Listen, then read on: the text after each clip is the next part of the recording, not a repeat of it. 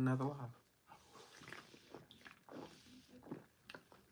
But for those who watch this video after the live, it's just gonna be another video. So, anyways, as you can see, we're not lit continuing the book from yesterday. I felt like that was going over a lot of people's heads. But the book I uh, put overnight, that one just started doing like way more numbers than my lives, like my regular lives. So I'm definitely sticking with playing the book overnight. So I've seen that's a success for like as far as like helping my channel towards my getting monetized. So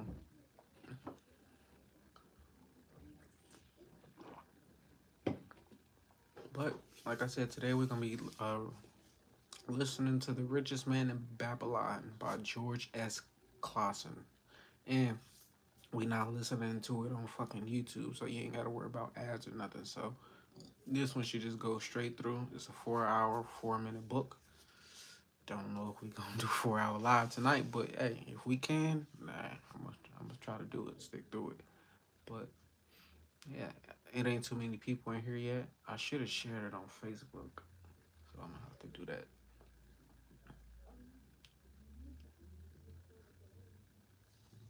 But yeah, this is a one of those books for uh, finances if you're trying to get wealthy, trying to get rich. So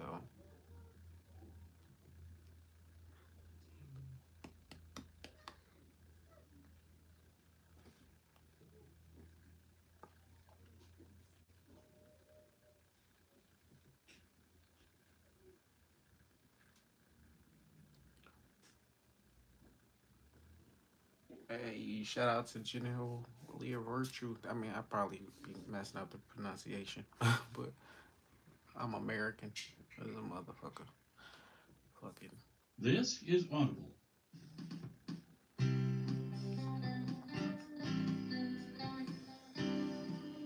As you can see, we listen to this book. I'm pretty sure you probably came across this book once or twice in your journey.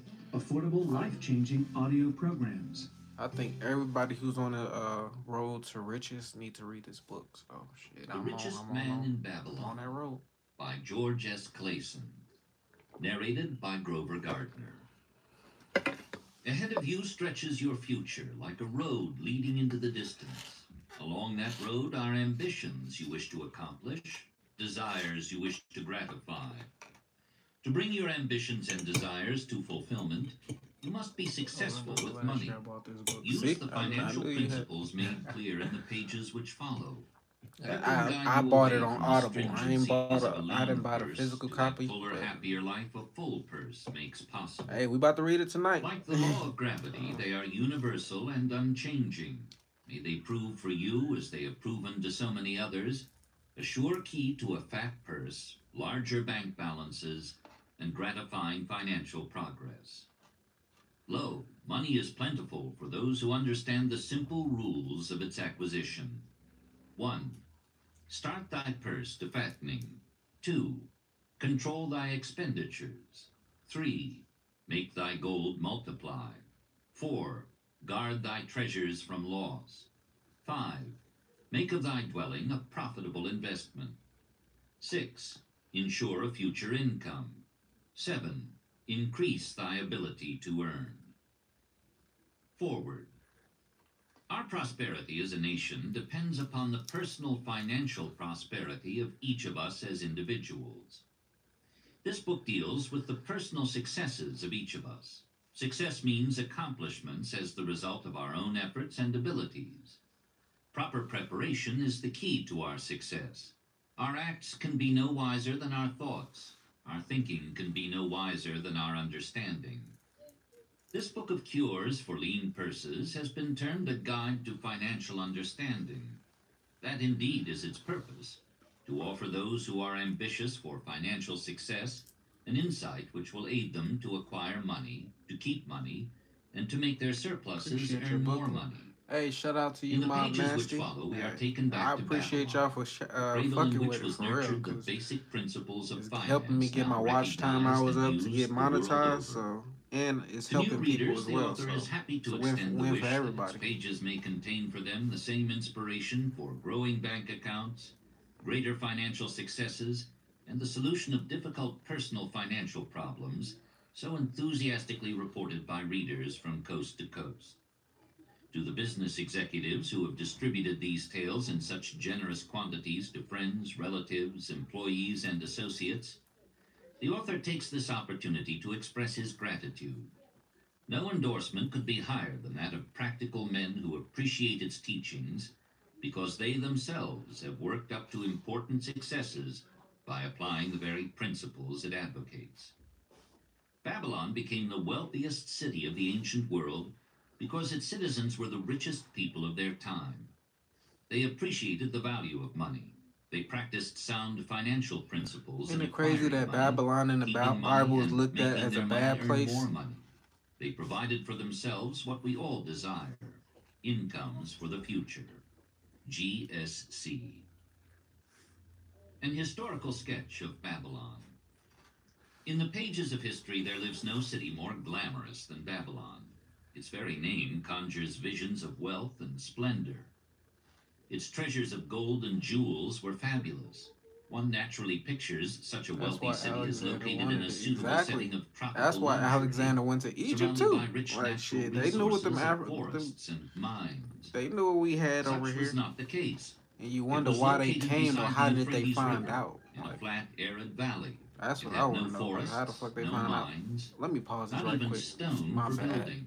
It was not even I had a thought the other day, and I'm like, how did the uh, like people like Alexander the Great and them like find out about Egypt?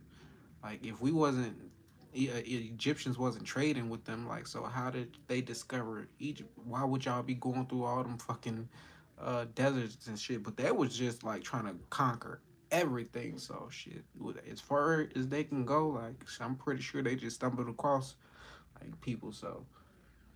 Hey, Alexander the Great, he did fucking conquer Egypt, so that's why that shit became the way it is now. It ain't no dark skinned people that's it. I mean, I'm pretty sure it's dark skinned, but it ain't no black people in Egypt. But it was like the pharaohs, the early pharaohs, the up up until probably like the 19th to 20th, nah, probably like the the 20th dynasty. Like, damn, when Cleopatra came around, like that's when like it was kind of getting like uh, gentrified. Basically, basically, Egypt was gentrified. Like, so white people came in and like just took the shit over before he went to exactly like. And once he had the power of Egypt, and once he had that information, because he, uh, nah, that was Julius Caesar who was sleeping with Cleopatra. Like Alexander the Great just conquered that. Like, so shit. They all was coming to fucking Egypt. Like, it's crazy. Now, if you go to Egypt, there is no traces of like black people or nothing, except when you go to the pyramids and you see like who's on the pyramids and like what's still standing. Those statues are of black people. like so, I fuck with you. I, I got past lives in Egypt. I was an Egyptian pharaoh in my one of my past lives. Two of my past lives, I was an Egyptian pharaoh. So, like I, I got lives that I actually remember that I can recall but I ain't gonna say them on here because it ain't no. He wanted to be exactly. He wanted the respect of what they had because Egyptians was way spiritual. Like they was super, super uh uh, intelligent. Had way more wisdom than what we got. Like they wasn't programmed like we was. Like people think like Africans is was just dumb because they ain't like because of what we were taught in America. Like shit, all we know is like they was conquered by fucking Europeans and made as slaves, but school don't teach you about motherfucking the Egyptians and how they was rocking. They don't even teach you about Mansa Musa. What's up? You definitely should check out Immortal Minds. He is about educating mind. I mean, educating you. Is that a, uh the name sound familiar? Immortal Minds, but I don't think I ever checked him out though. He went to the Oracle of Amun. Hmm. See, learning stuff new. I mean, every day. Like I, I'm a historian, but I don't know everything. like so, I'm always willing to learn something new. For real. natural trade route. The rainfall was insufficient to raise crops. Babylon is an outstanding example of man's ability to achieve great objectives using whatever means are at his disposal. All of the resources supporting Man, this large city were man-developed. Like, All of its riches were man made. Yeah. See, I see we having a. I really don't. It don't really be this like early on my live where the comments coming in, but they coming in, so I can pause the book and like have the conversation. But Alexander the Great was a black man. That's all I'm gonna say. Like I ain't gonna say he was a black man. He had a black spirit. That's why how they knew to fucking go to Egypt. Like their spirit was just leading them there. Like so he felt belong like he belonged. Like shit. If the, if I'm a white man and I got a black spirit, I've been because we all reincarnate. Every single last one of us has been reincarnating repeatedly. So fucking I've been here multiple times. So fucking he was a black guy. Julius Caesar was a black guy. All these white guys that was fucking invading Egypt, like they had black souls. They was just trying to go back home and like just what what they felt was normal. Like the whole room their military was made into his image. It's it, hey, like they had power. I'm telling you, it's a lot of white people that y'all see today that y'all think is real is white people, but nah, they reincarnated. They've been black a few times. Like they just chose to be white this time. I chose to be come back to black this time. I didn't have to. I've been black, white, Chinese, Mexican, fucking uh, Asian, white, French, like Haitian. I've been lived a different past life as damn near every race. I don't. I haven't been here as a woman. I don't want to because. I ain't trying to experience that shit. But I. That's why I understand women today. Like so, I don't dis. I'm not a man who disrespect women. So I don't have to fucking come back and reincarnate to learn my lessons as a woman. So, like, oh, nobody knows where his body is. Man. Hey. It ain't meant to be found. Some things is just never meant to be found. Or it could have been found. They just not telling. Babylon possessed just two natural resources a fertile soil and water in the river.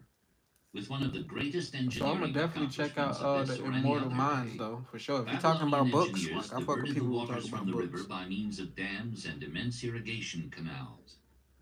Far out across that arid valley went these canals to pour the life-giving waters over the fertile soil.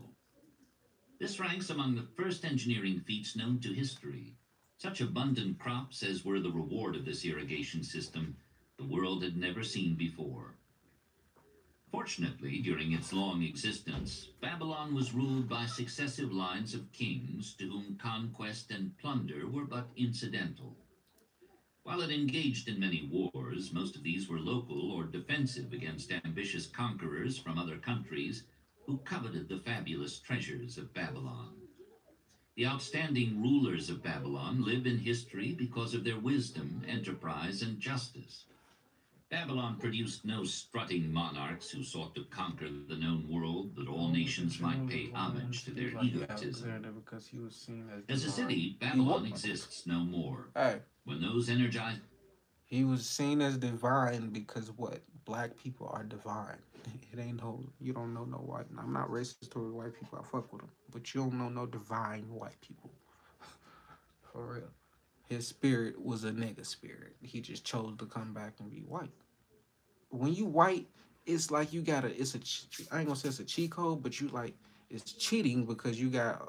It ain't all the obstacles as black people. So when I come back as black, I'm making it harder on myself because the harder your life is, like the greater, like the outcome is. So if you got it easy your whole life, then it ain't really no real pressure. I thrive under pressure, so like, man, my life ain't no joke. hey, I fuck with Alexander the Great. I study him, so meditation, like uh, I speak about it a lot on my podcast. I'm starting to be a speaker on it more on here now, but meditation, dreams, uh, other psychic people, like people who tapped into, who could speak with ancestors and spirit guides, like so. I utilize all of it: tarot cards, astrology, numerology. I tap into every single thing to like, and like a deja vu. If you experience deja vu a lot, Like that's signs of fucking uh reincarnation. If you know heard about a life path number, like that's your birthday totaled up into one number, like that'll tell you around the times you've been here. Like my life path number is a nine, so I've been here 18 times, but if you equal that one plus eight, that's a nine. So it's in the life path numbers. Human forces that built and maintained the city for thousands of years were withdrawn. It soon became a deserted ruin. hey, that's a master number for the show. So that means you in the right spot. in the right spot. Your life path number is 11. city is in Asia, about 600 miles east of the Suez Canal, just north of the Persian Gulf. The latitude is about 30 degrees above the equator, practically the same as that of Yuma, Arizona. It possessed a climate similar to that of this American city, hot and dry. Today, this valley of the Euphrates, once a populous irrigated farming district, is again a wind-swept arid waste. Scant grass and desert shrubs strive for existence against the wind-blown sands. Gone are the fertile fields, the mammoth cities, and the long caravans of rich merchandise. Nomadic bands of Arabs, securing a scant living by tending small herds, are the only inhabitants. Such it has been since about the beginning of the Christian era. Dotting this valley are earthen hills. For centuries, they were considered by travelers to be nothing else. The attention of archaeologists were finally attracted to them because of broken pieces of pottery and brick washed down by the occasional rainstorms. Expeditions, financed by European and American museums, were sent here to excavate and see what could be found. Picks and shovels soon proved these hills to be ancient cities. City graves, they might well be called. Babylon was one of these. Over it for something like 20 centuries, the winds had scattered the desert dust. Built originally of brick, the world. all exposed walls had disintegrated. That's why he came back more. as a white man. Because he was able to conquer the world. But first he went back to Egypt because that's that was home. Like that's where his soul recognizes. That's what his spirit was led to. Like so as a white man it's easy to conquer the world. Look at the richest people in the world. The Rockefellers, like the Waltons, the fucking Bezos probably spirit is a fucking nigga. Elon Musk, you could tell like he ain't just no no white person. I ain't talking about in your DNA. I'm talking about your spirit overall. Like so, it ain't got nothing to do with color at the end of the day. Like, but you could tell like some people ain't just what they seem to be. Like, I'm gonna transcend. I mean, tr- I'm gonna transcend like just being considered as a black man as I grow. Like, people ain't gonna just consider like, oh, he's just another black man, a great thinker. Nah, I'm gonna just be I'm gonna be me and I'm gonna be great at that. Like shit. But the black gods would know what what happened to us in the future. Hey, our, our goal is to transition out of this motherfucker. To stop reincarnating. Cause that's what real people don't understand. People think reincarnation is cool. It's not. It's a fucking trap. Like only reason I keep coming back is to help people wake up to let them know that. Like so this shit is like it, earth is really hell. Like so that's why you experience sickness pain heartbreak negative thoughts. Like shit just all negativity growing. This is hell. Like so when you keep reincarnating like you just keep experiencing it from a baby to kid to teenager to adult. Like all that shit just keep repeating that's what hell is for eternity until you evolve up out of here like so said they will crush you. I can tell you a fan of like war hero. I'm like war Babylon, people. Napoleon is probably today. you probably a fan of Napoleon. So long abandoned that no living person even knew its name until it was But your name by General Virtue, so you refuse of probably not a fan the because streets. they was the fallen wreckage of so. its noble temples and palaces. Many just scientists Alexander? consider the civilization of Babylon and other cities in this valley to be What the oldest Genghis of Khan? which there is a definite record. Positive dates have been proved reaching back 8,000 years. An interesting fact in this connection is the means used to determine these dates. Uncovered in the ruins of Babylon were descriptions of an eclipse of the sun. Modern astronomers readily computed the time when such an eclipse, visible in Babylon, occurred, and thus established a known relationship Mhm. between their calendar and our own. In this way, we have proved that 8,000 years ago, the reason why Alexander was so great is because he wasn't just great at, at war. Like he was taught by like some of the greatest philosophers, so he had the wisdom and the knowledge to like to conquer the world. Most people were primitive back in the day, like so they only knew to fight. Like so exactly. So having Aristotle as your fucking mentor, like so you gonna already be mild like thinking chess, playing chess mentally. Like so that's why he was so great. Other people like Julius Caesar, he had enemies that was in his circle. They betrayed him. They killed him. Like Julius Caesar died March 15th. My birthday is March 14th. Like the first time um I learned about Julius Caesar, I was a kid. And you know what I had told myself when he had died? Like I told myself, if my wife ever tell me to stay at home because she like feeling some type of way, I'ma stay home. Like and I was a kid thinking that shit, but he didn't listen to his wife. Like his wife had a dream and a, a premonition, knew something bad was gonna happen, but yet he still went out and was murdered by Brutus, fucking Brutus, one of the greatest philosophers. Exactly, I fuck with the philosophers too. Like so, as you can see, I'm a, I'm a, I'm a kind of a geek historian. like, but I fuck with Greek mythology as well. Like I fuck with Egyptian mythology. I fuck with all of that. Sumerites, who inhabited Babylonia, were living in walled cities. One can only conjecture for how many centuries previous You know who one of the greatest philosophers is, though? Their inhabitants were not mere Marcus barbarians Aurelius. living within protecting walls. They were an educated and enlightened people. So far as written history goes, they were the first engineers, the first astronomers, the first mathematicians, the first talking about YouTube, financiers, and the first people to have a written language. Mention has already been made of the irrigation systems which transformed the arid valley into an agricultural paradise. The remains of these canals can still be traced, although they are mostly You know filled with accumulated sand. Some of them were of such size that, when empty of water, a dozen horses could be ridden Exactly, that's abreast along their to. bottoms. I always In have. size, they compared favorably with the largest canals in Colorado and Utah. In addition to irrigating the valley I'm a big fan of Atlantis as well. completed another project of similar magnitude. By means of an elaborate drainage system, they reclaimed an immense area of or are you swampland at the mouths of the? Euphrates and Tigris rivers and put this also under cultivation. Herodotus, the Greek traveler and historian, visited Babylon while it was in its prime and has given us the only known description by an outsider. His writings give a graphic description of the city and some of the unusual customs of its people. Why isn't He mentions the Babylon praised like it should be? Why is Babylon looked at as like evil?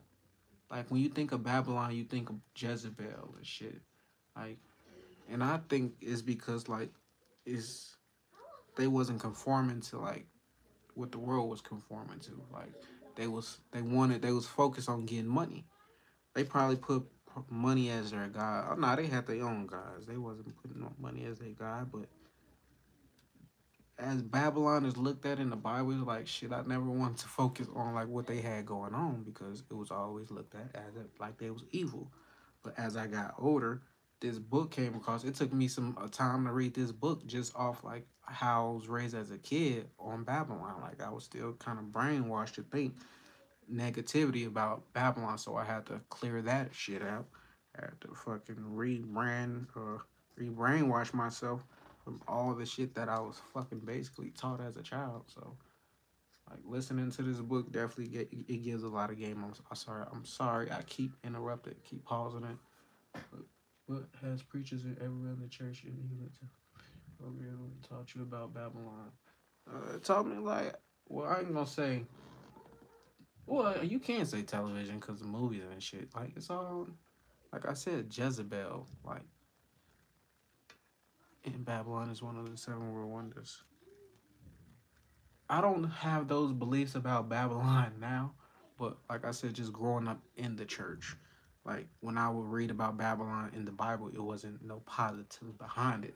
but when you read this book, it's giving you a positive aspect on ba- Babylon, you know, like just the people of it. Like so, I understand now that I'm grown and I'm more aware. Like shit, the Bible just had one person's perspective, or a couple people's perspective, but that don't mean it was the right perspective.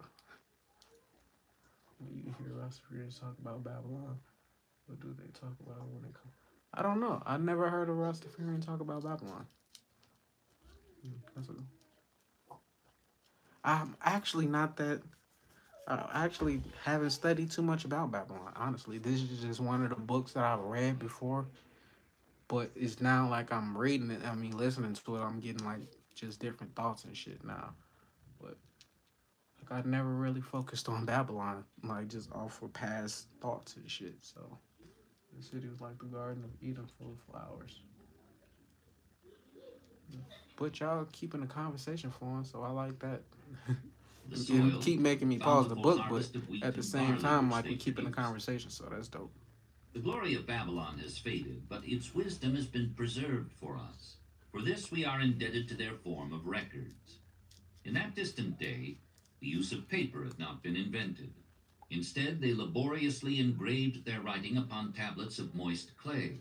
When completed, these were baked and became hard tile. In size, they were about six by eight inches and an inch in thickness. Hey, see, you got an uh, expert. tablets, as they are commonly called, were used much as we use modern forms of writing. Upon them were engraved legends, I just poetry, study history, but I don't like. transcriptions of royal don't stay in decrees, the laws Like- of the land, titles to stay- I property, study bits and pieces notes, of it. and I even can't letters just which were spend my whole dispatched by messengers to distant cities. From these clay tablets, we are permitted an insight into the intimate personal affairs of the people. For example, one tablet, evidently from the records of a country storekeeper, relates that upon the given date a certain named customer brought in a cow and exchanged it for seven sacks Hey, General virtue. You must have lived a past life with uh, Alexander the Great. You probably was one of his like people.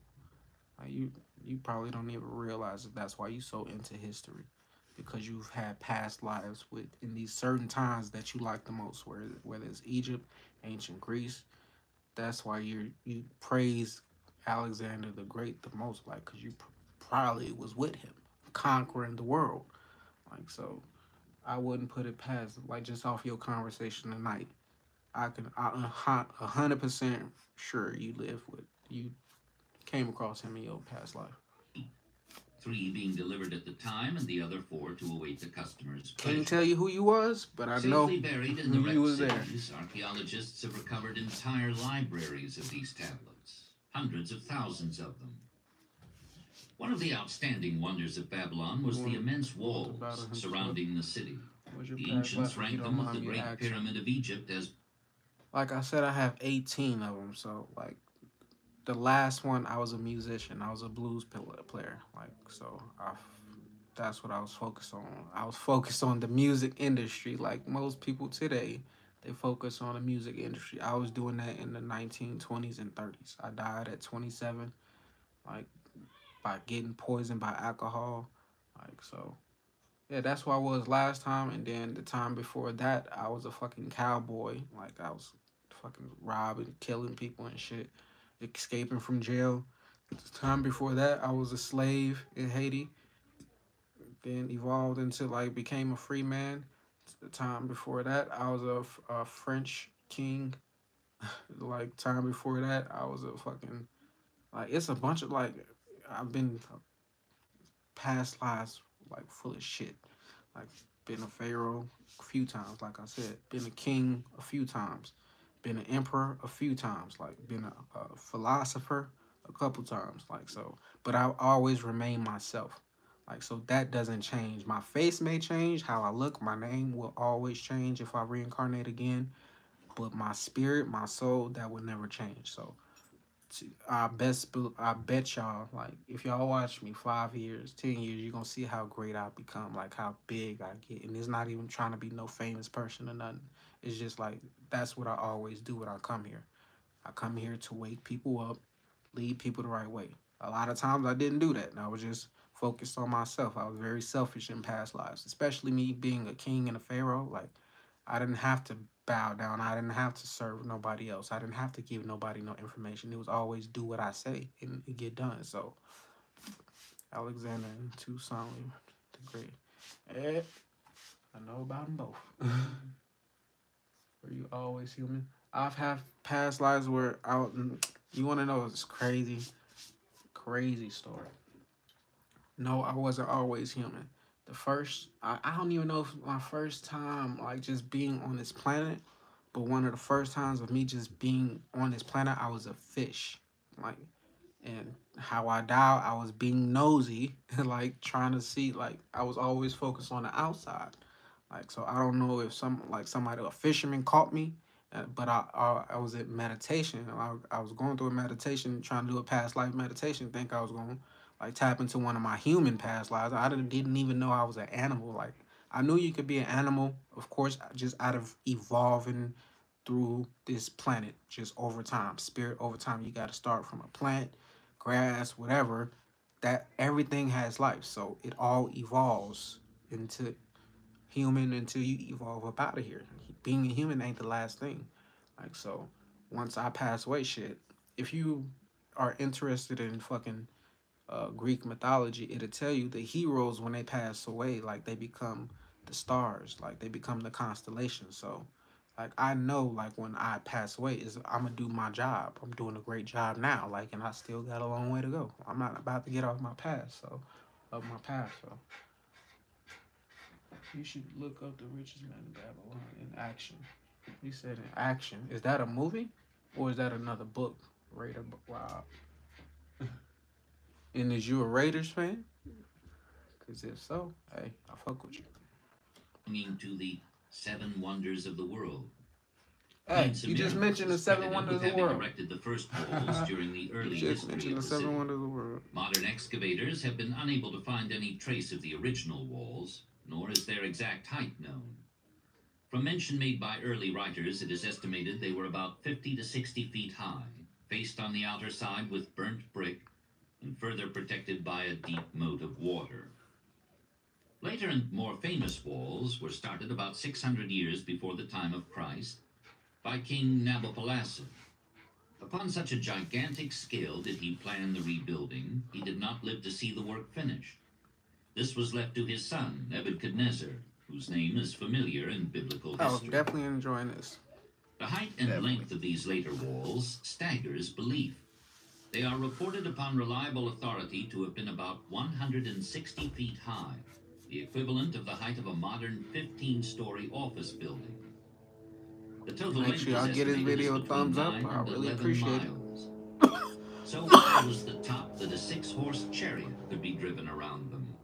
Of this tremendous structure, little now remains except portions of the foundations and the moat. In addition to the ravages of the elements, the Arabs completed the destruction by quarrying the brick for building purposes elsewhere. Against the walls of Babylon marched in turn the victorious armies of almost every conqueror of that age of wars of conquest. A host of kings laid siege to Babylon, but always in vain. Invading armies of that day were not to be considered lightly. Historians speak of such units as 10,000 horsemen, 25,000 chariots, 1,200 regiments of foot soldiers, with a thousand men to the regiment. Often, two or three years of preparation would be required to assemble war materials and depots of food along the proposed line of march. the city of Babylon was organized much like a modern city. There were streets and shops. Peddlers offered their wares through residential districts. to Priests ourselves by reading. officiated in Exactly. magnificent And temples. since black people don't like to read, I have to put it in for the the royal audiobook form. The Maybe walls about listen. this were said to So, have been higher than those about the city. The Babylonians were get skilled them to in the click on the arts. fucking These video. Sculpture, painting, But the right people weaving, come, like, so I ain't tripping. And the manufacture of metal People that's supposed to be and here will be here. implements. All I gotta do is show up every single day. jewelry. All I got, that's Many all I gotta do. Show up from the graves of its wealthy citizens, and they're now on exhibition in the leading museums of the world. At a very early period, when the rest of the world was still hacking at trees with stone-headed axes, or hunting and fighting with flint pointed spears and arrows, the Babylonians were using axes, spears, and arrows with metal heads. The Babylonians were clever financiers and traders. So far as we know, they were the original inventors of money as a means of exchange, of promissory notes and written Probably why they considered the evil people. If they're the creators of money, like now, if money is considered the root of all evil, like of course the Bible's gonna go against Babylon.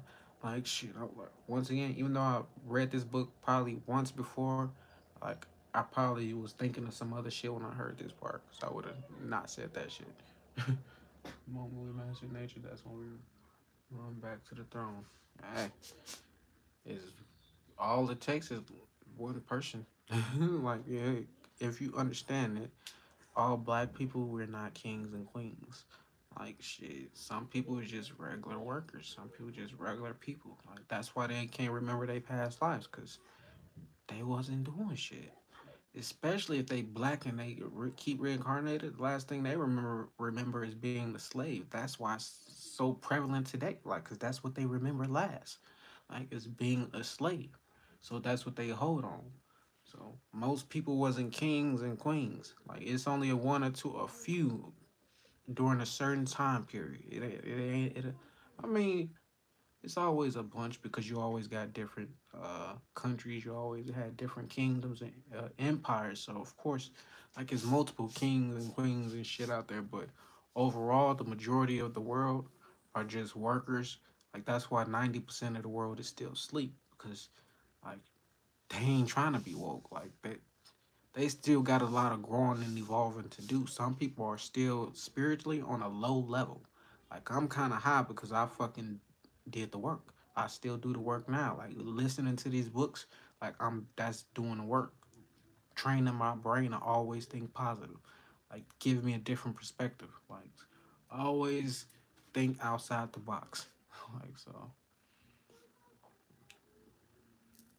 On was never entered by hostile armies until about 540 years before the birth of Christ. Even then, the walls were not captured. The story of the fall of Babylon is most unusual. Cyrus, one of the great conquerors of that period, intended to attack the city and hoped to take its impregnable walls. Advisors of Nabonidus, the king of Babylon, persuaded him to go forth to meet Cyrus and give him battle without waiting for the city to be besieged. In the succeeding defeat to the Babylonian army, it fled away from the city. Cyrus thereupon entered the open gates and took possession without resistance. Thereafter, the power and prestige of the city gradually waned until, in the course of a few hundred years, it was eventually abandoned, deserted, left for the winds and storms to level once again to that desert earth from which its grandeur had originally been built. Babylon had fallen, never to rise again, but to it, civilization owes much. The eons of time have crumbled to dust the proud walls of its temples, but the wisdom of Babylon endures. Money is the medium by which earthly success is measured. Money makes possible the enjoyment of the best the earth affords.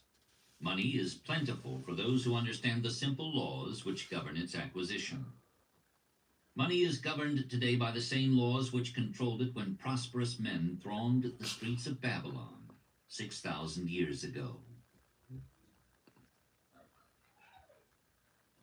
The man who desired gold. Bansir, the chariot builder of Babylon, was thoroughly discouraged. From his seat upon the low wall surrounding his property, he gazed sadly at the his books, simple home, millions of them out there workshop, for real. in which stood a Millions partially there. completed chariot. All got His wife frequently appeared at the open door. Her furtive glances in his direction reminded him that the meal bag was almost empty and he should be at work finishing the cherry, hammering and hewing, polishing and painting, stretching taut the leather over the wheel rims, preparing it for delivery so he could collect from his wealthy customer. Nevertheless, his fat, muscular body sat stolidly upon the wall. His slow mind was struggling patiently with a problem for which he could find no answer. The hot tropical sun, so typical of this valley of the Euphrates, beat down upon him mercilessly. Beads of perspiration formed upon his brow and trickled down unnoticed to lose themselves in the hairy jungle of his chest. Beyond his home towered the high terraced wall surrounding the king's palace. Nearby, cleaving the blue heavens, was the painted tower of the Temple of Bel. In the shadow of such grandeur was this simple home, and many others far less neat and well cared for. Babylon was like this, a mixture of grandeur and squalor, of dazzling wealth and direst poverty, crowded together without plan or system within the protecting walls of the city. Behind him, had he cared to turn and look, the noisy chariots of the rich jostled and crowded aside the sandaled tradesmen as well as the barefooted beggars. Even the rich were forced to turn into the gutters to clear the way for the long lines of slave water carriers on the king's business, each bearing a heavy goatskin of water to be poured upon the hanging gardens. Bansir was too engrossed in his own problem to hear or heed the confused hubbub of the busy city. It was the unexpected twanging of the strings from a familiar lyre that aroused him from his reverie. He turned and looked into the sensitive, smiling face of his best friend, Kobbi, the musician. May the gods bless thee with great liberality, my good friend, began Kobbi with an elaborate salute. Yet it does appear they have already been so generous thou needest not labor. I rejoice with thee in thy good fortune. More, I would even share it with thee. Pray, from thy purse, which must be bulging, else thou wouldst be busy in your shop, extract but two humble shekels, and lend them to me until after the nobleman's feast this night. Thou wilt not miss them ere they are returned. If I did have two shekels, Von responded gloomily, to no one could I lend them, not even to you, my best of friends, for they would be my fortune, my entire fortune. No one lends his entire fortune, not even to his best friend. What? exclaimed Kobbi with genuine surprise. way of thinking about money. Thou hast not one shekel in thy purse, yet sit like a statue upon a wall? Why not complete that chariot? How else canst thou provide for thy noble appetite? Tis not like thee, my friend. Where is thy endless energy? Doth something distress thee? Have the gods brought to thee troubles? A torment from the gods it must be, Bansir agreed. It began with a dream, a senseless dream, in which I thought I was a man of means. From my belt hung a handsome purse heavy with coins. There were shekels, which I cast with careless freedom to the beggars. There were pieces of silver with which I did buy finery for my wife and whatever I did desire for myself. There were pieces of gold which made me feel assured of the future and unafraid to spend the silver. A glorious feeling of contentment was within me. You would not have known me for thy hard-working friend, nor wouldst have known my wife, so free from wrinkles was her face and shining with happiness. She was again the smiling maiden of our early married days. A pleasant dream indeed, commented Kobbi. But why should such pleasant feelings as it aroused turn thee into a glum statue upon the wall? Why, indeed. Because when I awoke and remembered how empty was my purse, a feeling of rebellion swept over me. Let us talk it over together, for, as the sailors do say, we ride in the same boat, we two. As youngsters, we went together to the priests to learn wisdom. As young men, we shared each other's pleasures. As grown men, we have always been close friends. We have been contented subjects of our kind. We have been satisfied to work long hours and spend our earnings freely. We have earned much coin in the years that have passed, yet to know the joys that come from wealth, we must dream about them. Bah! Are we more than dumb sheep? We live in the richest city in all the world. The travelers do say none equals it in wealth. About us is much display of wealth, but of it we ourselves have not. After half a lifetime of hard labor, thou, my best of friends, hast an empty purse, and sayest to me, May I borrow such a trifle as two shekels until after the nobleman's feast this night? Then what do I reply? Do I say, Here is my purse, its contents will I gladly share? No. I admit that my purse is as empty as thine. What is the matter? Why cannot we acquire silver and gold? More than enough for food and robes. Consider also our sons. Bansir continued. Are they not following in the footsteps of their fathers? Need they and their families and their sons and their sons' families live all their lives in the midst of such treasures of gold, and yet, like us, be content to banquet upon sour goat's milk and porridge? Never in all the years of our friendship didst thou talk like this before, Bansir. Kobbi was puzzled. Never in all those years did I think like this before.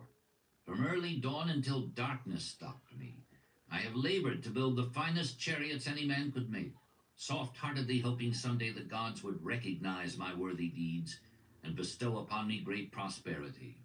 This they have never done. At last I realize this they will never do. Therefore my heart is sad. I wish to be a man of means. I wish to own lands and cattle, to have fine robes and coins in my purse. I am willing to work for these things with all the strength in my back, with all the skill in my hands, with all the cunning in my mind, but I wish my labors to be fairly rewarded. what is the matter with us? Again, I ask you, why cannot we have our just share of the good things, so plentiful for those who have the gold with which to buy them? Would I knew an answer, Kobbi replied. No better than thou am I satisfied. My earnings from my lyre are quickly gone. Often must I plan and scheme that my family be not hungry. Also within my breast is a deep longing for a lyre large enough that it may truly sing the strains of music that do surge through my mind. With such an instrument I could make music finer than even the king has heard before. Such a lyre thou shouldst have. No man in all Babylon could make it sing more sweetly. Could make it sing so sweetly, not only the king, but the gods themselves would be delighted. But how mayest thou secure it while we both of us are as poor as the king's slaves? Listen to the bell. Here they come. He pointed to the long column of half-naked, sweating water-bearers plodding laboriously up the narrow street from the river. Five abreast they marched, each bent under a heavy goatskin of water. A fine figure of a man who doth lead them. Kobbi indicated the wearer of the bell who marched in front without a load. A prominent man in his own country, 'tis easy to see. There are many good figures in the line, Bansir agreed. As good men as we. Tall blond men from the north, laughing black men from the south, little brown men from the nearer countries, all marching together from the river to the gardens, back and forth, day after day, year after year. Naught of happiness to look forward to, beds of straw upon which to sleep, hard grain porridge to eat. Pity the poor brutes, Kobbi. them for sure. Pity them, I do. Yet thou dost Can't deny me that. say, "How better off are we, Can't deny that. men though we call ourselves. That is truth, Kobbi, unpleasant thought though it be. We do not wish to go on year after year living slavish lives, working, working, working, getting nowhere. Might we not find out how others acquire gold and do as they do? Kobbi inquired. Perhaps there is Kobe is a smart we might learn man. If we had sought from those who knew, replied Bansir thoughtfully. This Kobe gonna day, figure it out whether it's Kobe Bryant or the I Kobe in his book. He ain't gonna just settle for just not having an answer or not knowing or settling just for less. If you a fan of Kobe Bryant and you study him and you listen to his interviews and just watch like shit, he wanted it from day one. He he just knew he was great. Like he just wasn't gonna settle for just being no average ass player. Like so, Kobe in his book, he ain't settling with being broke. So and got caught riding in his golden chariot. Hey, if I get to This have a son, my next son, I'm gonna name him Kobe. humble head as Kobe many in the Brady. station might consider his right. Instead, Fuck he did wave his hand that all onlookers might see him pay greetings. That might be the basketball player on my team. I got seven kids already. If I had one more son, he'd probably be the the basketball player that go to the NBA. Gotta name him Kobe. So rich, the king is said to seek his golden aid in affairs oh, of the Fuck treasury. that. I don't Kobe give a fuck about no sports. So you don't like the name Kobe, man? That's a dope meet him in name, Kobe darkness of the Brady. night, I should lay my Hey, y'all think Kobe. Brady is a dope name, get his give it a thumbs up. Let me see the thumbs up. I think Kobe Brady is dope. Didn't that give him something like to always admire, like just like knowing he's great, like knowing his name is like of great. I have a daughter named Aaliyah. Like, and now when I named her is because of I the singer. Like, I adored the singer. Now I don't adore celebrities, but if you have a way of thinking, if your mentality is like Kobe, like you got no choice but to respect that. When I first was a fan of Aaliyah, you gonna keep saying no. Kobe the Great sounds dope. Hey, we're gonna have to go Kobe the Great. I named all my babies except for one of my kids. Crazy, right? And she the one who, well, my son KJ, he got my name, and he's my junior. But my daughter Kanisha, she has my name, but I didn't give her that name. Her mom did. Nonsense, reproved Kobbi. A man's wealth is not in the purse he carries. A fat purse quickly empties if there be no golden stream to refill it. Arkad Mm. has an income that constantly keeps his purse full, no matter how liberally he spends. Income, that is the thing, ejaculated Bansir. I wish an income that will keep flowing into my purse whether I sit upon the wall or travel to far lands. Arkad must know how a man can make an income for himself. Dost suppose it is something he could make clear to a mind as slow as mine? Methinks he did teach his knowledge to his son Nomasir, Kobbi responded. Did he not go to Nineveh, and, so it is told at the inn, become, without aid from his father, one of the richest men in that city? Kobbi, thou bringest to me a rare thought. A new light gleamed in Hey, he's giving eye. that boy epiphanies. That's It costs Shout out to nothing to ask wise advice from a good friend, and Arkad was always that. Never mind, though our purses be as empty as the falcon's nest of a year ago. Let that not detain us. We are weary of being without gold in the midst of plenty. We wish to become men of means. Come, let us go to Arkad and ask how we also may acquire incomes for ourselves. Thou speakest with true inspiration, Bansir. Thou bringest to my mind a new understanding.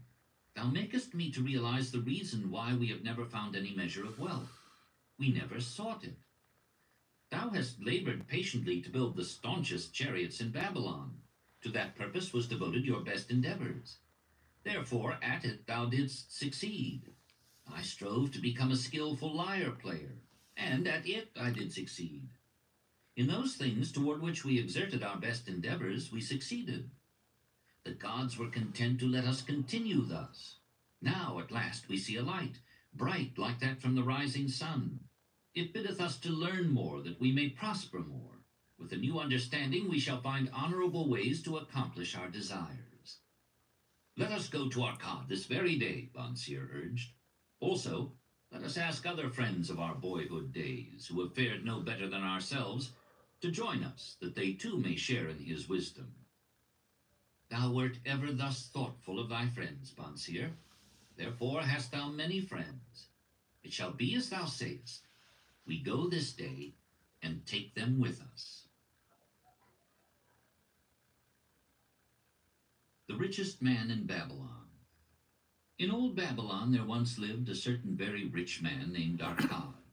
Far and wide he was famed for his great wealth. Also was he famed for his liberality. He was generous in his charities. He was generous with his family. He was liberal in his own expenses. But nevertheless, each year his wealth increased more rapidly than he spent it. And there were certain friends of younger days who came to him and said, You, Arkad, are more fortunate than we. You have become the richest man in all Babylon while we struggle for existence. You can wear the finest garments and you can enjoy the rarest foods, while we must be content if we can clothe our families in raiment that Don't is you hate when you presentable, feed them as best we can. shit. Yet once we were equal. We studied under the same master. We played in the same games. And in neither the studies nor the games did you outshine us. And in the years since, you have been no more an honorable citizen than we. Sounds jelly to me. More faithfully, insofar as we can judge. Why then should These niggas probably gonna beg for some to shit. enjoy all the good Or they just gonna criticize, why you who it, why we deserving. Thereupon Arkad remonstrated with them, saying, If you have not acquired more than a bare existence in the years since we were youths, it is because you either have failed to learn the laws that govern the building of wealth, or else you do not observe them. Fickle fate is a vicious goddess who brings no permanent good to anyone. On the contrary, she brings ruin to almost every man upon whom she showers unearned gold. She makes wanton spenders who soon dissipate all they receive and are left beset by overwhelming appetites and desires they have not the ability to gratify. Yet others whom she favors become misers and hoard their wealth, fearing to spend what they have, knowing they do not possess the ability to replace it. They further are beset by fear of robbers and doom themselves to lives of emptiness and secret misery. Others there probably are who can take unearned gold and add to it and continue to be happy and contented citizens. But so few are they, I know of them but by hearsay. Think you of the men who have inherited sudden wealth and see if these things are not so. His friends admitted that of the men they knew who had inherited wealth, these words were true, and they besought him to explain to them how he had become possessed of so much prosperity. So he continued, In my youth I looked about me and saw all the good things there were to bring happiness and contentment, and I realized that wealth increased the potency of all these. Wealth is power. With wealth many things are possible. One may ornament the home with the richest of furnishings. One may sail the distant seas. One may feast on the delicacies of far lands. One may buy the ornaments of the gold worker and the stone polisher. One may even build mighty temples for the gods. One may do all these things and many others in which there is delight for the senses and gratification for the soul. And when I realized all this, I decided to myself that I would claim my share of the good things of life. I would not be one of those who stand afar off, enviously watching others enjoy. Mhm. I would not be content to clothe myself in the cheapest raiment that looked respectable. I would not be satisfied with the lot of a poor man. He making them On feel shitty about themselves. I would themselves. make 'cause myself that's a guest are. of this banquet of good things. Being, as you know, the son of a humble merchant, one of a large family with no hope of an inheritance, and not being endowed, as you have so frankly said, with superior powers or wisdom, I decided that if I was to achieve what I desired, time and study would be required. As for time, all men have it in abundance. You, each of you, have let slip by sufficient time to have made yourselves wealthy. Yet you admit you have nothing to show except your good families, of which you can be justly proud. As for study, did not our wise teacher teach us that learning was of two kinds? The one kind Ooh, being the Ethereum things we down 7%. knew, and the other being the training that taught us how to find out what we did Hey. not know. Therefore Maybe did I a good decide time to to find invest out in how one might Ethereum. accumulate wealth. And when I had found out, Or should I let it go down some more? Y'all think well. Ethereum gonna go down some or is more? it not wise that we should enjoy while we dwell in the brightness of the sunshine? For sorrows enough shall descend upon us when we depart for the darkness of the world of spirit. I found employment as a scribe in the Hall of Records, and long hours each day I labored upon the clay tablets. Week after week and month after month I labored, yet for my earnings I had naught to show. Food and clothing and penance to the gods and other things of which I could remember not what, absorbed all my earnings, but my determination did not leave me. And one day, Algamish, the moneylender, came to the house of the city master and ordered a copy of the ninth law. And he said to me, I must have this in two days, and if the task is done by that time, two coppers will I give to thee.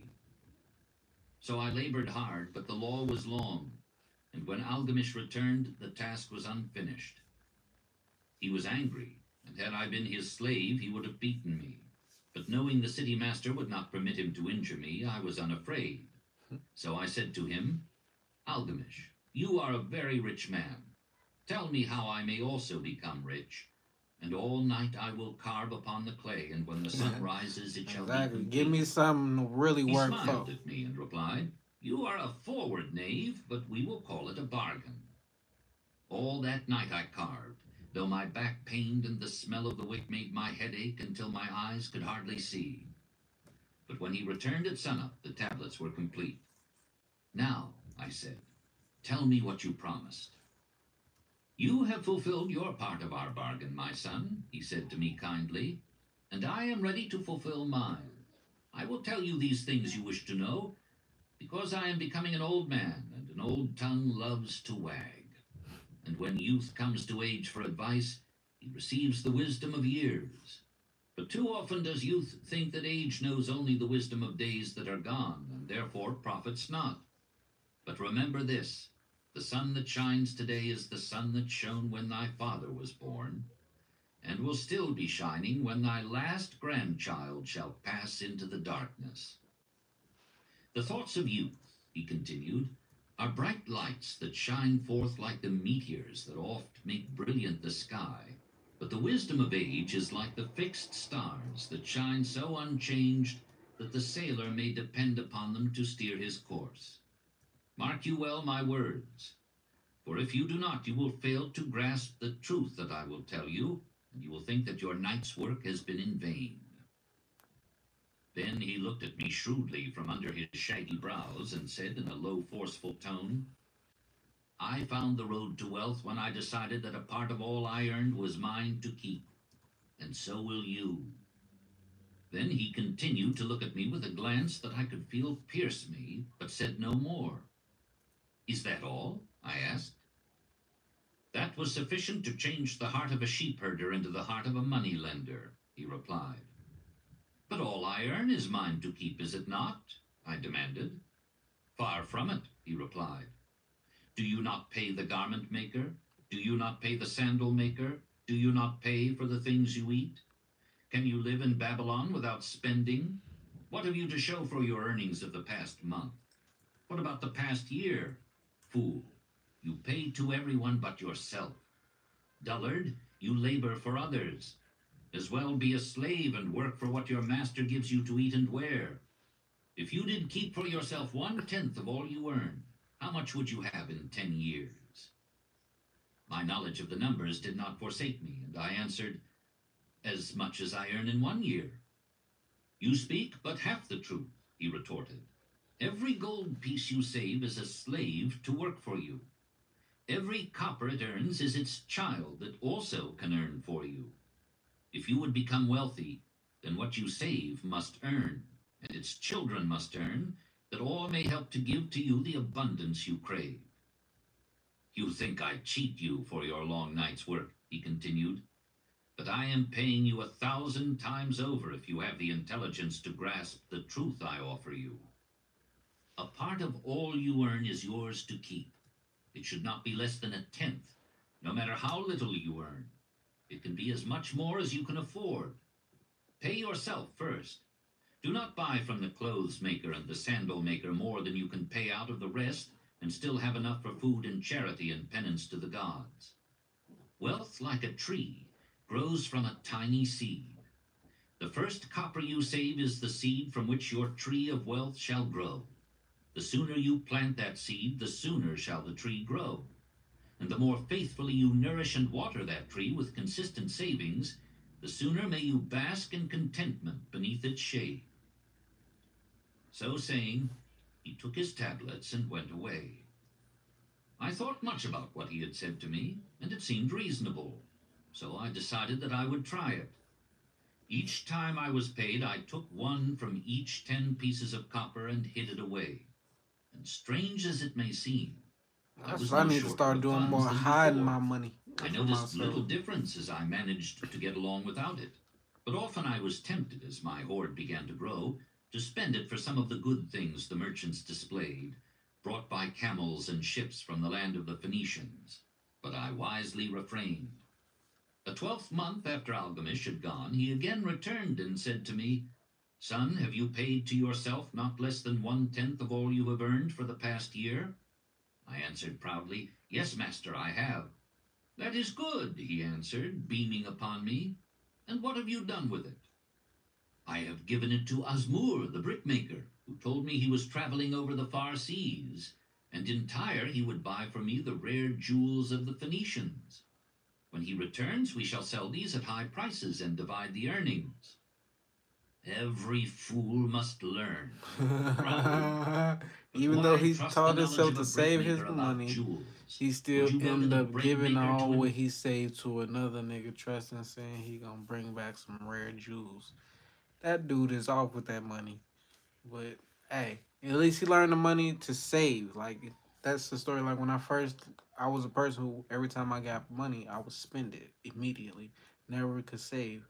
But once I started saving, I started like learning stocks and investing in stocks, crypto, all of that. So once I started learning to invest and save my money, then the shit started crashing. Like every time I would invest money to save away, like it was like it was getting took away. So I'm like, damn, what the fuck? So like I learned to put it in safe spaces that it won't drop, but it's not in my sight. Like so I don't have to worry about spending it. Like if so if it's in my bank account, I know it's there. I can just pull out my debit card if I see something I like. So like I've learned to get over that by just staying in the house. So but like I said, I, it did come to the point where I was putting money to the side, saving it away, and I was just losing it like just through the stock market and the crypto. So I'm like, damn, like I had to learn my lessons, like shit. So Inquire about the stars?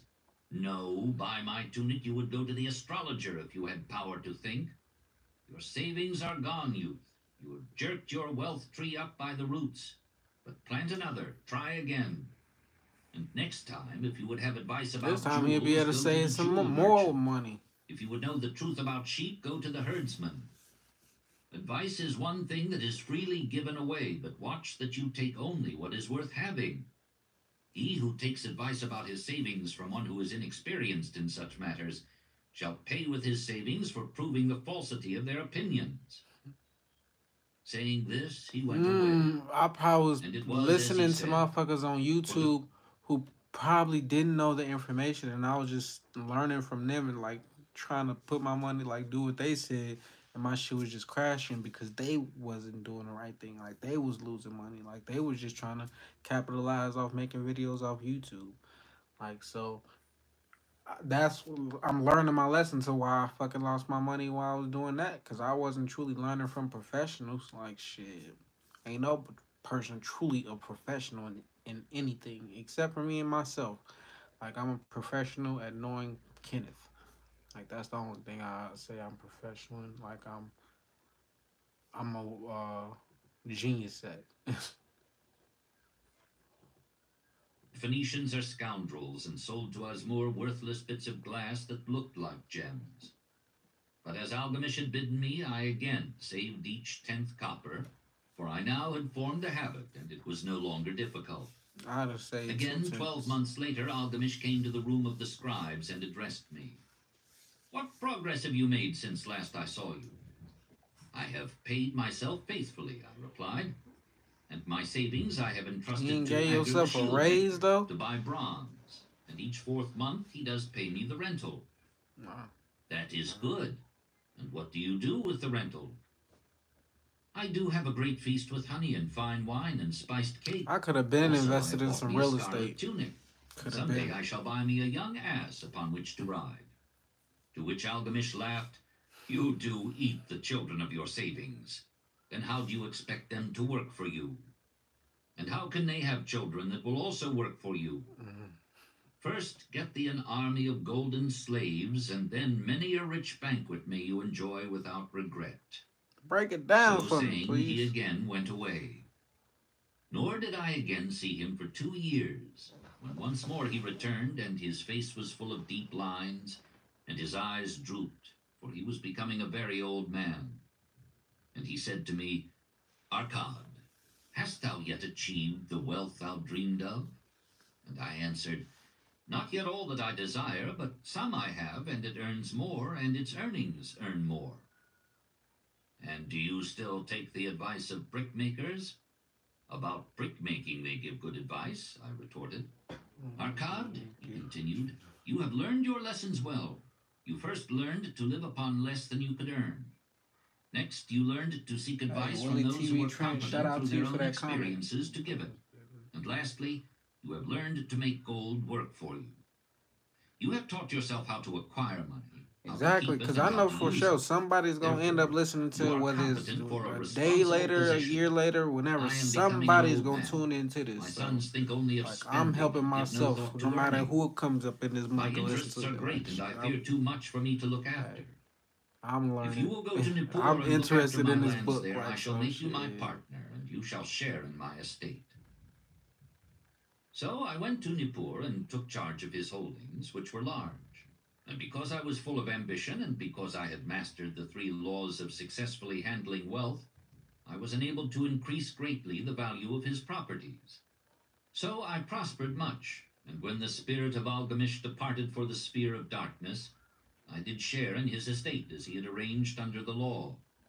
So spake Arkad, and when he had finished his tale, one of his friends said, You were indeed fortunate that Algamish made of you an heir. Fortunate Fortunate. only in that I had the desire well, to you know what I've been through. before I first met him.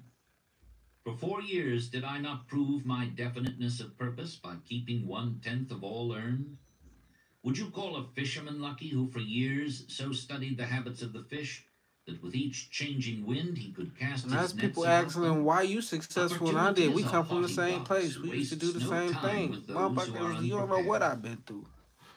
You had hmm, strong Yeah. willpower to keep on after you lost your first year's savings. You are unusual in that way, spoke up another. Yep. Willpower, retorted Arkad. What nonsense. Do you think willpower gives a man the strength to lift a burden a camel cannot carry, or to draw a load the oxen cannot budge? Willpower is but the unflinching purpose to carry a task you set for yourself to fulfillment. If I set for myself a task, be it ever so trifling, I shall see it through. How else shall I have confidence in myself to do important things? Should I say to myself, for a hundred days as I walk across should the stop bridge into the listening city, I will pick from the road a talking about and cast them. it into the stream, I would do it. If on the seventh They gotta day I come back when they they, they, they don't feel attacked. I would anymore. not say to myself, Tomorrow I will cast two pebbles, which will do as well. Instead, I would retrace my steps and cast the pebble. Nor on the twentieth day would I say to myself, Arkad, this is useless. What does it avail you to cast a pebble every day? Throw in a handful and be done with it. No, I would not say that, nor do it. When I set a task for myself, I complete it. Therefore, I am careful not to start difficult and impractical tasks because I love leisure. And then another friend spoke up and said, If what you tell is true, and it does seem as you have said reasonable, then being so simple, if all men did it, there would not be enough wealth to go around. Yeah, Wealth grows wherever men exert energy, Arkad replied. If a rich man builds him a new palace, is the gold he pays out gone? No, the brickmaker has part of it, and the laborer has part of it, and the artist has part of it. And everyone who labors upon the house has part of it. Yet when the palace is completed, is it not worth all it cost? And is the ground upon which it stands not worth more because it is there? And is the ground that adjoins it not worth more because it is there? Wealth grows in magic ways. No man can prophesy the limit of it. Have not the Phoenicians built great cities on barren coasts with the wealth that comes from their ships of commerce on the seas? What then do you advise us to do that we also may become rich? asked still another of his friends. The years have passed, and we are no longer young men, and we have nothing put by.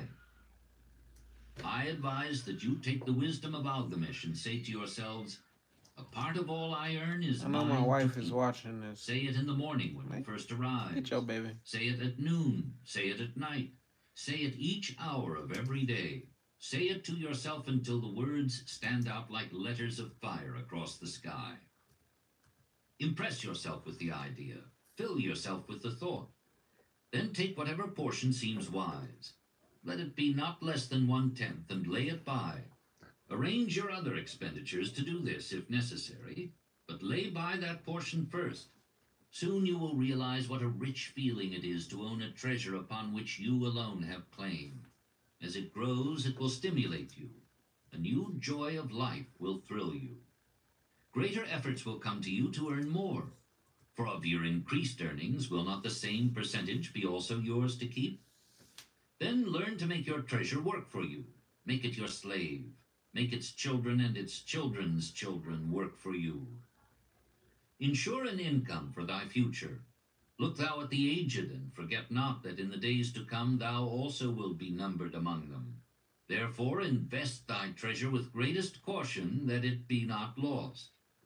Usurious rates of return are deceitful sirens that sing but to lure the unwary upon the rocks of loss and remorse. Provide also that thy family may not want should the gods call thee to their realms. For such protection, it is always possible to make provision with small payments at regular intervals. Therefore, the provident man delays not in expectation of a large sum becoming available for such a wise purpose. Counsel with wise men. Seek the advice of men whose daily work is handling money. Let them save you from such an error as I myself made in entrusting my money to the judgment of Azmur, the brickmaker.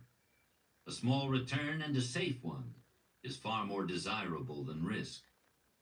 Enjoy life while you are here. Do not overstrain or try to save too much. If one tenth of all you earn is as much as you can comfortably keep, be content to keep this portion. Live otherwise according to your income, and let not yourself get niggardly and afraid to spend. Life niggardly? is good and life is rich with things worthwhile and things to enjoy. His friends thanked him and went away. Some were silent because they had no imagination and could not understand. Some were sarcastic because they thought that one so rich should divide with old friends not so fortunate. But some had in their eyes a new light. They realized that Algamish had come back each time to the room of the scribes because he was watching a man work his way out of darkness into light. When that man had found the light, a place awaited him. No one could fill that place until he had for himself worked out his own understanding, until he was ready for opportunity.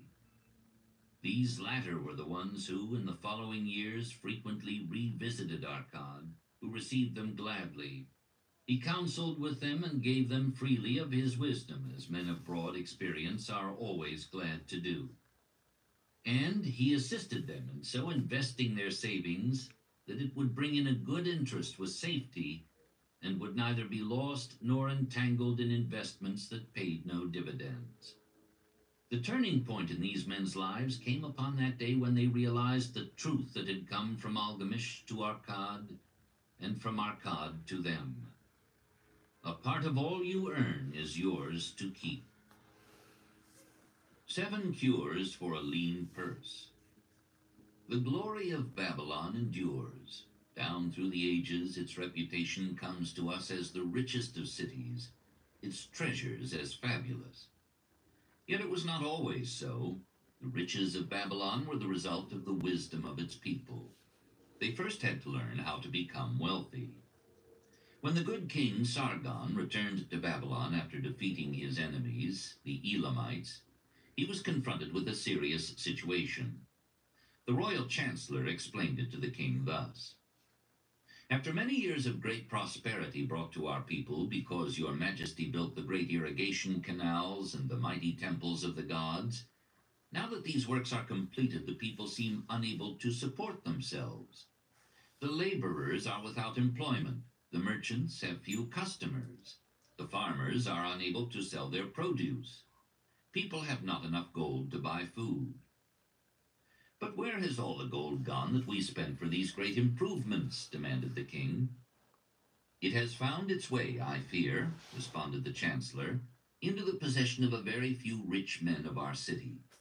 It filtered through the fingers of most of our people as quickly as the goat's milk through the strainer. Now that the stream of gold has ceased to flow, most of our people have nothing to show for their earnings. The king was thoughtful for some time. Then he asked, Why should so few men be able to acquire all the gold? Because they know how, replied the chancellor. One may not condemn a man for succeeding because he knows how. Neither may one with do. justice take away from a man what he has fairly earned to give to men of less ability. But why, demanded the king, should not all the people learn to accumulate gold? When you think about it, why should the super rich who've learned how to manage their money and like just capitalize off? I'm we talking about the ones that built them from scratch, not the ones that the shit was handed to them. Like it's a lot of them, like Bill Gates, it was handed to him. Jeff Bezos, that kind of even though he created Amazon from his from scratch, like he was able to get that loan from his family. Like So our anybody who got it from scratch, why should they like give everything there or not everything, but why should they like spread it out to the poor? Like yes, it's good to yeah, I'm gonna be the one of those people that of course give to charity, give to the poor, like homeless. Like but why is that the case? Why do the 90% hate on the uh, rich, I mean the uh, super wealthy for like controlling they, they money, like to, for knowing how to manage their money. Like, like J. Cole said in one of his songs on uh what was it, Born Sinner. I hate rich niggas, goddamn it, cause I ain't never had a lot, damn it. Like, but you can have a lot. You can go get it. J. Cole became a multi-millionaire. Like so why I hate on somebody who's able to get what they wanted and not just the ones that was just handed to them. Like because, hey, you don't know what their they con their, their life contract is about. You don't know what's their journey about, what they had to go through to get the things that they got in life. So, me, I was never one to like focus on what everybody else had. Like even when my brothers was blowing up on YouTube, I wasn't truly like like hate like I never hated on I was always happy for their success. I just knew like I wasn't gonna get on YouTube. Like I just knew that wasn't my thing because I didn't want to get on camera. Like so now you see me years later, like when they already like got over a million subscribers, got over eight million subscribers, like so I'm only at like almost 14k. Like, hey, we a hundred a hundred subscribers away from 14,000. So if you haven't hit that subscribe button, please hit that subscribe button. I really appreciate it. Like, so let's get to 14,000. trying to be at 15K by my birthday. That's March 14th. Like, so if we can do that, I'll be truly grateful. Like, truly appreciative of y'all subscribing and sharing. Like, and just keep coming back to the videos. Let us get back to the book. Old and therefore become themselves rich and prosperous. Quite possible, Your Excellency, but who can teach them? Certainly not the priests, because they know naught of money making. Who knows best in all our city how to become wealthy, Chancellor? asked the king. Thy question answers itself, Your Majesty. Who has amassed the greatest wealth in Babylon? Well said, my able Chancellor. It is Arkad. He is the richest man in Babylon. Bring him before me on the morrow. Upon the following day, as the king had decreed, Arkad appeared before him, straight and sprightly despite his threescore years and ten. Arkad, spoke the king, is it true thou art the richest man in Babylon? So it is reported, your majesty, and no man disputes it. How becamest thou so wealthy? By taking advantage of opportunities available to all citizens of our good city. Thou hadst nothing to start with, only a great desire for wealth. Besides this, nothing. Arkad, continued the king, our city is in a very unhappy state because a few men know how to acquire wealth and therefore monopolize it, while the mass of our citizens lack the knowledge of how to keep any part of the gold they receive. It is my desire that Babylon be the wealthiest city in the world. Therefore, it must be a city of many wealthy men. Therefore, we must teach all the people how to acquire riches. Tell me, Arkad, is there any secret to acquiring wealth? Can it be taught? So he was able to teach the whole Babylon how to become rich. That's how Babylon was the richest city in the world. Like one man was willing to give up the game and letting you know like anybody can build get Anybody can get rich. Everybody can be rich in the world. There's enough money in the world. Like shit, we America's trillion dollars in debt. Like so, if America's a trillion dollars in debt, that means there's enough money in the world, like for you to get some money. Like that don't mean you a trillion dollars in debt. Like so, being able to listen to this book and just understand, like, damn, like shit, he put the whole city on. And then the whole city was rich and wealthy. Like, shout out to Arkad, the richest man in Babylon. He talked to others. The king's eyes glowed. Arkad, thou speakest the words I wish to hear. Wilt thou lend thyself to this great cause? Wilt thou teach thy knowledge to a school for teachers, each of whom shall teach others until there are enough trained to teach these truths to every worthy subject in my domain? Arkad bowed and said, I am thy humble servant to command. Whatever knowledge I possess will I gladly give for the betterment of my fellow men and the glory of my king. Let your good chancellor arrange for me a class of one hundred men, and I will teach them those seven cures which did fatten my purse, than which there was none leaner in all Babylon. A fortnight later, in compliance with the king's command, the chosen hundred assembled in the great hall of the Temple of Learning, seated upon colorful rings in a semicircle. Arkad sat beside a small taboret upon which smoked a sacred lamp, sending forth a strange and pleasing odor. Behold the richest man in Babylon, whispered a student, nudging his neighbor as Arkad rose. He is but a man, even as the rest of us. As a dutiful subject of our great king, Arkad began, I stand before you in his service. Because once I was a poor youth who did Oh, greatly desire gold, again. and because I found knowledge that enabled me to acquire it, he asks that I impart unto you my knowledge. I started my fortune in the humblest way. I had no advantage not enjoyed as fully by you and every citizen in Babylon. The first storehouse of my treasure was a well purse.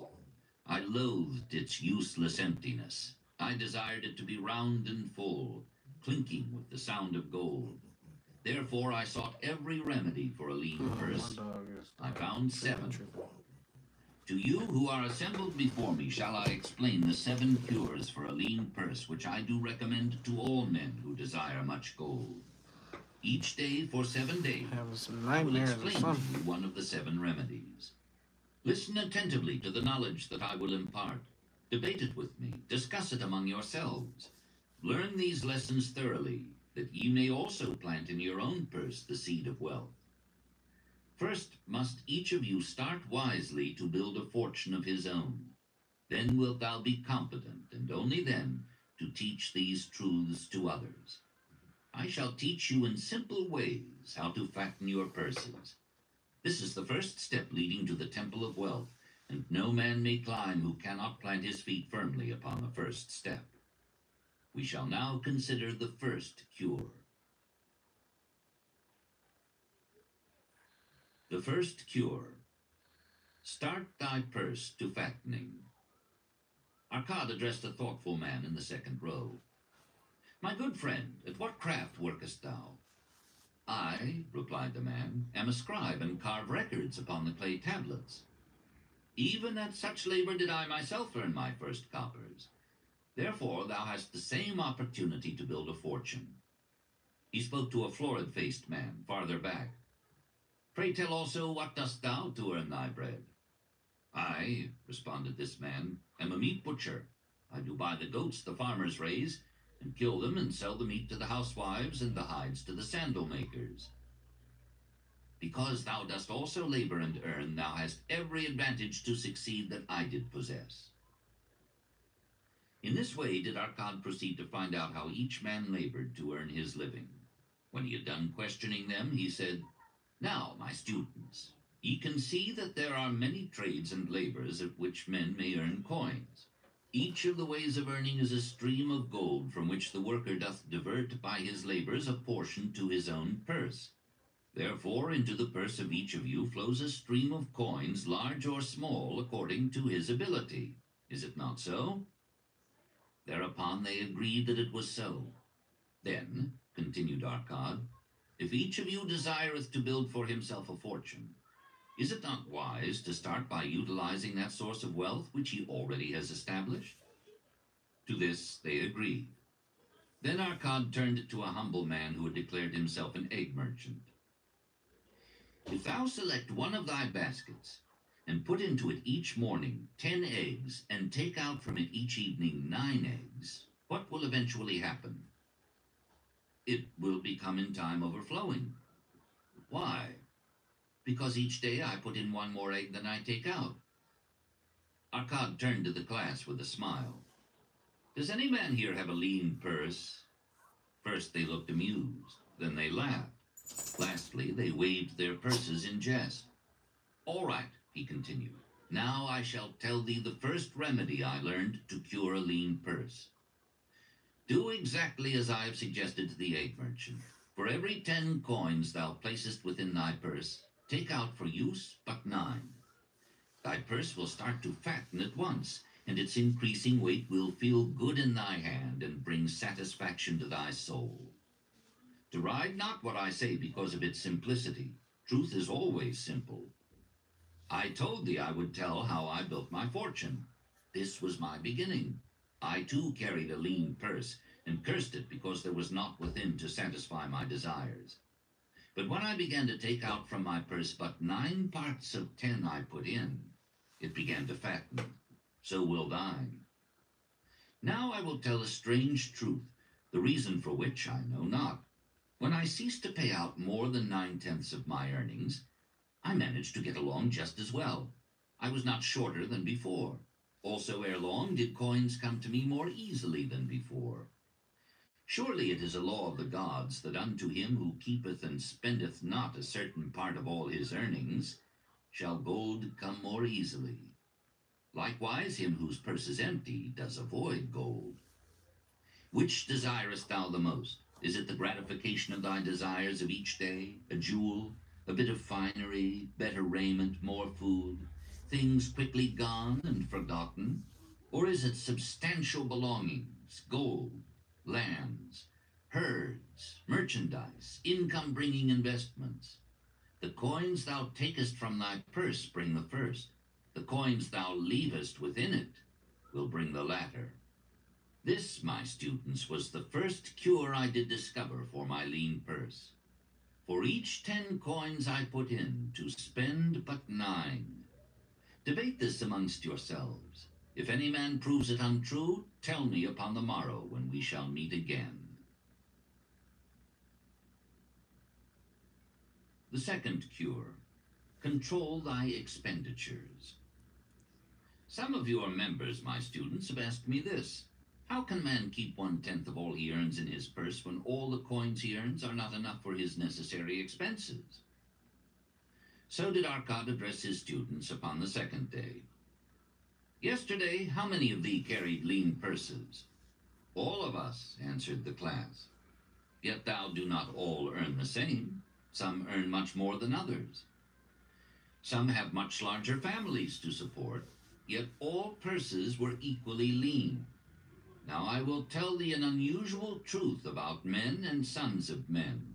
It is this, that what each of us calls our necessary expenses will always grow to equal our incomes unless we protest to the contrary. Confuse not the necessary expenses with thy desires. Each of you, together with your good families, have more desires than your earnings can gratify. Therefore are thy earnings spent to gratify these desires, insofar as they will go. Still thou retainest many ungratified desires. All men are burdened with more desires than they can gratify. Because of my wealth, thinkest thou I may gratify every desire? Tis a false idea. There are limits to my time. There are limits to my strength. There are limits to the distance I may travel. There are limits to what I may eat. There are limits to the zest with which I may enjoy. I say to you that just as weeds grow in a field wherever the farmer are being gratified, thy desires are a multitude, and those that thou mayest gratify are but few. Study thoughtfully thy accustomed habits of living. Herein may be most often found certain accepted expenses that may wisely be Make sure y'all hit that like button if you haven't already. Let thy really motto be 100% of appreciated value demanded for each coin spent. Therefore, engrave upon the clay each thing for which thou desirest to spend. Select those that are necessary and others that are possible through the expenditure of nine-tenths of thy income. Cross out the rest and consider them but a part of that great multitude of desires that must go unsatisfied, and regret them not. Budget then thy necessary expenses. Touch not the one-tenth that is fattening thy purse. Let this be thy great desire that is being fulfilled. Keep working with thy budget. Keep adjusting it to help thee. Make it thy first assistant in defending thy fattening purse. Hereupon one of the students, wearing a robe of red and gold, arose and said, Oh, no, I am a free man. I Hey, believe hey, that it is just my right me to enjoy the good The things of life. Roll Therefore up. do I rebel against the slavery of a budget which determines just how much I may Should have spend. got so into for this what. book, I forgot this was I smoke feel it session would take too. much pleasure from my life and make me little more than a pack-ass to That carry was a the burden. whole plan for this to him, my our book club. Like I'm like, we're gonna listen to some dope books every single night, and I'ma smoke, and that's gonna be my my thing, my book club. Like so, whoever pull it, cup pull up to the live, like shit, you smoke, roll up, light up, and we're gonna just continue to listen to this book. This book dope, dope as hell. Like shit, I love this book. I'm so into it. Like I'm paying like just in the zone, just listening to the book. Like so. Hey, for y'all tuning in, thank y'all. I really appreciate it. But I am about to roll up now. Down to my last cigar, so I'm a that's gonna be my last blunt for the night. But shit, I don't even need to smoke during this book. Like this shit is so good. I'd- Who, my friend, would determine thy budget? I would make it for myself, responded the protesting one. In that case, were a pack-ass to budget his burden, would he include therein jewels and rugs and heavy bars of gold? Not so. He would include hay and grain and a bag of water for the desert trail.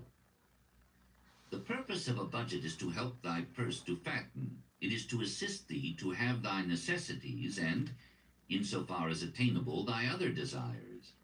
It is to enable thee to realize thy most cherished desires by defending them from thy casual wishes. Like a bright light in a dark cave, thy budget shows up the leaks from thy purse and enables thee to stop them and control thy expenditures for definite and gratifying purposes. This then is the second cure for a lean purse. Budget thy expenses that thou mayest have coins to pay for thy necessities, to pay for thy enjoyments, and to gratify thy worthwhile desires without spending more than nine tenths of thy earnings. Basically saying, figure that shit out without spending everything you got. The third cure make thy gold multiply. Behold, thy lean purse is fattening. Thou hast disciplined thyself to leave therein one tenth of all thou earnest. Thou hast controlled thy expenditures to protect thy growing treasure. Next, we will consider means to put thy treasure to labor and to increase. Gold in a purse is gratifying to own and satisfies the miserly soul, but earns nothing. The gold we may retain from our earnings is but the start. The earnings it will make shall build our fortunes. So spoke Arkad upon the third day to his class. How therefore may we put our gold to work? My first investment was unfortunate, for I lost all. Its tale I will relate later. My first profitable investment was a loan I made to a man named Aggar, a shield maker. Once each year did he buy large shipments of bronze brought from across the sea to use in his trade. Lacking sufficient capital to pay the merchants, he would borrow from those who had extra coins.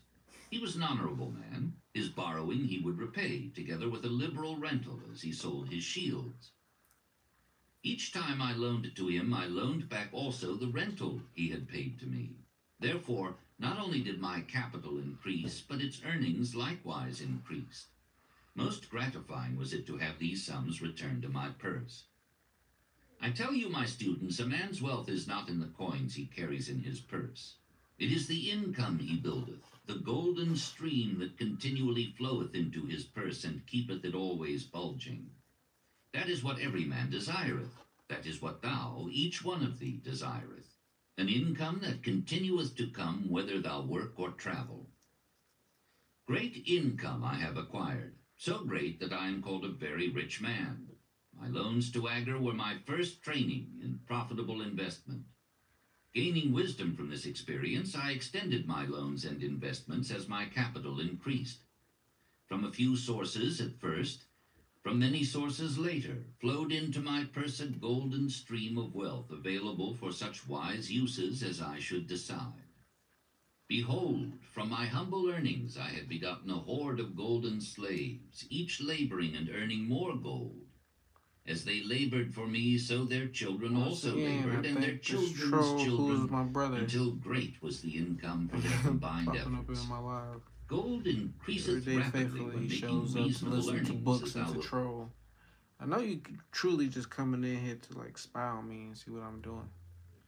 Like see who went it live. Like don't worry about what I got going on over here. Shout out to my brother. For real. Show your real account. Come to my live in your real account. Don't sh- don't show the fake one because I know this is a fake account. Where your real one at? I knew you was gonna come in. I just knew you was gonna come in.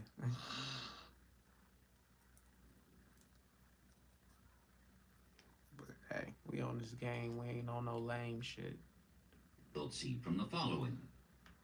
A farmer, when his first son was born, took ten pieces of silver to a moneylender and asked him to keep it on rental for his son until he became twenty years of age.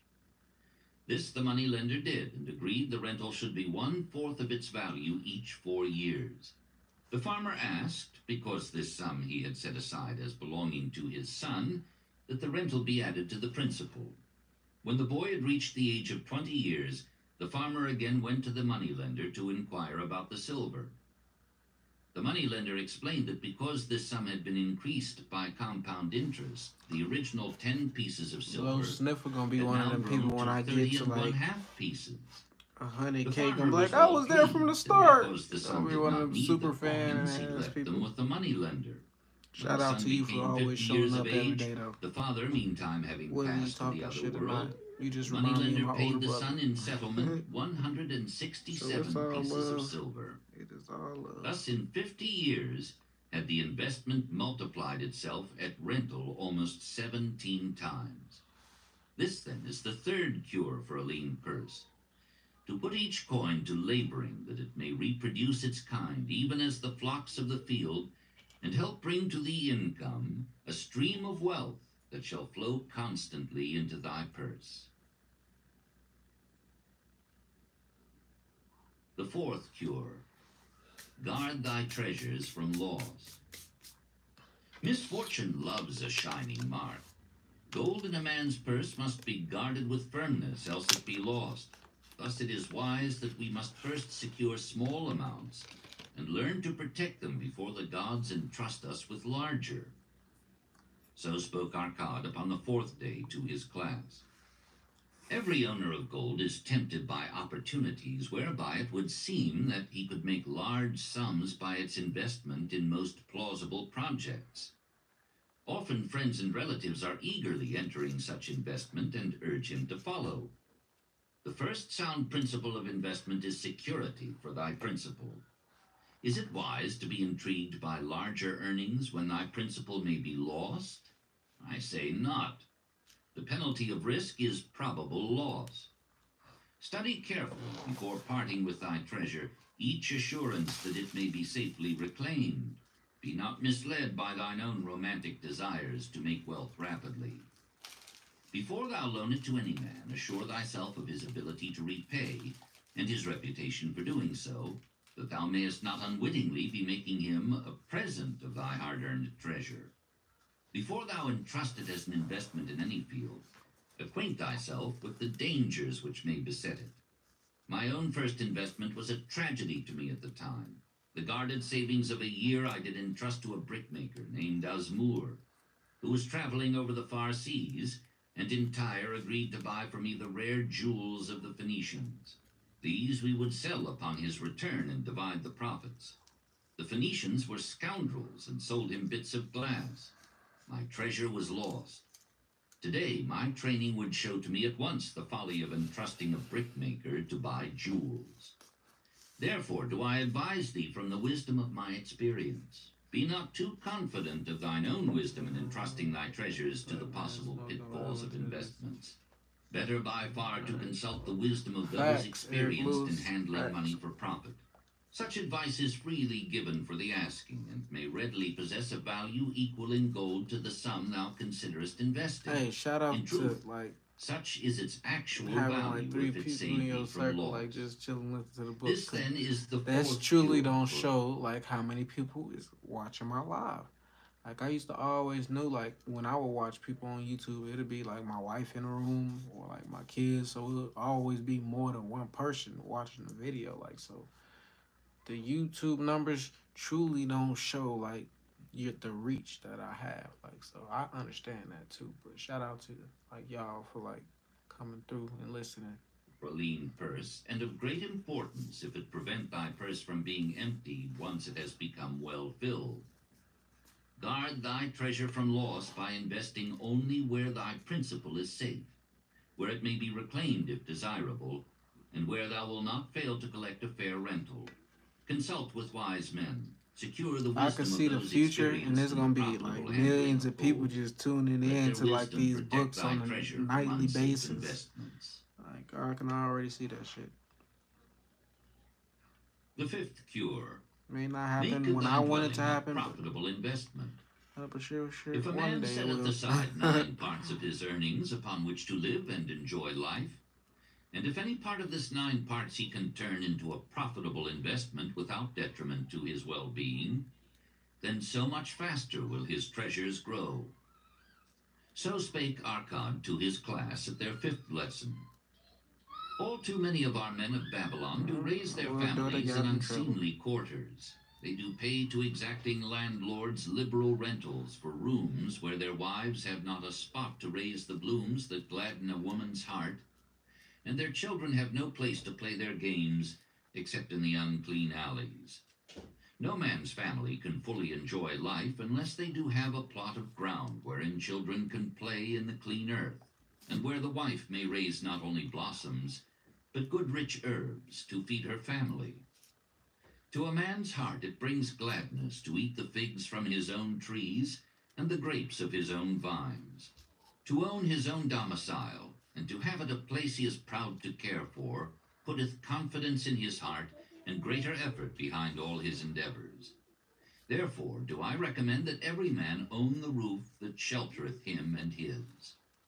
Nor is it beyond the ability of any well-intentioned man That's what I to need to get his on. On this Hath shit not our real great estate. king so widely extended the walls of Babylon that within them much land is now unused and may be purchased at sums most reasonable?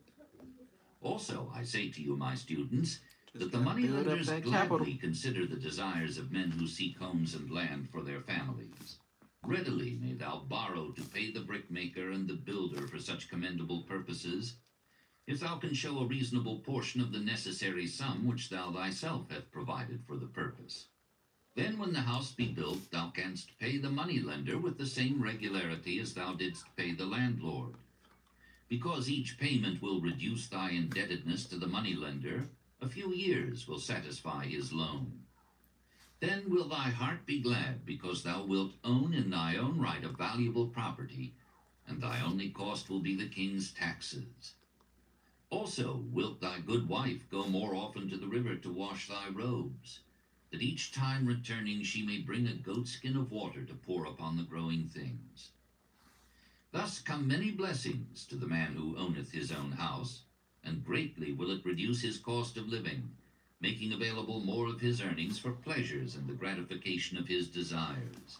This, then, is the fifth cure for a lean purse. Own thy own home. The sixth cure. This one for me. Ensure a future income. The life of every man proceedeth from his childhood to his old age. This is the path of life, and no man may deviate from it unless the gods call him prematurely to the world beyond. Therefore do I say that it behooves a man to make preparation for a suitable income in the days to come, when he is no longer young, and to make preparations for his family should he be no longer with them to comfort and support them. This lesson shall instruct thee in providing a full purse when time has made thee less able to earn. So Arkad addressed his class upon the sixth day. The man who, because of his understanding of the laws of wealth, acquireth a growing surplus, should give thought to those future days.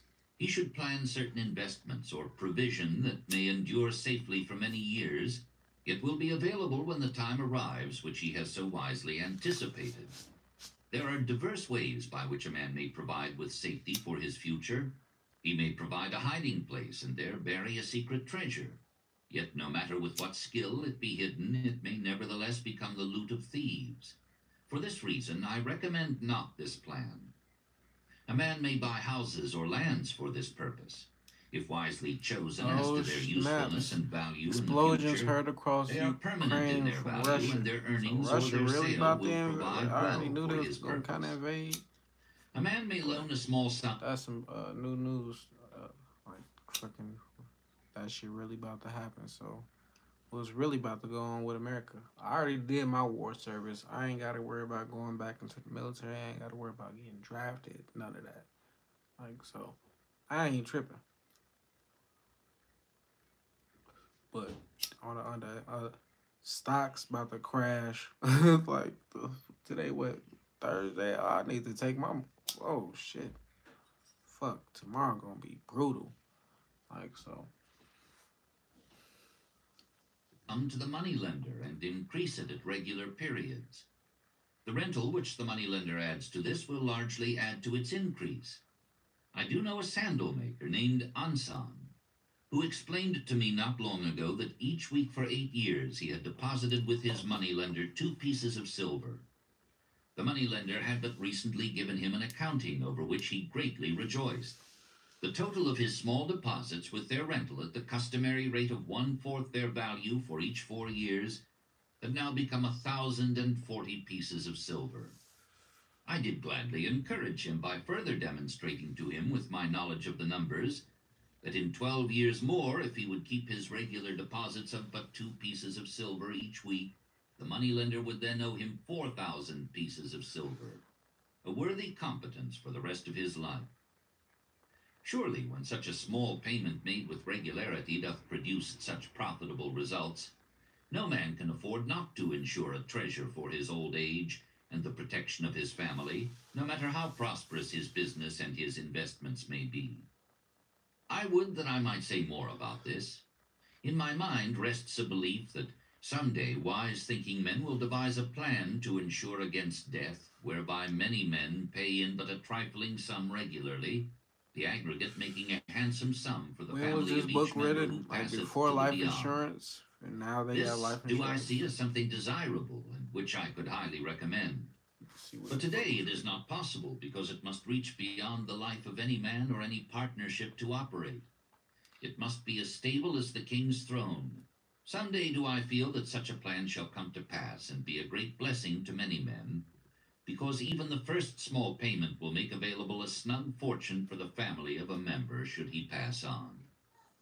But because we live in our own day and not in the days which are to come, we must take advantage of those means and ways of accomplishing our purposes. Therefore, This do I recommend in to all men 1926. that they, by wise and well thought out insurance. So methods, somebody who provide against read the The Richest Man in Babylon, like, oh, I need to create that life a man insurance. no longer able to earn or a family Life insurance, head. car insurance, house insurance, renter's insurance, This then Well, is the sixth dog cure insurance, for a lean purse. jury insurance. Provide in advance for the needs of thy growing age and the protection of thy family. The seventh cure increase thy ability to earn. This day do I speak to thee, my students, of one of the most vital remedies for a lean purse. Yet I will talk not of gold, but of yourselves, of the men beneath the robes of many colors who do sit before me. I will talk to you of those things within the minds and lives of men which do work for or against their success. So did Arkad address his class upon the seventh day. Not long ago came to me a young man seeking to borrow. When I questioned him the cause of his necessity, he complained that his earnings were insufficient to pay his expenses. Thereupon I explained to him, this being the case, he was a poor customer for the moneylender as he possessed no surplus earning capacity to repay the loan. What you need, young man, I told him, is to earn more coins. What dost thou to increase thy capacity to earn? All that I can do, he replied. Six times within two moons have I approached my master to request my pay be increased, but without success. No man can go oftener than that. We may smile at his simplicity, yet he did possess one of the vital requirements to increase his earnings. Within him was a strong desire to earn more, a proper and commendable desire. Preceding accomplishment must be desire. Thy desires must be strong and definite. General desires are but weak longings. For a man to wish to be rich is of little purpose. For a man to desire five pieces of gold is a tangible desire which he can press to fulfillment. After he has backed his desire for five pieces of gold with strength of purpose to secure it, next he can find similar ways to obtain ten pieces, and then twenty pieces, and later a thousand pieces, and, behold, he has become wealthy. In learning to secure his one definite small desire, he hath trained himself to secure a larger one. This is the process by which wealth is accumulated, first in small sums, then in larger ones, as a man learns and becomes more capable. Desires must be simple and definite. They defeat their own purpose, should they be too many, too confusing, or beyond a man's training to accomplish. As a man perfecteth himself in his calling, even so doth his ability to earn increase. In those days when I was a humble scribe, carving upon the clay for a few coppers each day, I observed that other workers did more than I and were paid more. Therefore did I determine that I would be exceeded by none, nor did it take long for me to discover the reason for their greater success. More interest in my work, more concentration upon my task, more persistence in my effort, and behold, few men could carve more tablets in a day than I. With reasonable promptness, my increased skill was rewarded, nor was it necessary for me to go six times to my master to request recognition. The more of wisdom we know, the more we may earn. That man who seeks to learn more of his craft shall be richly rewarded. If he is an artisan, he may seek to learn the methods and the tools of those most skilful in the same line. If he laboreth at the law or at healing, he may consult and exchange knowledge with others of his calling. If he be a merchant, he may continually seek better goods that can be purchased at lower prices. Always do the affairs of men change and improve, because keen-minded men seek greater skill, that they may better serve those upon whose patronage they depend.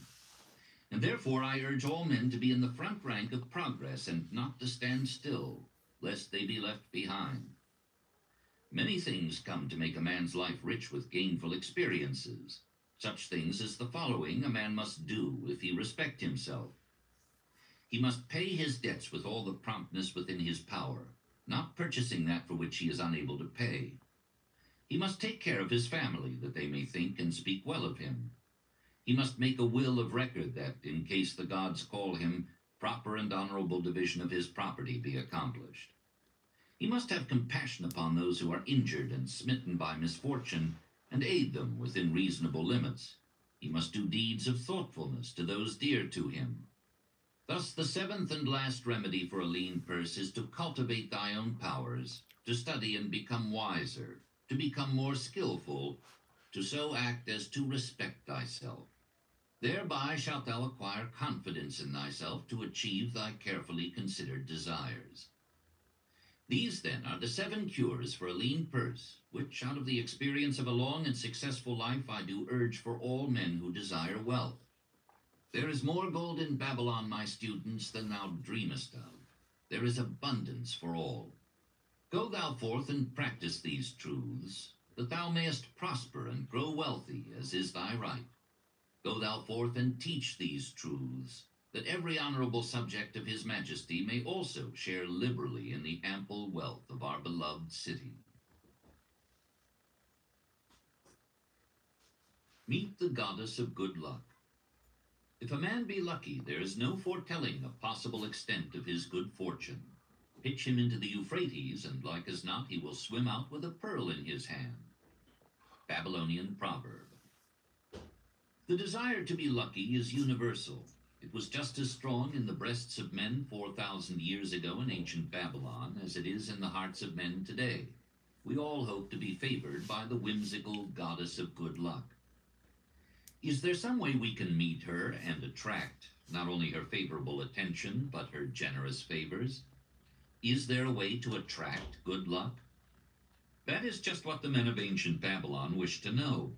It is exactly what they decided to find out. They were shrewd men and keen thinkers. That explains why their city became the richest and most powerful city of their time. In that distant past, they had no schools or colleges. Nevertheless, they had a center of learning, and a very practical one it was. Among the towered buildings in Babylon was one that ranked in importance with the palace of the king, the hanging gardens, and the temples of the gods. You will find scant mention of it in the history books, more likely no mention at all, yet it exerted a powerful influence upon the thought of that time. This building was the Temple of Learning, where the wisdom of the past was expounded by voluntary teachers, and where subjects of popular interest were discussed in open forums. Within its walls, all men met as equals. The humblest of slaves could dispute with impunity the opinions of a prince of the royal house. Among the many who frequented the Temple of Learning was a wise rich man named Arkad, called the richest man in Babylon. He had his own special hall where almost any evening a large group of men, some old, some very young, but mostly middle-aged, gathered to discuss and argue interesting subjects. Suppose we listen in to see whether they knew how to attract good luck. The sun had just set like a great red ball of fire shining through the haze of desert dust when Arkad strolled to his accustomed platform. Already full fourscore men were awaiting his arrival, reclining on their small rugs spread upon the floor. More were still arriving. What shall we discuss this night? Arkad inquired. After a brief hesitation, a tall cloth weaver addressed him, arising as was the custom. I have a subject I would like to hear discussed, yet hesitate to offer, lest it seem ridiculous to you, Arkad, and my good friends here. Upon being urged to offer it, both by Arkad and by calls from the others, he continued, This day I have been lucky, for I have found a purse in which there are pieces of gold. To continue to be lucky is my great desire. Feeling that all men share with me this desire, I do suggest we debate how to attract good luck, that we may discover ways it can be enticed to one. A most interesting subject has been offered, Arkad commented. One most worthy of our discussion. To some men, good luck bespeaks but a chance happening that, like an accident, may befall one without purpose or reason. Others do believe that the instigator of all good fortune is our most bounteous goddess, Ashtar, ever anxious to reward with generous gifts those who please her. Speak up, my friends. What say you? Shall we seek to find if there be means that by which good luck up. may be enticed to visit each and all like of us? button. Hit that button. Yea, yea, and much of it, responded the growing group of eager listeners. Thereupon Arkad continued, To start our discussion, let us first hear from those among us who have received experiences similar to that of the cloth weaver, in finding or receiving, without effort upon their part, valuable treasures or jewels. There was a pause in which all looked about, expecting someone to reply, but no one did. What? No one? Arkad said. Then rare indeed must be this kind of good luck. Who now will offer a suggestion as to where we shall continue our search? That I will do, spoke a well-robed young man, arising. When a man speaketh of luck, is it not natural that his thoughts turn to the gaming tables? Is it not there we find many men courting the favor of the goddess in hope she will bless them with rich winnings? As he resumed his seat, a voice called, Do not stop. Continue thy story. Tell us, didst thou find favor with the goddess at the gaming tables? Did she turn the cubes with red side up so thou filled thy purse at the dealer's expense? Or did she permit the blue sides to come up so the dealer raked in thy hard-earned pieces of silver? The young man joined the good-natured laughter, then replied, I am not averse to admitting she seemed not to know I was even there, but how about the rest of you? Have you found her waiting about such places to roll the cubes in your favor? We are eager to hear as well as to learn. A wise start, broke in Arkad. We meet here to consider all sides of each question. To ignore the gaming table would be to overlook an instinct common to most men the love of taking a chance with a small amount of silver in the hope of winning much gold. Wouldn't everybody that love to do remind that? me of the races but yesterday, called out another listener. I live in Las If Vegas the and I do goddess frequents the gaming tables, certainly she does not overlook the races where the gilded chariots and the foaming horses offer far more excitement. Tell us honestly, Arkad, did she whisper to you to place your bet upon those gray horses from Nineveh yesterday? I was standing just behind thee and could scarce believe my ears when I heard thee place thy bet upon the grays. Thou knowest as well as any of us that no team in all Assyria can beat our beloved bays in a fair race. Didst the goddess whisper in thy ear to bet upon the grays, because at the last turn the inside black would stumble, and so interfere with our bays that the grays would win the race and score an unearned victory? Arkad smiled indulgently at the banter. What reason have we to feel the good goddess would take that much interest in any man's bet upon a horse race? To me, she is a goddess of love and dignity, whose pleasure it is to aid those who are in Motherfuckers be need. praying they hit the lottery. That's why they ass those don't never hit it.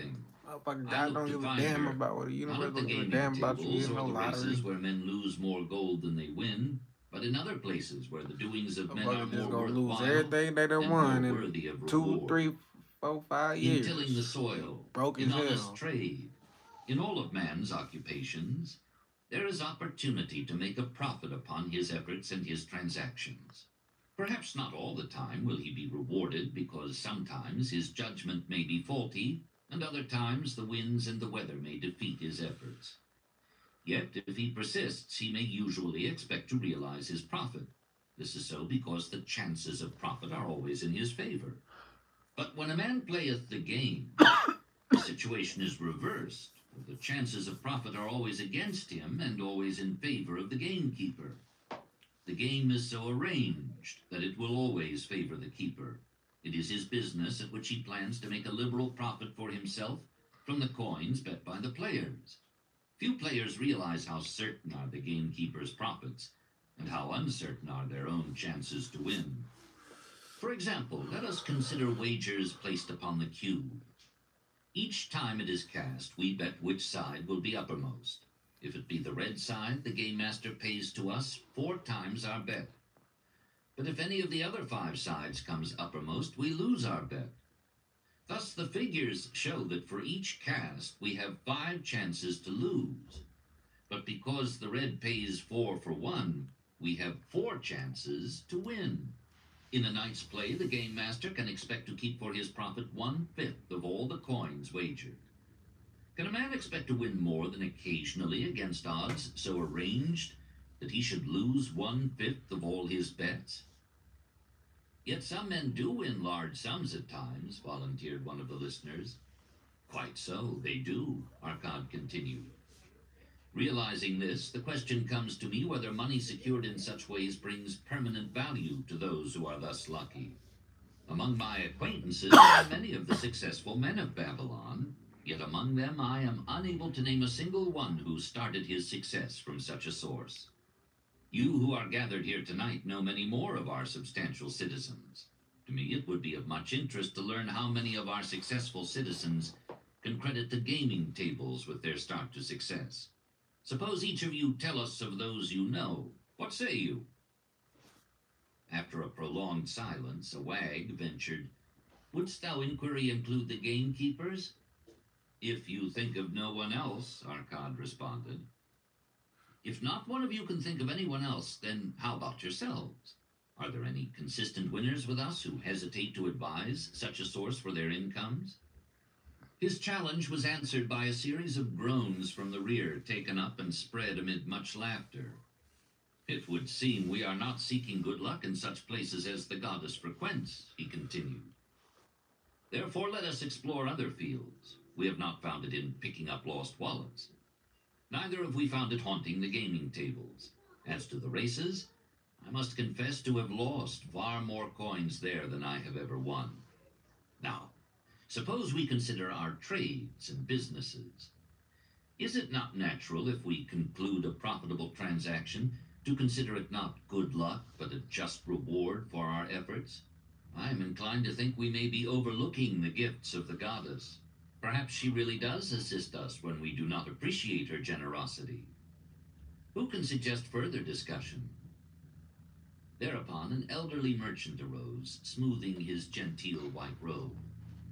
With thy permission, most honorable Arkad, and my friends, I offer a suggestion. If, as you have said, we take credit to our own industry and ability for our business success, why not consider the successes we almost enjoyed but which escaped us, happenings which would have been most profitable? They would have been rare examples of good luck if they had actually happened. Because they were not brought to fulfillment, we cannot consider them as our just rewards. Surely many men here have such experiences to relate. Here is a wise approach, Arkad approved. Who among you have had good luck within your grasp, only to see it escape? Many hands were raised, among them that of the happened to me, man. My, my Arkad motioned for him to speak. As you suggested this approach, we should like to hear first from you. I will gladly relate a tale, he resumed, that doth illustrate how closely unto a man good luck may approach, and how blindly he may permit it to escape, much to his loss and later regret. Many years ago, when I was a young man, just married and well started to earning, my father did come one day and urge most strongly that I enter in an investment. The son of one of his good friends had taken notice of a with these types of videos. land, not far Make sure y'all share the video. Make sure y'all subscribe to the the channel and like the no videos. That would do a lot for my channel. The my Trying to get monetized, so much a plan to purchase as long as these books is as quick as it's gonna take for me to get monetized. oxen. So I'm gonna need y'all to the watch these mugs. You the probably ain't gotta fertile watch it from the beginning to the This end. accomplishment Just watch it. to You gonna learn into something. small tracts and sell to the residents of the city for herb patches. Hell, you can do it yourself. did not Play the books you want to gold listen to complete such an try to get monetized, that's the Like quickest way. he was a young man earning a fair sum. His father, like mine, oh, was a man shorts of to large get your and subscribers small and your views up and get on live. decided to get interest your watch time hours to up. enter the enterprise with him. The group was to comprise twelve, each of whom must be a money earner and agreed to pay one tenth of his earnings into the enterprise until the land was made ready for sale. All would then share justly in the profits in proportion to their investment. Thou, my son, bespoke my father unto me, art now in thy young manhood. It is my deep desire that thou begin the building of a valuable estate for thyself, that thou mayest become respected among men. I desire to see thou profit from a knowledge of the thoughtless mistakes of thy father. This do I most ardently desire, my father, I replied. Then this do I advise. Do what I should have done at thy age. From thy earnings, keep out one tenth to put into favorable investments. With this one tenth of thy earnings and what it will also earn, thou canst, before thou art my age, accumulate for thyself a valuable estate. Thy words Nothing's gonna happen wisdom, overnight. father. Greatly do I Nothing. desire so shit, you might as well start now by saving are called. Ten Therefore do I hesitate to do as thou dost advise. I am young, there is plenty of time. So I thought at thy age, yet behold, many years have passed, and I have not yet made the beginning. We live in a different age, my father. I shall avoid thy mistakes. Opportunity stands before thee, my son. It is offering a chance that may lead to wealth. I beg of thee, do not delay. Go upon the morrow to the son of my friend, and bargain with him to pay ten percent of thy earnings into this investment. Go promptly upon the morrow. Opportunity waits for no man. Today it is here, soon it is gone. Therefore delay not. In spite of the advice of my father, I did hesitate. There were beautiful new robes just brought by the tradesmen from the east. Robes of such richness and beauty, my good wife and I felt we must each possess one. Should I agree to pay one tenth of my earnings into the enterprise, we must deprive ourselves of these and other pleasures we dearly desired. I delayed making a decision until it was too late, much to my subsequent regret. The enterprise did prove to be more profitable than any man had prophesied. This is my tale showing how I did permit good luck to escape. In this tale, we see how good luck waits to come to that man who accepts opportunity, commented a swarthy man of the desert. To the building of an estate, there must always be the beginning. That start may be a few pieces of gold or silver which a man diverts from his earnings to his first investment. I myself am the owner of many herds. The start of my herds I did begin when I was a mere boy, and did purchase with one piece of silver a young calf. This, being the beginning of my wealth, was of great importance to me. To take his first start to building an estate is as good luck as can come to any man. With all men, that first step, which changes them from men who earn from their own labor to men who draw dividends from the earnings of their gold, is important. Some, fortunately, take it when young and thereby outstrip in financial success those who do take it later, or those unfortunate men like the father of this merchant who never take it. Had our friend the merchant taken this step in his early manhood when this opportunity came to him, this day he would be blessed with much more of this world's goods. Should the good luck of our friend the cloth weaver cause him to take such a step at this time, it will indeed be but the beginning of much greater good fortune. Thank you. I like to speak also. A stranger from another country arose. I am a Syrian. Not so well do I speak your tongue. I wish to call this friend the merchant a name. Maybe you think it is not polite, this name, yet I wish to call him that. But alas, I not know your word for it. If I do call it in Syrian, you will not understand. Therefore, please, some good gentleman, tell me that right name you call man who puts off doing those things that mighty good for him.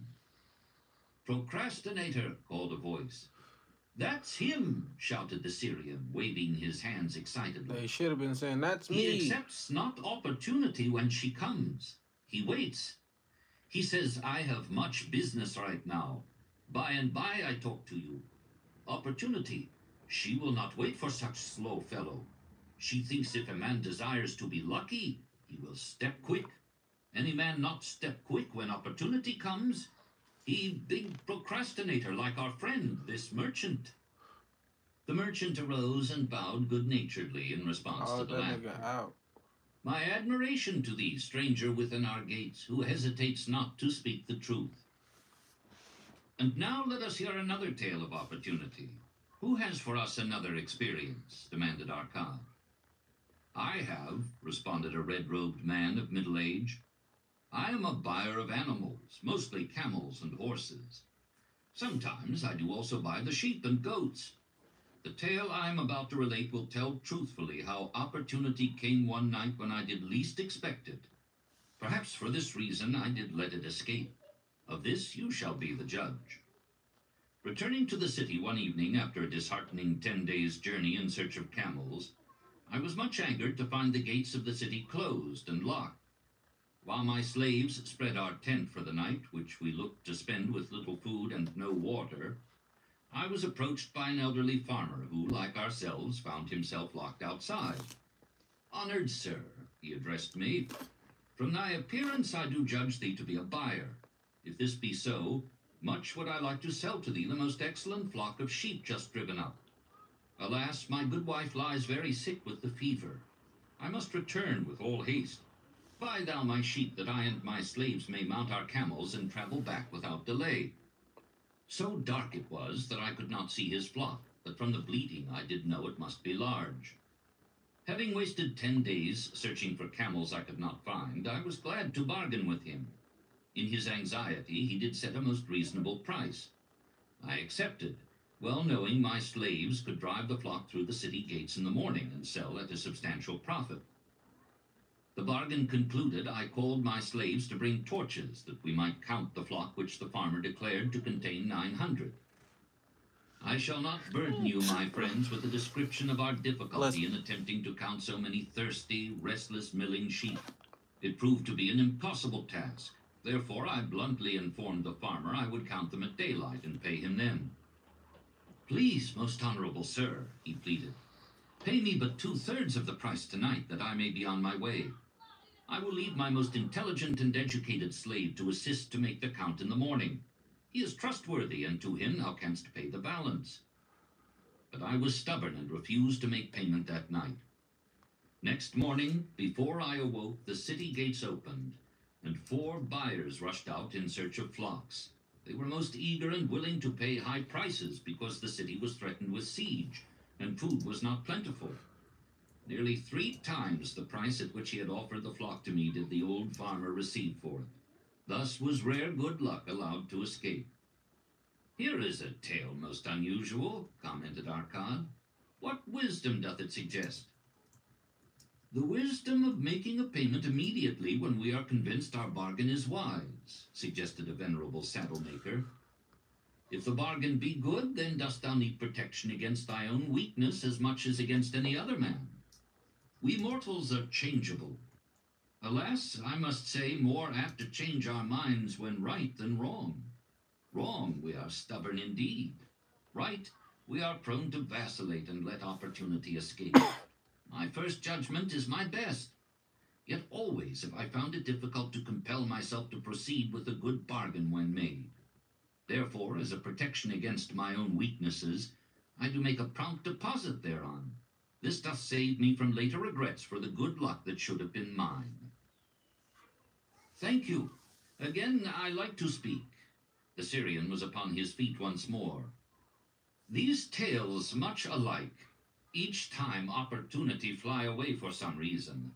Each time she come to procrastinator, bringing good plan. Each time they hesitate. Not say, right now, best time, I do it quick. How can men succeed that way? Wise are thy words, my friend, responded the buyer. Good luck fled from procrastination in both these tales. Yet this is not unusual. The spirit of procrastination is within all men. We desire riches. Yet how often when opportunity doth appear before us, that spirit of procrastination from within doth urge various delays in our acceptance. In listening to it, we do become our own worst enemies. In my younger days, I did not know it by this long word our friend from Syria doth enjoy. I did think at first it was my own poor judgment that did cause me loss of many profitable trades. Later I did credit it to my stubborn disposition. At last I did recognize it for what it was, a habit of needless delaying where action was required, action prompt and decisive. How I did hate it when its true character stood revealed. With the bitterness of a wild ass hitched to a chariot, I did break loose from this enemy to my success. Thank you. I like uh, ask question from Mr. Merchant. The Syrian was speaking. You wear fine robes, not like those of poor man. You speak like successful man. Tell us, do you listen now when procrastination whispers in your ear? Like our friend the buyer, I also had to recognize and conquer procrastination, responded the merchant. To me, it proved to be an enemy, ever watching and waiting to thwart my accomplishments. The tale I did relate is but one of many similar instances I could tell to show how it drove away my opportunities. 'Tis not difficult to conquer once understood. No man willingly permits the thief to rob his bins of grain, nor does any man willingly permit an enemy to drive away his customers and rob him of his profits. When once I did recognize that such acts as these my enemy was committing, with determination I conquered him. So must every man master his own spirit of procrastination before he can expect to share in the rich treasures of Babylon. What sayest, Arkad? Because thou art the richest man in Babylon, many do proclaim thee to be the luckiest. Dost agree with me that no man can arrive at a full measure of success until he have completely crushed the spirit of procrastination within him? It is even as thou sayest, Arkad admitted. During my long life, I have watched generation following generation marching forward along those avenues of trade, science, and learning that lead to success in life. Opportunities came to all these men. Some grasped theirs and moved steadily to the gratification of their deepest desires. but the majority hesitated, faltered, and fell behind. Arkad turned to the cloth weaver. Thou didst suggest that we debate good luck. Let us hear what thou now thinkest upon the subject. I do see good luck in a different light. I had thought of it as something most desirable that might happen to a man without effort upon his part. Now I do realize such happenings are not the sort of thing one may attract to himself.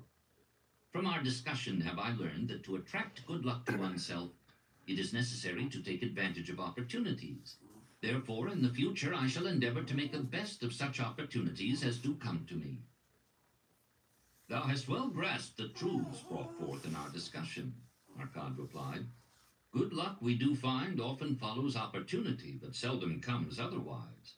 Our merchant friend would have found great good luck had he accepted the opportunity the good goddess did present to him. Our friend the buyer, likewise, would have enjoyed good luck had he completed the purchase of the flock and sold at such a handsome profit. We did pursue this discussion to find a means by which good luck could be enticed to us. I feel that we have found the way. Both the tales did illustrate how good luck follows opportunity. Herein lies a truth that many similar tales of good luck, won or lost, could not change. The truth is this good luck can be enticed by accepting opportunity.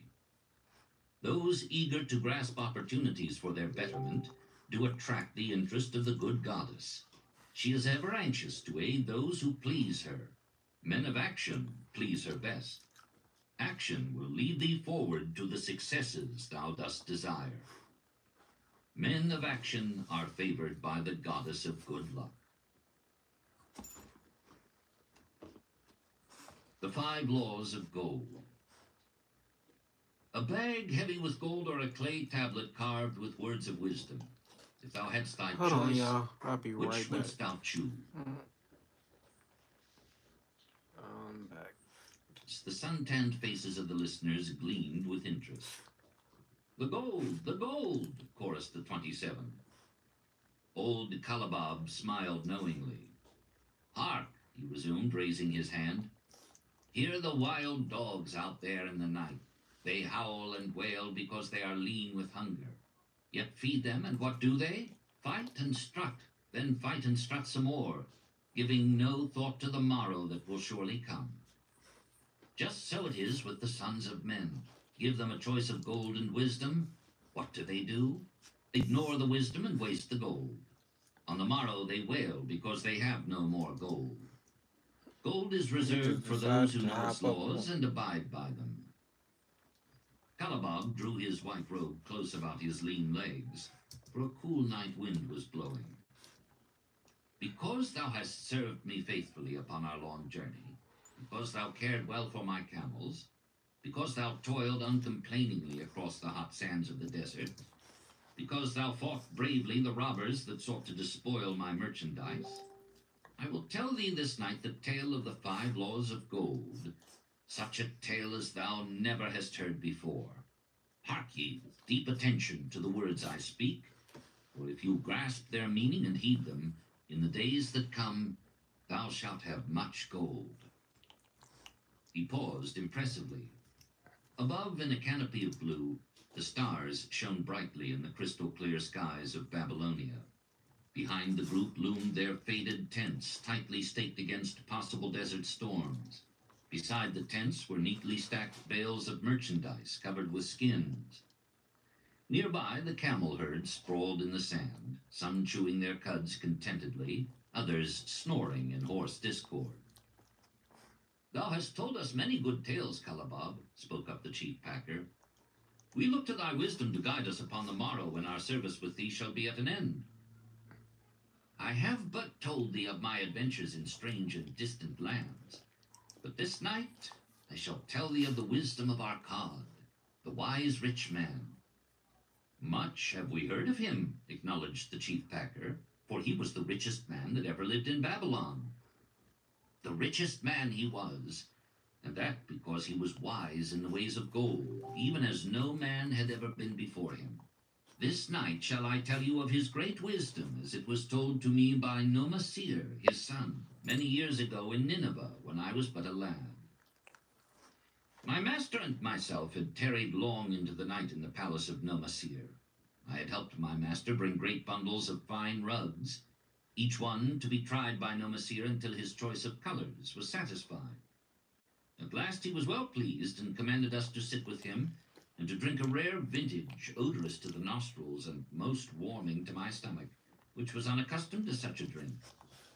Then did he tell us this tale of the great wisdom of Arkad, his father, even as I shall tell it to you.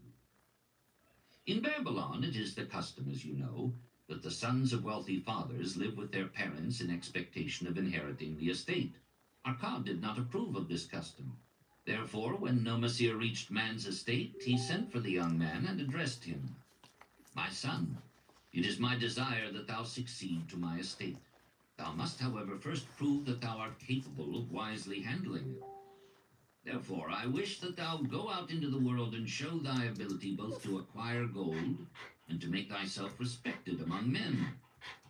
To start thee well, I will give thee two things of which I myself was denied when I started as a poor youth to build up a fortune. Why First, you interrupting my I live give thee with your ass? You just wanna if thou use it wisely, huh? it will be the basis of thy future success. Second, I give thee this clay tablet, upon which is carved the gave you what five laws of gold.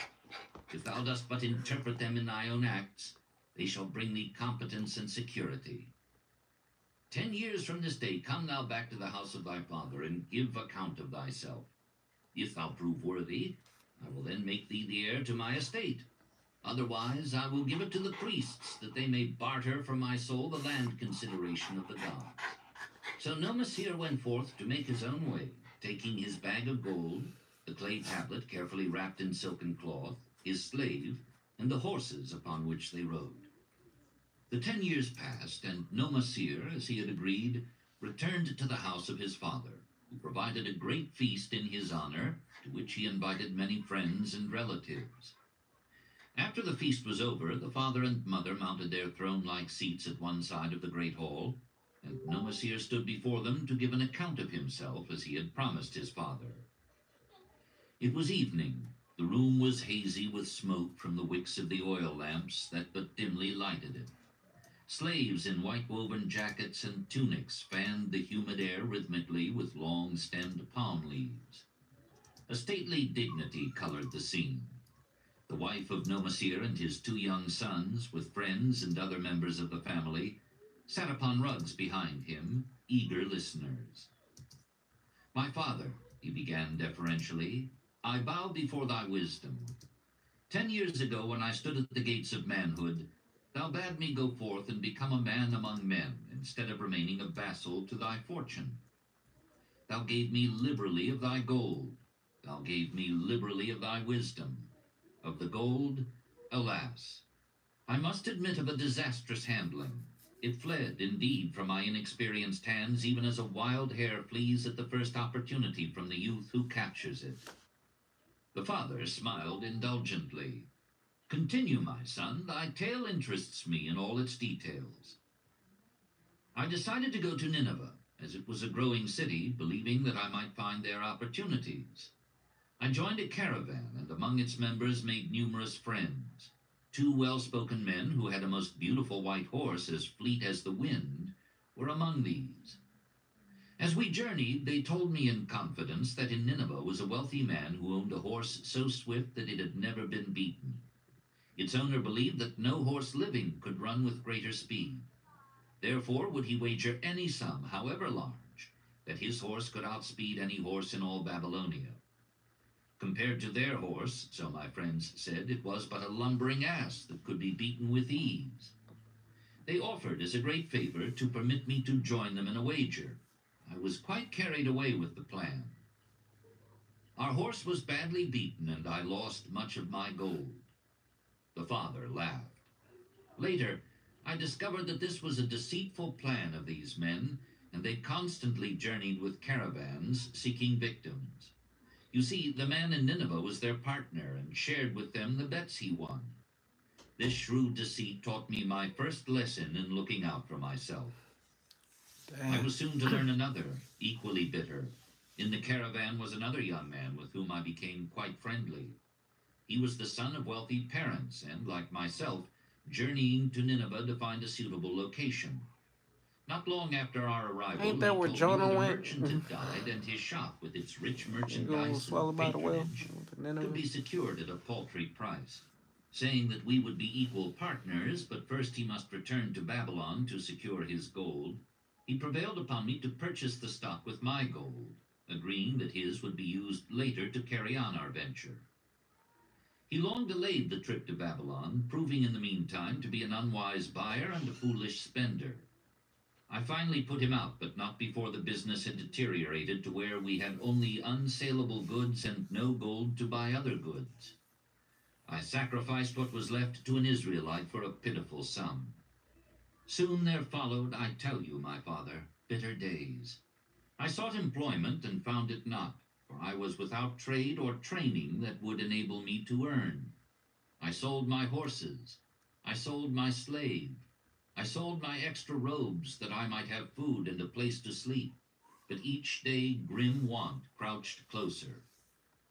But in those bitter days I remembered thy confidence in me, my father. Thou hadst sent me forth to become a man, and this I was determined to accomplish. The mother buried her face and wept softly. At this time I bethought me of the table thou had given to me, upon which thou had carved the five laws of gold. Thereupon I read most carefully thy words of wisdom, and realized that had I but sought wisdom first, my gold would not have been lost to me. I learned by heart each law, and determined that when once more the goddess of good fortune smiled upon me, I would be guided by the wisdom of age, and not by the inexperience of youth. For the benefit of you who are seated here this night, I will read the wisdom of my father as engraved upon the clay tablet which he gave to me ten years ago. The five laws of gold. 1. Gold cometh gladly and in increasing quantity to any man who will put by not less than one tenth of his earnings to create an estate for his future and that of his family. 2. Gold laboreth diligently and contentedly for the wise owner who finds for it profitable employment, multiplying even as the flocks of the field. 3. Gold clingeth to the protection of the cautious owner who invests it under the advice of men wise in its handling. 4. Gold slippeth away from the man who invests it in businesses or purposes with which he is not familiar or which are not approved by those skilled in its keep. 5. Gold flees the man who would force it to impossible earnings or who followeth the alluring advice of tricksters and schemers, or who trusts it to his own inexperience and romantic desires in investment. These are the five laws of gold as written by my father. I do proclaim them as of greater value than gold itself, as I will show by the continuance of my tale. He again faced his father. I have told thee of the depth of poverty and despair to which my inexperience brought me. However, there is no chain of disasters that will not come to an end. Mine came when I secured employment managing a crew of slaves working upon the new outer wall of the city. Profiting from my knowledge of the first law of gold, I saved a copper from my first earnings, adding to it at every opportunity until I had a piece of silver. It was a slow procedure, for one must live. I did spend grudgingly, I admit, because I was determined to earn back before the ten years were over as much gold as you, my father, had given to me. Have y'all noticed black people feel like slavery like only happened to black people when in reality slavery has been going on for like thousands and thousands of years with Babylon they had slaves, Egyptians had slaves, Romans they had slaves, Greece they had slaves, the Asians they had slaves. Everybody had slaves. Like even till today there are slaves going on. Like so black people need to understand first of all that's not where your history started. And second, stop focusing on that negativity because that's all you manifesting in your life. Why you think you work a nine to five every single day? You live paycheck to paycheck every single week or every single two weeks. So like we need to start changing our mindsets and by listening to books or at least reading books. Motherfuckers hate reading.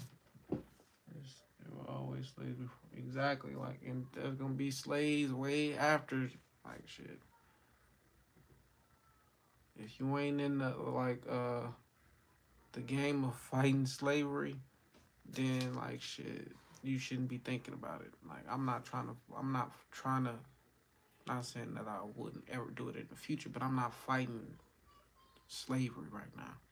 That's not my mission in life. My mission in life is to achieve wealth and richness, riches for my family and for my not just family, but just for the world and what I, what I ever what I plan on doing it when I get it. So I know it ain't gonna just be spent like on bullshit though, for sure. My money ain't spent on bullshit. One day today. the slave master, with whom I had become quite friendly, said to me, Thou art a thrifty youth who spends not wantonly what he earns. ashe. Hast thou gold put by that is not earning? Yes, I replied. It is my greatest desire to accumulate gold to replace that which my father gave to me and which I have lost. Tis a worthy ambition, I will grant. And do you know that the gold which you have saved can work for you and earn much more gold? Alas, my experience has been bitter, for my father's gold has fled from me, and I am in much fear lest my own do the same. If thou hast confidence in me, I will give thee a lesson in the profitable handling of gold, he replied.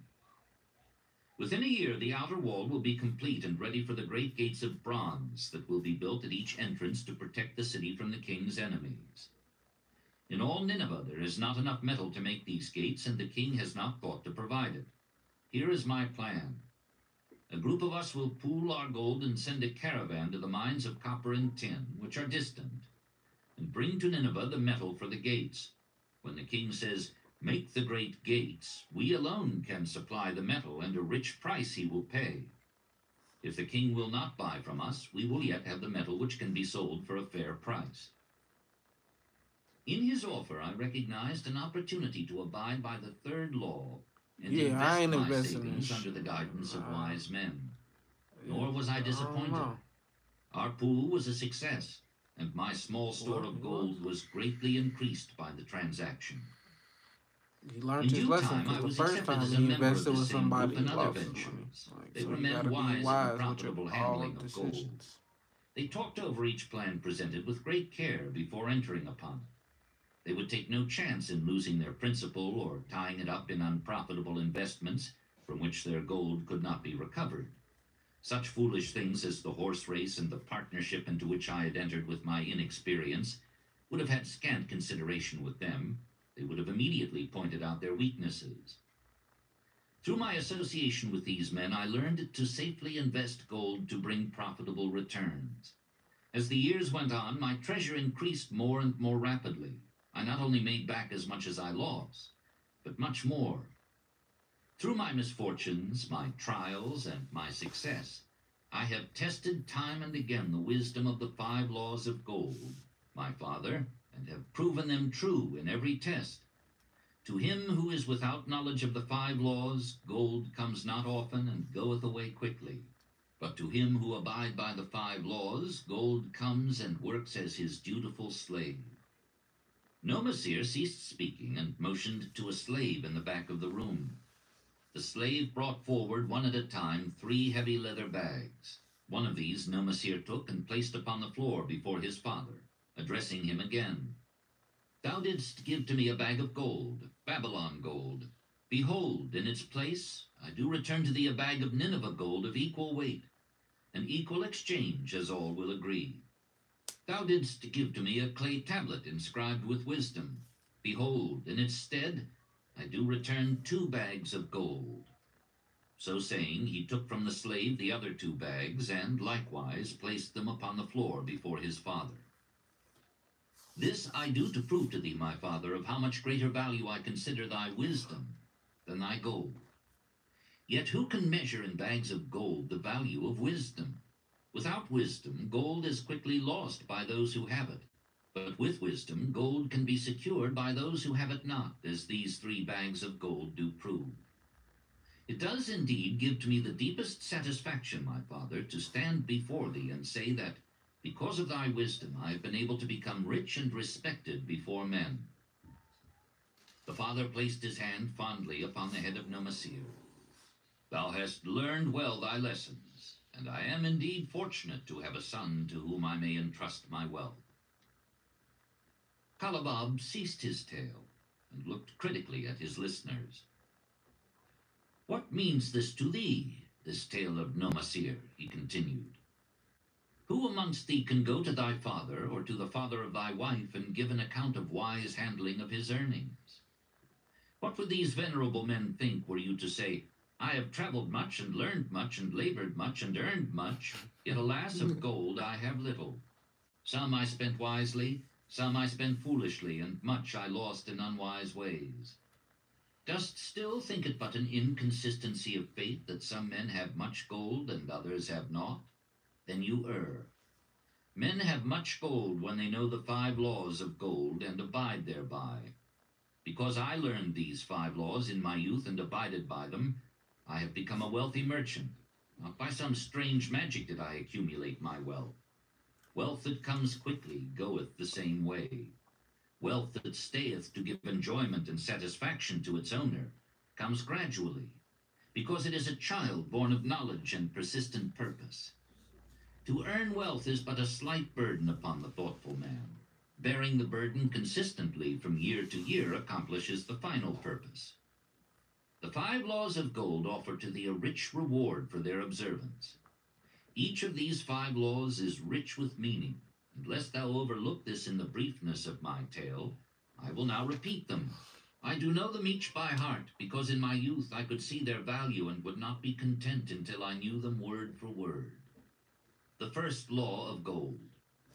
Gold cometh gladly and in increasing quantity to any man who will put by not less than one tenth of his earnings to create an estate for his future and that of his family.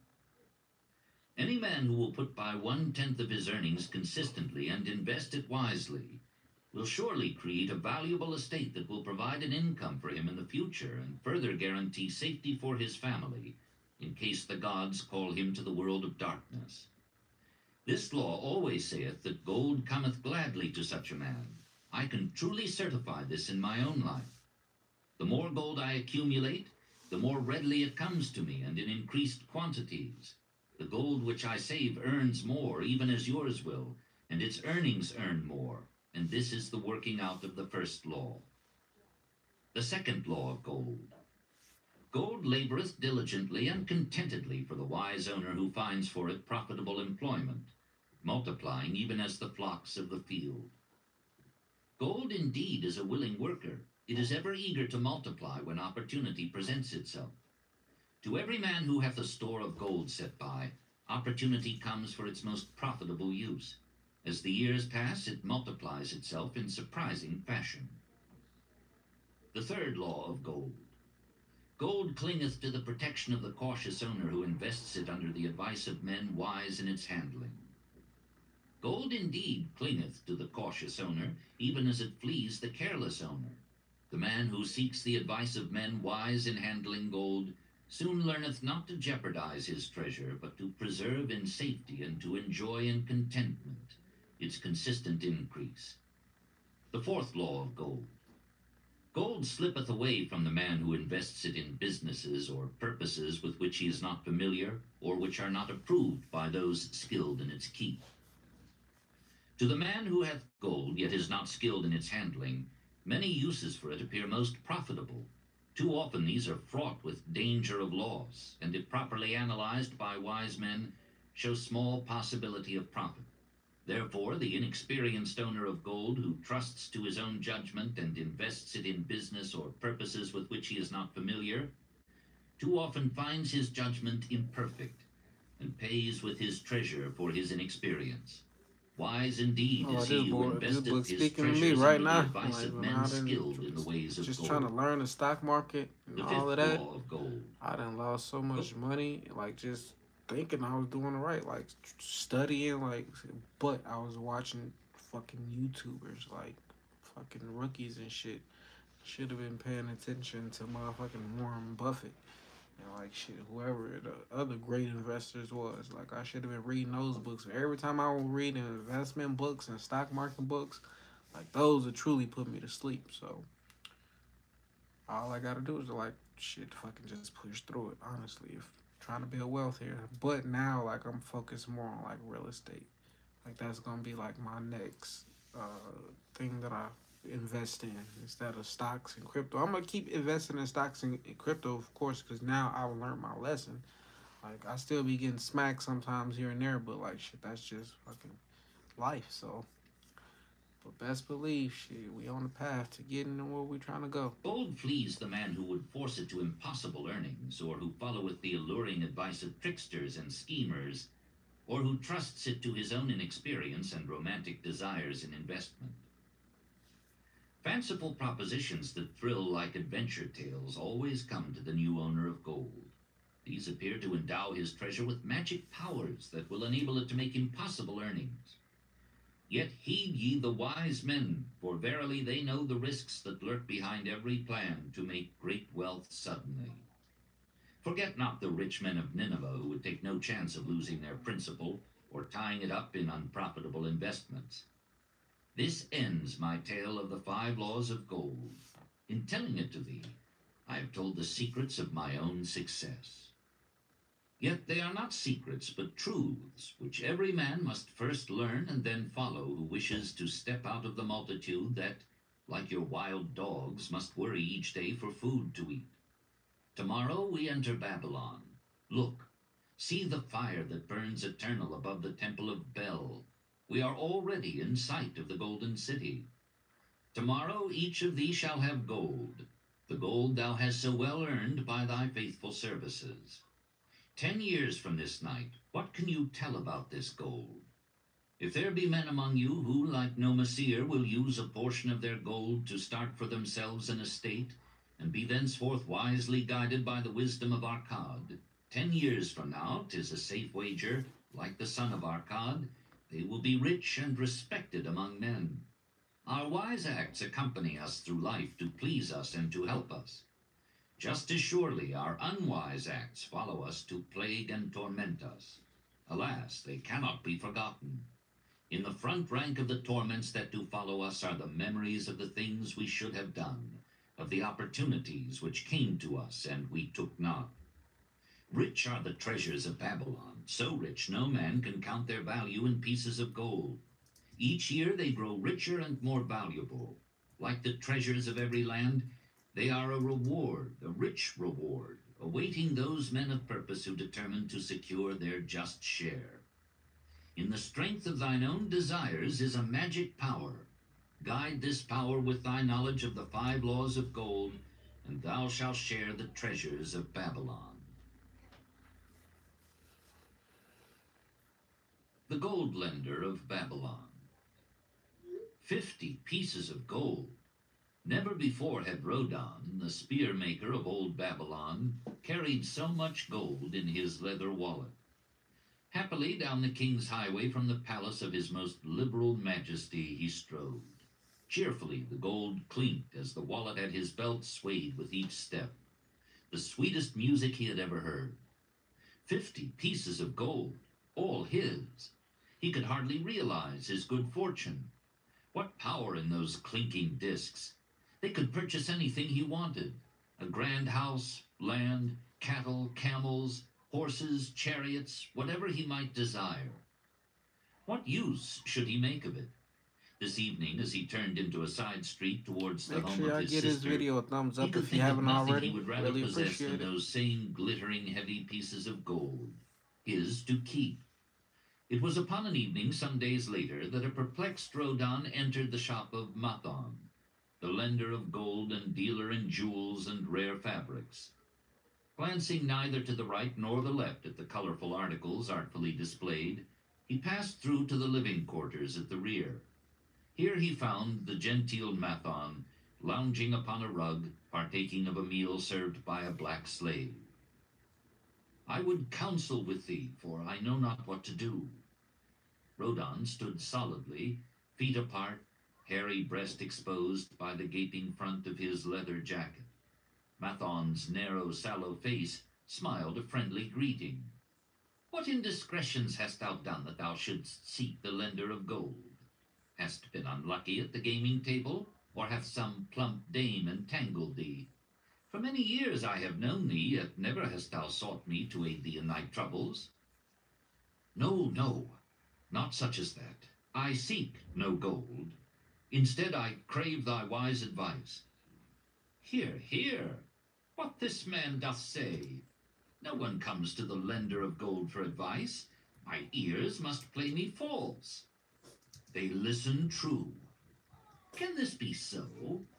Rodan, the spear-maker, doth display more cunning than all the rest.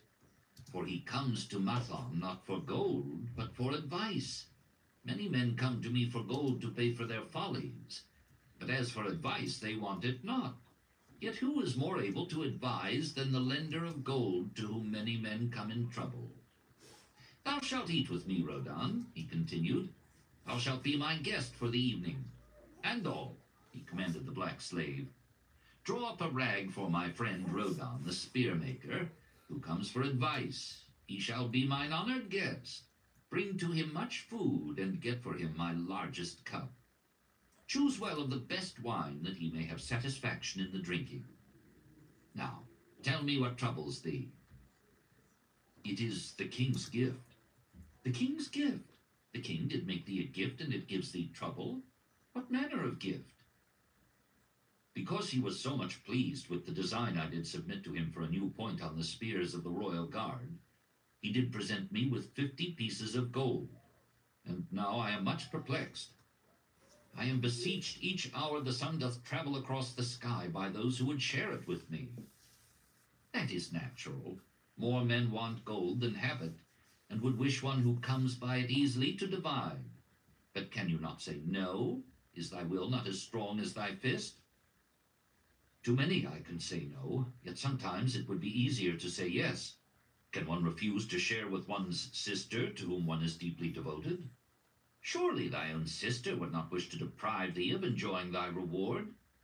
But it is for the sake of Araman, her husband, whom she wishes to see a rich merchant.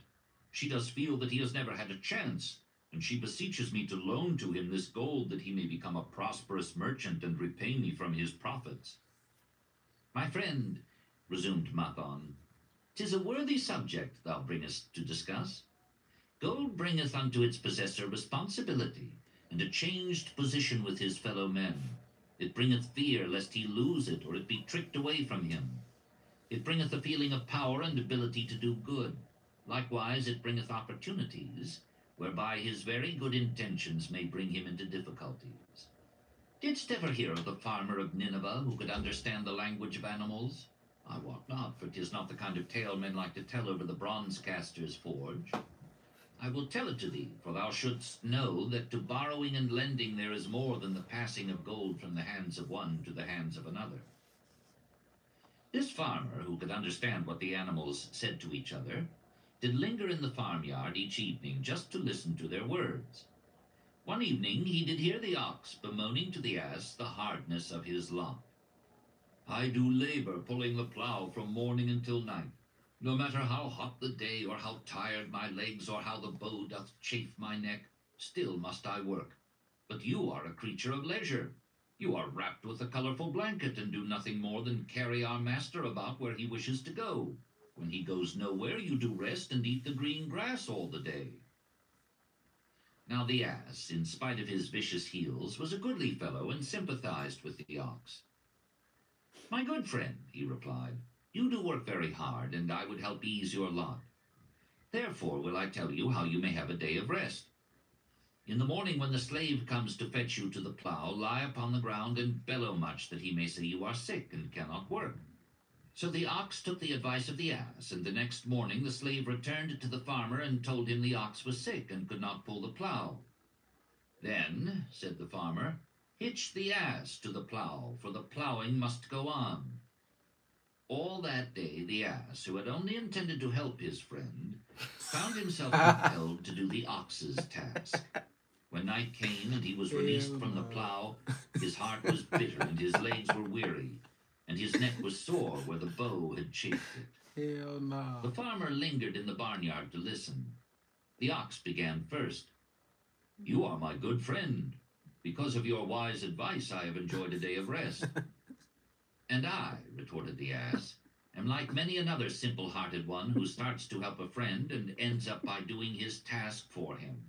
Hereafter you draw your own plough. For I did hear the master tell the slave to send for the butcher were you sick again. I wish he would, for you are a lazy fellow. Thereafter they spoke to each other no more. Why This ended their friendship. bro? He's the one who gave him Canst thou tell the moral to this tale, Rodan? Tis a good tale, responded Rodan, but I see not the moral. I thought not that you would, but it is there, and simple too. Just this. If you desire to help thy friend, do so in a way that will not bring thy friend's burdens upon thyself. I had not thought of that. It is a wise moral. I wish not to assume the burdens of my sister's husband. But tell me, you lend to many, do not the borrowers repay? Mathon smiled the smile of one whose soul is rich with much experience. Could a loan be well made if the borrower cannot repay? Must not the lender be wise and judge carefully whether his gold can perform a useful purpose to the borrower and return to him once more? Or whether it will be wasted by one unable to use it wisely and leave him without his treasure and leave the borrower with a debt he cannot repay? I will show to thee the tokens in my token chest and let them tell thee some of their stories. Into the room he brought a chest as long as his arm, covered with red pigskin and ornamented with bronze designs. He placed it upon the floor and squatted before it, both hands upon the lid. From each person to whom I lend, I do exact a token for my token chest, to remain there until the loan is repaid. When they repay, I give back, but if they never repay, it will always remind me of one who was not faithful to my confidence. The safest loans, my token box tells me, are to those whose possessions are of more value than the one they desire. They own lands, or jewels, or camels, or other things which could be sold to repay the loan. Some of the tokens given to me are jewels of more value than the loan. Others are promises that if the loan be not repaid as agreed, they will deliver to me certain property settlement. On loans like those, I am assured that my gold will be returned with the rental thereon, for the loan is based on property. In another class are those who have the capacity to earn. They are such as you, who labor or serve and are paid. They have income, and if they are honest and suffer no misfortune, I know that they also can repay the gold I loan them and the rental to which I am entitled. Such loans are based on human effort. Others are those who have neither property nor assured earning capacity. Life is hard, and there will always be some who cannot adjust themselves to it. Alas for the loans I make them, even though they be no larger than a pence. My token box may censure me in the years to come, unless they be guaranteed by good friends of the borrower who know him honorable. Mathon released the clasp and opened the lid. Rodan leaned forward eagerly. At the top of the chest, a bronze neck piece lay upon a scarlet cloth. Mathon picked up the piece and patted it affectionately. This shall always remain in my token chest because the owner has passed on into the great darkness. I treasure it, his token, and I treasure his memory, for he was my good friend. We traded together with much success, until out of the east he brought a woman to wed, beautiful, but not like our women, a dazzling creature. He spent his gold lavishly to gratify her desires. He came to me in distress when his gold was gone. I counseled with him. I told him I would help him to once more master his own affairs. He swore by the sign of the great bull that he would, but it was not to be. In a quarrel, she thrust a knife into the heart he dared her to pierce. And she? questioned Rodan. Yes, of course, this was hers. He picked up the scarlet cloth. In bitter remorse, she threw herself into the Euphrates. These two loans will never be repaid. The chest tells you, Rodan, that humans in the throes of great emotions are not safe risks for the gold lender. Here, now this is different. He reached for a ring carved of ox bone. This belongs to a farmer. I buy the rugs of his women. The locusts came, and they had not food. I helped him, and when the new crop came, he repaid me. Later, he came again and told of strange goats in a distant land as described by a traveler. They had long hair so fine and soft it would weave into rugs more beautiful than any ever seen in Babylon. He wanted a herd, but he had no money.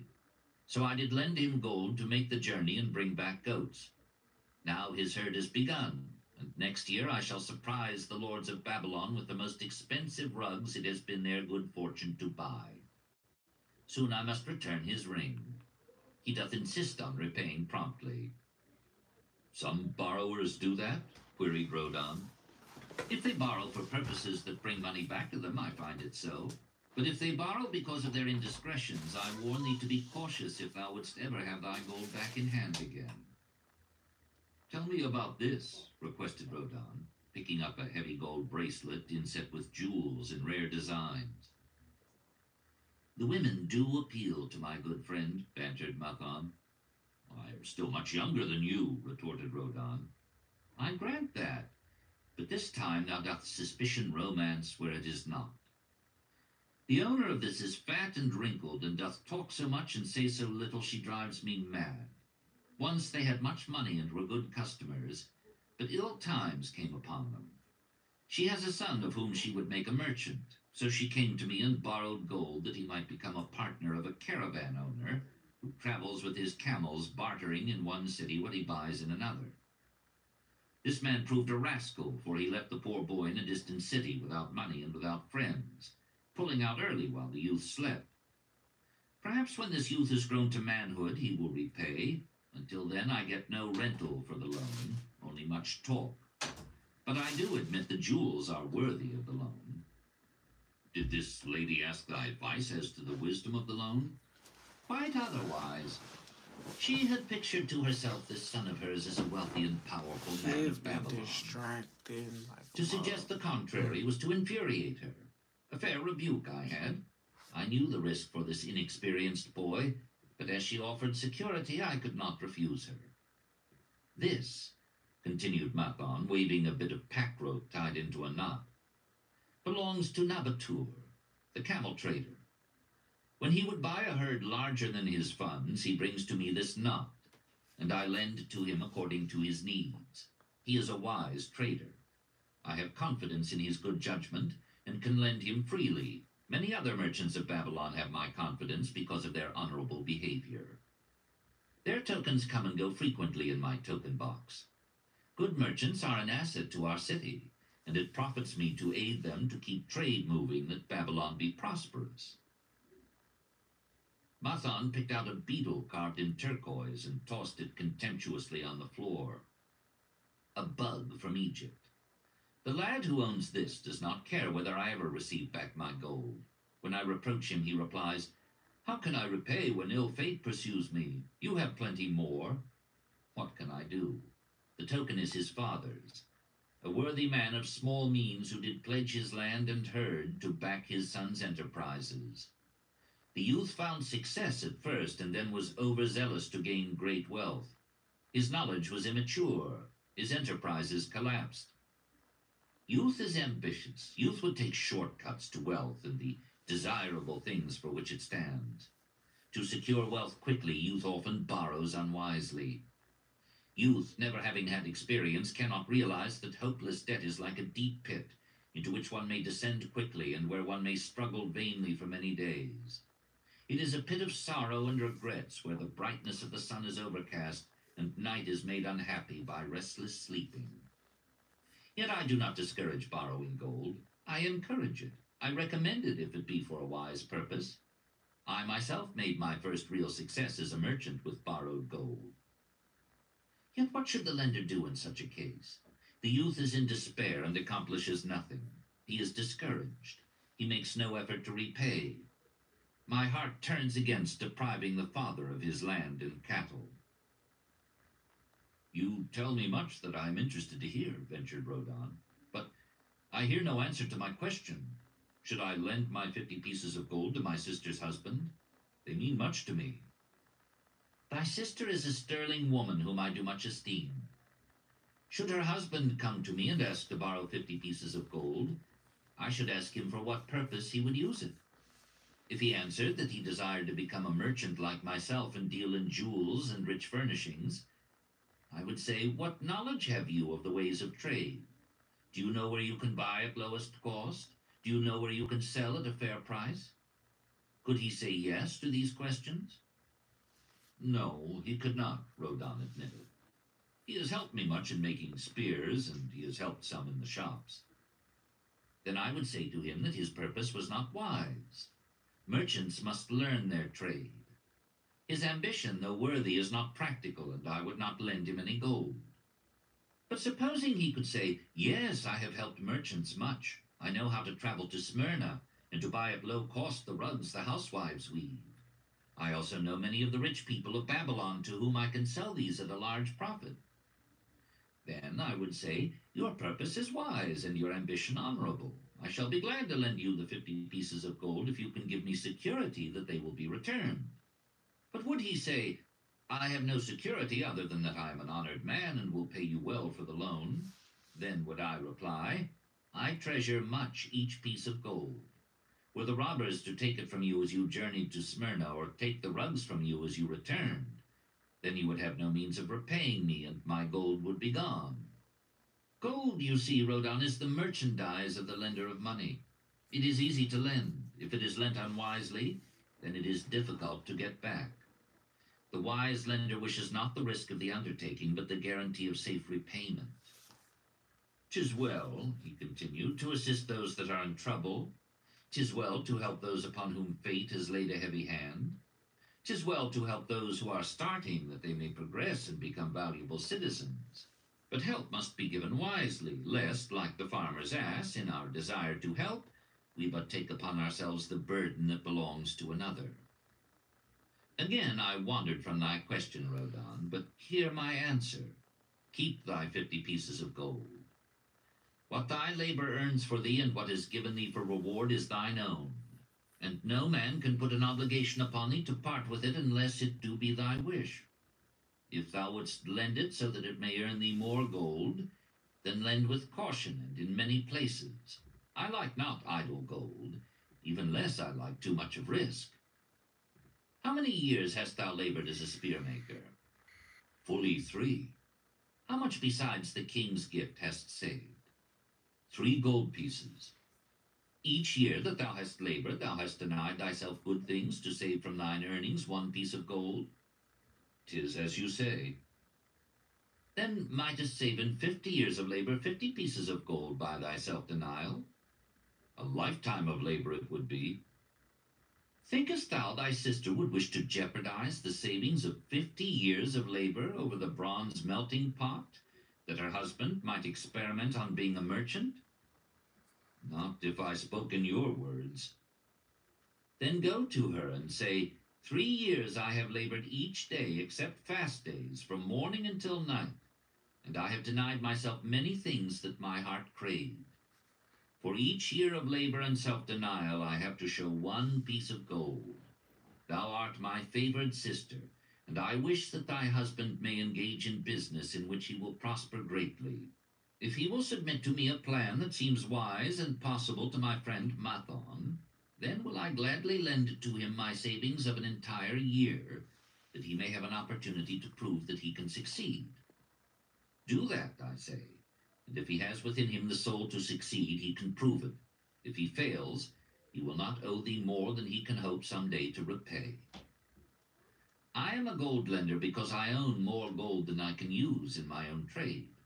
I desire my surplus gold to labor for others and thereby earn more gold. I do not wish to take risk of losing my gold, for I have labored much and denied myself much to secure it. Therefore, I will no longer lend any of it where I am not confident that it is safe and will be returned to me. Neither will I lend it where I am not convinced that its earnings will be promptly paid to me. I have told to thee, Rodan, a few of the secrets of my token chest. From them you may understand the weakness of men and their eagerness to borrow that which they have no certain means to repay. From this you can see how often their high hopes of the great earnings they could make, if they but had gold, are but false hopes they have not the ability or training to fulfill. Thou, Rodan, now have gold, which thou shouldst put to earning more gold for thee. Thou art about to become, even as I, a gold lender. If thou dost safely preserve thy treasure, it will produce liberal earnings for thee, and be a rich source of pleasure and profit during all thy days. But if thou dost let it escape from thee, it will be a source of constant sorrow and regret as long as thy memory doth last. What desirest thou most of this gold in thy wallet? To keep it safe. Wisely spoken, replied Mathon approvingly. Thy first desire is for safety. Thinkest thou that in the custody of thy sister's husband it would be truly safe from possible loss? I fear not, for he is not wise in guarding gold. Then be not swayed by foolish sentiments of obligation to trust thy treasure to any person. If thou wouldst help thy family or thy friends, find other ways than risking the loss of thy treasure. Forget not that gold slippeth away in unexpected ways from those unskilled in guarding it. As well waste thy treasure in extravagance as let others lose it for thee. What next after safety dost desire of this treasure of thine? That it earn more gold. Again thou speakest with wisdom. It should be made to earn and grow larger. Gold wisely lent may even double itself with its earnings before a man like you groweth old. If you risk losing it, you risk losing all that it would earn as well. Therefore, be not swayed by the fantastic plans of impractical men who think they see ways to force thy gold to make earnings unusually large. Such plans are the creations of dreamers unskilled in the safe and dependable laws of trade. Be conservative in what thou expected to earn, that thou mayest keep and enjoy thy treasure. To hire it out with a promise of usurious returns is to invite loss. Seek to associate thyself with men and enterprises whose success is established, that thy treasure may earn liberally under their skillful use and be guarded safely by their wisdom and experience. Thus mayest thou avoid the misfortunes that follow most of the sons of men to whom the gods see fit to entrust gold. When Rodan would thank him for his wise advice, he would not listen, saying, The king's gift shall teach thee much wisdom. If wouldst keep thy fifty pieces of gold, thou must be discreet indeed. Many uses will tempt thee, much advice will be spoken to thee. Numerous opportunities to make large profits will be offered thee. The stories from my token box should warn thee before thou let any piece of gold leave thy pouch, to be sure that thou hast a safe way to pull it back again. Should my further advice appeal to thee, return again. It is gladly given. Ere thou goest, read this, which I have carved beneath the lid of my token box. It applies equally to the borrower and the lender. Better a little caution than a great regret. The Walls of Babylon. Old Banzar, grim warrior of another day, stood guard at the passageway leading to the top of the ancient walls of Babylon. Up above, valiant defenders were battling to hold the walls. Upon them depended the future existence of this great city with its hundreds of thousands of citizens. Over the walls came the roar of the attacking armies, the yelling of many men, the trampling of thousands of horses, the deafening boom of the battering rams pounding the bronzed gates. In the street beyond the gate lounged the spearmen, waiting to defend the entrance should the gates give way. They were but few for the task. The main armies of Babylon were with their king, far away in the east on the great expedition against the Elamites. No attack upon the city having been anticipated during their absence, the defending forces were small. Unexpectedly, from the north bore down the mighty armies of the Assyrians, and now the walls must hold or Babylon was doomed. About Banzar were great crowds of citizens, white-faced and terrified, eagerly seeking news of the battle. With hushed awe they viewed the stream of wounded and dead being carried or led out of the passageway. Here was the crucial point of attack. After three days of circling about the city, the enemy had suddenly thrown his great strength against this section and this gate. The defenders from the top of the wall fought off the climbing platforms and the scaling ladders of the attackers with arrows, burning oil, and, if any reached the top, spears. Against the defenders, thousands of the enemy's archers poured a deadly barrage of arrows. Old Banzar had the Make sure you vantage get point his video a thumbs He up was if you're new to the the chat. conflict I and really first to appreciate hear it. of each fresh repulse of the frenzied attackers. An elderly merchant crowded close to him, his palsied hands quivering. Tell me, tell me, he pleaded. They cannot get in. My sons are with the good king. There is no one to protect my old wife. My goods they will steal all. My food they will leave nothing. We are old, too old to defend ourselves, too old for slaves. We shall starve, we shall die. Tell me they cannot get in. Calm thyself, good merchant, the guard responded. The walls of Babylon are strong. Go back to the bazaar and tell your wife that the walls will protect you and all of your possessions as safely as they protect the rich treasures of the king. Keep close to the walls lest the arrows flying over strike you. A woman with a babe in arms took the old man's place as he withdrew. Sergeant, what news from the top?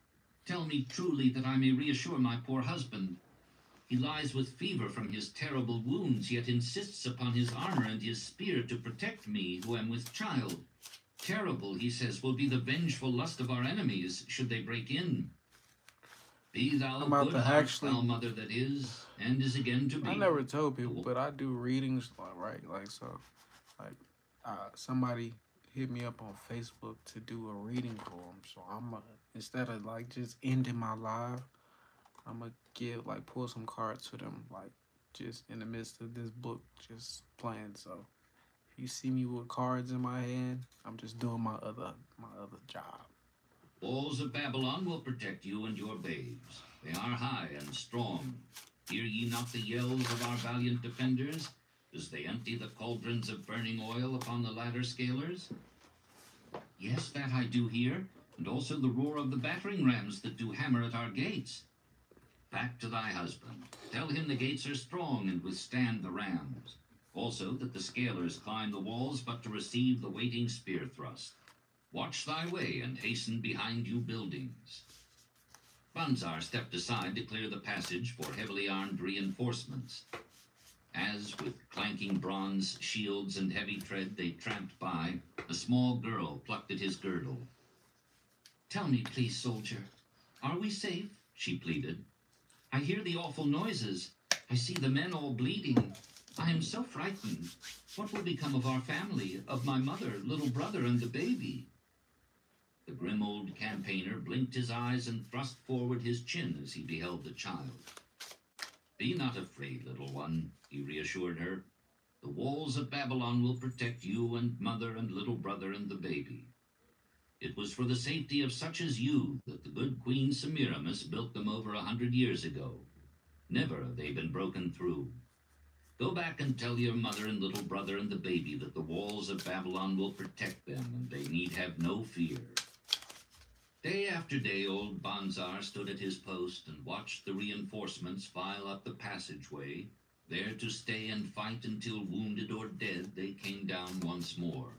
Around him, unceasingly crowded the throngs of frightened citizens, eagerly seeking to learn if the walls would hold. To all he gave his answer with the fine dignity of an old soldier. The walls of Babylon will protect you. For three weeks and five days the attack waged with scarcely ceasing violence. Harder and grimmer set the jaw of Banzar as the passage behind, wet with the blood of the many wounded, was churned into mud by the never-ceasing streams of men passing up and staggering down. Each day the slaughtered attackers piled up in heaps before the wall. Each night they were carried back and buried by their comrades. Upon the fifth night of the fourth week, the clamor without diminished. The first streaks of daylight illuminating the plains disclosed great clouds of dust raised by the retreating armies. A mighty shout went up from the defenders. There was no mistaking its meaning. It was repeated by the waiting troops behind the walls. It was echoed by the citizens upon the streets. It swept over the city with the violence of a storm. People rushed from the houses. The streets were jammed with a throbbing mob. The pent-up fear of weeks found an outlet in the wild chorus of joy. From the top of the high tower of the Temple of Bel burst forth the flames of victory. Skyward floated the column of blue smoke to carry the message far and wide. The walls of Babylon had once again repulsed a mighty and vicious foe determined to loot her rich treasures and to ravish and enslave her citizens. Babylon endured century after century because it was fully protected. It could not afford to be otherwise. The walls of Babylon were an outstanding example of man's need and desire for protection. This desire is inherent in the human race. It is just as strong today as it ever was, but we have developed broader and better plans to accomplish the same purpose. In this day, behind the impregnable walls of insurance, savings accounts, and dependable investments, we can guard ourselves against the unexpected tragedies that may enter any door and seat themselves before any fireside. We cannot afford to be without adequate protection. The Camel Trader of Babylon. The hungrier one becomes, the clearer one's mind works. Also, the more sensitive one becomes to the odors of food. Tarkad, the son of Azur, certainly thought so. For two whole days he had tasted no food except two small figs purloined from over the wall of a garden. Not another could he grab before the angry woman rushed forth and chased him down the street. Her shrill cries were still ringing in his ears as he walked through the marketplace. They helped him to restrain his restless fingers from snatching the tempting fruits from the baskets of the market women. Never before had he realized how much food was brought to the markets of Babylon and how good it smelled. Leaving the market, he walked across to the inn and paced back and forth in front of the eating house. Perhaps here he might meet someone he knew, someone from whom he could borrow a copper that would gain him a smile from the unfriendly keeper of the inn, and, with it, a liberal helping. Without the copper, he knew all too well how unwelcome he would be. In his abstraction, he unexpectedly found himself face to face with the one man he wished most to avoid the tall, bony figure of Dabasir, the camel trader. Of all the friends and others from whom he had borrowed small sums, Dabasir made him feel the most uncomfortable because of his failure to keep his promises to repay promptly. Dabasir's face lighted up at the sight of him. Ha! Tis Tarkad, just the one I have been seeking, that he might repay the two pieces of copper which I lent him a moon ago. Also the piece of silver which I lent to him before that. We are well met. I can make good use of the coins this very day. What say, boy? What say? Tarkad stuttered, and his face flushed. He had naught in his empty stomach to nerve him to argue with the outspoken Dabasir. I am sorry, very sorry, he mumbled weakly. But this day I have neither the copper nor the silver with which I could repay. Then get it, Dabasir insisted. Surely thou canst get hold of a few coppers and a piece of silver to repay the generosity of an old friend of thy father who aided thee whence thou wast in need. Tis because ill fortune does pursue me that I cannot pay. Ill fortune. Wouldst blame the gods for thine own weakness? Ill fortune pursues every man who thinks more of borrowing than of repaying. Come with me, boy, while I eat. I am hungry, and I would tell thee a tale. Tarkad flinched from the brutal frankness of Dabasir, but here at least was an invitation to enter the coveted doorway of the eating house. Dabasir pushed him to a far corner of the room where they seated themselves upon small rugs. When Kauskor, the proprietor, appeared smiling, Dabasir addressed him with his usual freedom. Fat lizard of the desert, bring me a leg of the goat, brown with much juice, and bread and all of the vegetables, for I am hungry and want much food. Do not forget my friend here. Bring to him a jug of water. Have it cooled, for the day is hot. Tarkad's heart sank. Must he sit here and drink water while he watched this man devour an entire goat leg? He said nothing. He thought of nothing he could say. Dabasir, however, knew no such thing as silence. Smiling and waving his hand good-naturedly to the other customers, all of whom knew him, he continued. I did hear from a traveler just returned from Urfa of a certain rich man who has a piece of stone cut so thin that one can look through it. He put it in the window of his house to keep out the rains. It is yellow, so this traveler does relate, and he was permitted to look through it, and all the outside world looked strange and not like it really is. What say you to that, Tarkad? Thinkest all the world could look to a man a different color from what it is? I dare say, responded the youth, much more interested in the fat leg of goat placed before Dabasir. Well, I know it to be true, for I myself have seen the world all of a different color from what it really is, and the tale I am about to tell relates how I came to see it in its right color once more. Dabasir will tell a tale, whispered a neighboring diner to his neighbor, and dragged his rug close. Other diners brought their food and crowded in a semicircle. They crunched noisily in the ears of Tarkad and brushed him with their meaty bones. He alone was without food. Dabasir did not Oh, offer well, to share with him, nor even motion him to a small corner of the hard bread that was broken off and had fallen from the platter to the floor. The tale that I am about to tell, began Dabasir, pausing to bite a goodly chunk from the goat leg, relates to my early life and how I came to be a camel trader. Didst anyone know that I once was a slave in Syria? A murmur of surprise ran through the audience, to which Dabasir listened with satisfaction. When I was a young man, continued Dabasir, after another vicious onslaught on the goat leg, I learned the trade of my father, the making of saddles. I worked with him in his shop and took to myself a wife. Being young and not greatly skilled, I could earn but little, just enough to support my excellent wife in a modest way. I craved good things which I could not afford. Soon I found that the shopkeepers would trust me to pay later, even though I could not pay at the time. Being young and without experience, I did not know that he who spends more than he earns is sowing the winds of needless self-indulgence, from which he is sure to reap the whirlwinds of trouble and humiliation. So I indulged my whims for fine raiment and bought luxuries for my good wife and our home, beyond our means. I paid as I could, and for a while all went well. But in time I discovered I could not use my earnings both to live upon and to pay my debts. Creditors began to pursue me to pay for my extravagant purchases, and my life became miserable. I borrowed from my friends, but could not repay them either. Things went from bad to worse. My wife returned to her father, and I decided to leave Babylon and seek another city where a young man might have better chances. For two years, I had a restless and unsuccessful life working for caravan traders. From this, I fell in with a set of likable robbers who scoured the desert for unarmed caravans. Such deeds were unworthy of the son of my father, but I was seeing the world through a colored stone and did not realize to what degradation I had fallen. We met with success on our first trip, captured a rich haul of gold and silks and valuable merchandise. This loot we took to Ganir and squandered.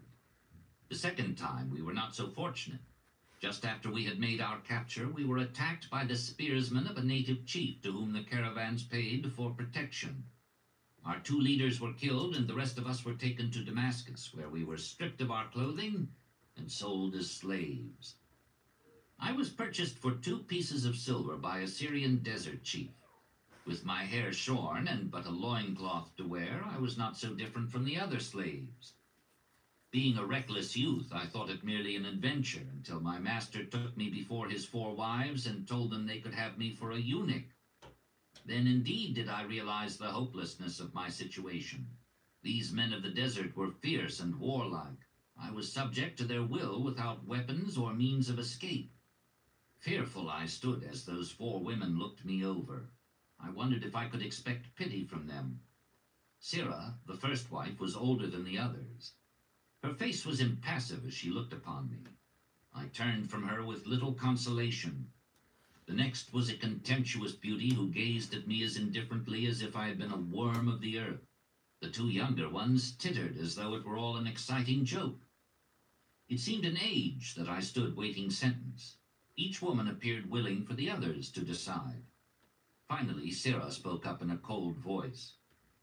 Of eunuchs we have plenty, but of camel tenders we have few, and they are a worthless lot. Even this day I would visit my mother who is sick with the fever, and there is no slave I would trust to lead my camel. Ask this slave if he can lead a camel. My master thereupon questioned me, What know you of camels? Striving to conceal my eagerness, I replied, I can make them kneel, I can load them, I can lead them on long trips without tiring. If need be, I can repair their trappings. The slave speaks forward enough, observed my master. If thou so desire, Sirrah, take this man for thy camel tender. So I was turned over to Sirrah, that day I led her camel upon a long journey to her sick mother. I took the occasion to thank her for her intercession, and also to tell her that I was not a slave by birth, but the son of a freeman, an honorable saddle maker of Babylon. I also told her much of my story. Her comments were disconcerting to me, and I pondered much afterwards on what she said. How can you call yourself a free man when your weakness has brought you to this? If a man has in himself the soul of a slave, will he not become one no matter what his birth, even as water seeks its level? If a man has within him the soul of a free man, will he not become respected and honored in his own city in spite of his misfortune? For over a year I was a slave and lived with the slaves, but I could not become as one of them. One day Sirrah asked me, In the eventime, when the other slaves can mingle and enjoy the society of each other, why dost thou sit in thy tent alone? To which I responded, I am pondering what you have said to me. I wonder if I have the soul of a slave. I cannot join them, so I must sit apart. I too must sit apart, she confided. My dowry was large, and my lord married me because of it. Yet he does not desire me. What every woman longs for is to be desired. Because of this, and because I am barren and have neither son nor daughter, must I sit apart. Were I a man, I would rather die than be such a slave, but the conventions of our tribe make slaves of women. What think thou of me by this time? I asked her suddenly. Have I the soul of a man, or have I the soul of a slave? Have you a desire to repay the just debts you owe in Babylon? She parried. Yes, I have the desire, but I see no way. If thou contentedly let the years slip by and make no effort to repay, then thou hast but the contemptible soul of a slave. No man is otherwise who cannot respect himself, and no man can respect himself who does not repay honest debts. But what can I do who am a slave in Syria? Stay a slave in Syria, thou weakling. I am not a weakling, I denied hotly. Then prove it. How? Does not thy great king fight his enemies in every way he can and with every force he has? Thy debts are thy enemies. They ran thee out of Babylon. You left them alone, and they grew too strong for thee. Hadst fought them as a man, thou couldst have conquered them, and been one honored among the townspeople.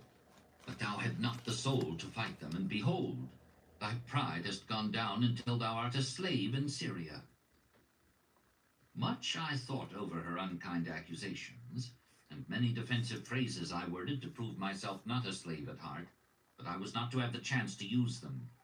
Three days later, the maid of Sirrah took me to her mistress. My mother is again very sick, she said. Saddle the two best camels in my husband's herd. Tie on water skins and saddlebags for a long journey. The maid will give thee food at the kitchen tent. I packed the camels, wondering much at the quantity of provisions the maid provided, for the mother dwelt less than a day's journey away. The maid rode the rear camel, which followed, and I led the camel of my mistress. When we reached her mother's house, it was just dark. Sirrah dismissed the maid and said to me, Dabasir, hast thou the soul of a free man or the soul of a slave? The soul of a free man, I insisted. Now is thy chance to prove it. Thy master hath imbibed deeply, and his chiefs are in a stupor. Take then these camels and make thy escape. Here in this bag is raiment of thy master's to disguise thee. I will say thou stole the camels and ran away while I visited my sick mother. Thou hast the soul of a queen, I told her.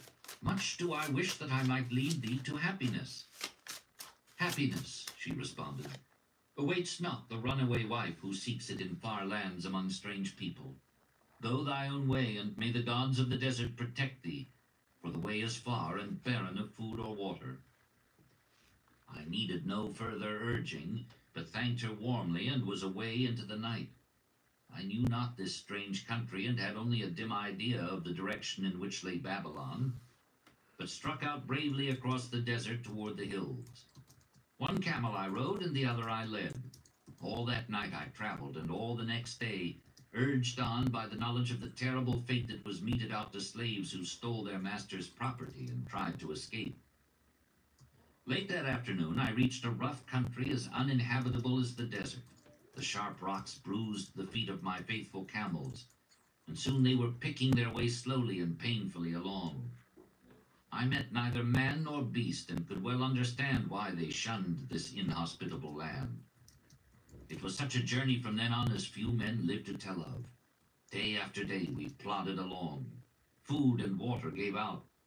The heat of the sun was merciless. At the end of the ninth day, I slid from the back of my mount with the feeling that I was too weak to ever remount, that I would surely die, lost in this abandoned country. I stretched out upon the ground and slept, not waking until the first gleam of daylight. I sat up and looked about me. There was a coolness in the morning air. My camels lay dejected not far away. About me was a vast waste of broken country covered with rock and sand and thorny things. No sign of water, naught to eat for man or camel. Could it be that in this peaceful quiet I faced my end? My mind was clearer than it had ever been before. My body now seemed of little importance. My parched and bleeding lips, my dry and swollen tongue, my empty stomach, all had lost their supreme agonies of the day before.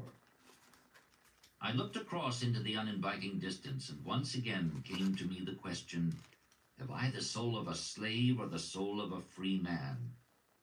Then, with clearness, I realized that if I had the soul of a slave, I should give up, lie down in the desert, and die, a fitting end for a runaway slave. But if I had the soul of a free man, what then? Surely I would force my way back to Babylon, repay the people who had trusted me, bring happiness to my wife who truly loved me, and bring peace and contentment to my parents. Thy debts are thine enemies who have run thee out of Babylon, Sarah had said. Yes, it was so. Why had I refused to stand my ground like a man?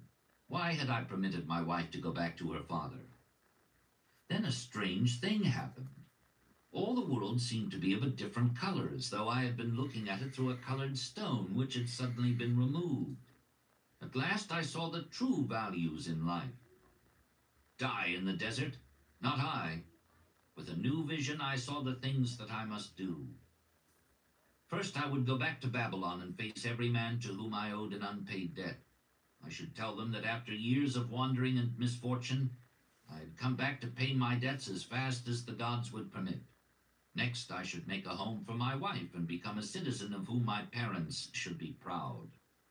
My debts were my enemies, but the men I owed were my friends, for they had trusted me and believed in me. I staggered weakly to my feet. What mattered hunger? What mattered thirst? They were but incidents on the road to Babylon. Within me surged the soul of a free man going back to conquer his enemies and reward his friends. I thrilled with the great resolve. The glazed eyes of my camels brightened at the new note in my husky voice. With great effort, after many attempts, they gained their feet. With pitiful perseverance, they pushed on toward the north, where something within me said we would find Babylon. We found water. We passed into a more fertile country, where were grass and fruit. We found the trail to Babylon because the soul of a free man looks at life as a series of problems to be solved and solves them while the soul of a slave whines, What can I do who am but a slave? How about thee, Tarkad? Does thy empty stomach make thy head exceedingly clear? Art ready to take the road that leads back to self-respect? Canst thou see the world in its true color? Hast thou the desire to pay thy honest debts, however many they may be, and once again be a man respected in Babylon? Moisture came to the eyes of the youth. He rose eagerly to his knees. Thou hast shown me a vision. Already I feel the soul of a free man surge within me. But how fared you upon your return? questioned an interested listener. Where the determination is, the way can be found, Dabasir replied. I now had the determination, so I set out to find a way. First, I visited every man to whom I was indebted and begged his indulgence until I could earn that with which to repay. Most of them met me gladly. Several reviled me, but others offered to help me. One indeed did give me the very help I needed. It was Mathon, the gold lender. Learning that I had been a camel tender in Syria, he sent me to old Nebatur, the camel trader, just commissioned by our good king to purchase many herds of sound camels for the great expedition. With him, my knowledge of camels I put to good use. Gradually, I was able to repay every copper and every piece of silver. Then at last I could hold up my head and feel that I was an honorable man among men. Again Dabasir turned to his food. Kauskor, thou snail, he called loudly to be heard in the kitchen. The food is cold. Bring me more meat fresh from the roasting. Bring thou also a very large portion for Tarkad, the son of my old friend, who is hungry and shall eat with me. So ended the tale of Dabasir, the camel trader of old Babylon. He found his own soul when he realized a great truth, the truth that had been known and used by wise men long before his time. It has led men of all ages out of difficulties and into success, and it will continue to do so for those who have the wisdom to understand its magic power. It is for any man to use who reads these lines. Where the determination is, the way can be found. The clay tablets from Babylon. St. Swithin's College, Nottingham University, Newark-on-Trent, Nottingham. Professor Franklin Caldwell, care of British Scientific Expedition, Hilla, Mesopotamia. October 21st, 1934. My dear Professor, the five clay tablets from your recent excavation in the ruins of Babylon arrived on the same boat with your letter. I've been fascinated no end, and have spent many pleasant hours translating their inscriptions. I should have answered your letter at once, but delayed until I could complete the translations which are attached. The tablets arrived without damage, thanks to your careful use of preservatives and excellent packing. You will be as astonished as we in the laboratory at the story they relate. One expects the dim and distant past to speak of romance and adventure, Arabian Nights sort of things, you know, when instead it discloses the problem of a person named Dabasir to pay off his debts. One realizes that conditions upon this old world have not changed as much in 5,000 years as one might expect. It's odd, you know, but these old inscriptions rather rage me, as the students say. Being a college professor, I am supposed to be a thinking human being possessing a working knowledge of most subjects. Yet here comes this old chap out of the dust-covered ruins of Babylon to offer a way I'd never heard of to pay off my debts, and at the same time acquire gold to jingle in my wallet. Pleasant thought, I say, and interesting to prove whether it will work as well nowadays as it did in old Babylon. Mrs. Shrewsbury and myself are planning to try out his plan upon our own affairs, which could be much improved. Wishing you the best of luck in your worthy undertaking and waiting eagerly another opportunity to assist, I am, yours sincerely, Alfred H. Shrewsbury, Department of Archaeology. Tablet number one. Now, when the moon becometh full, I, Dabasir, who am but recently returned from slavery in Syria, with the determination to pay my many just debts and become a man of means worthy of respect in my native city of Babylon, do here engrave upon the clay a permanent record of my affairs to guide and assist me in carrying me through my high desires. Under the wise advice of my good friend Mathon, the gold lender, I am determined to follow an exact plan that he doth say will lead any honorable man out of debt into means and self-respect. This plan includeth three purposes which are my hope and desire. First, the plan doth provide for my future prosperity.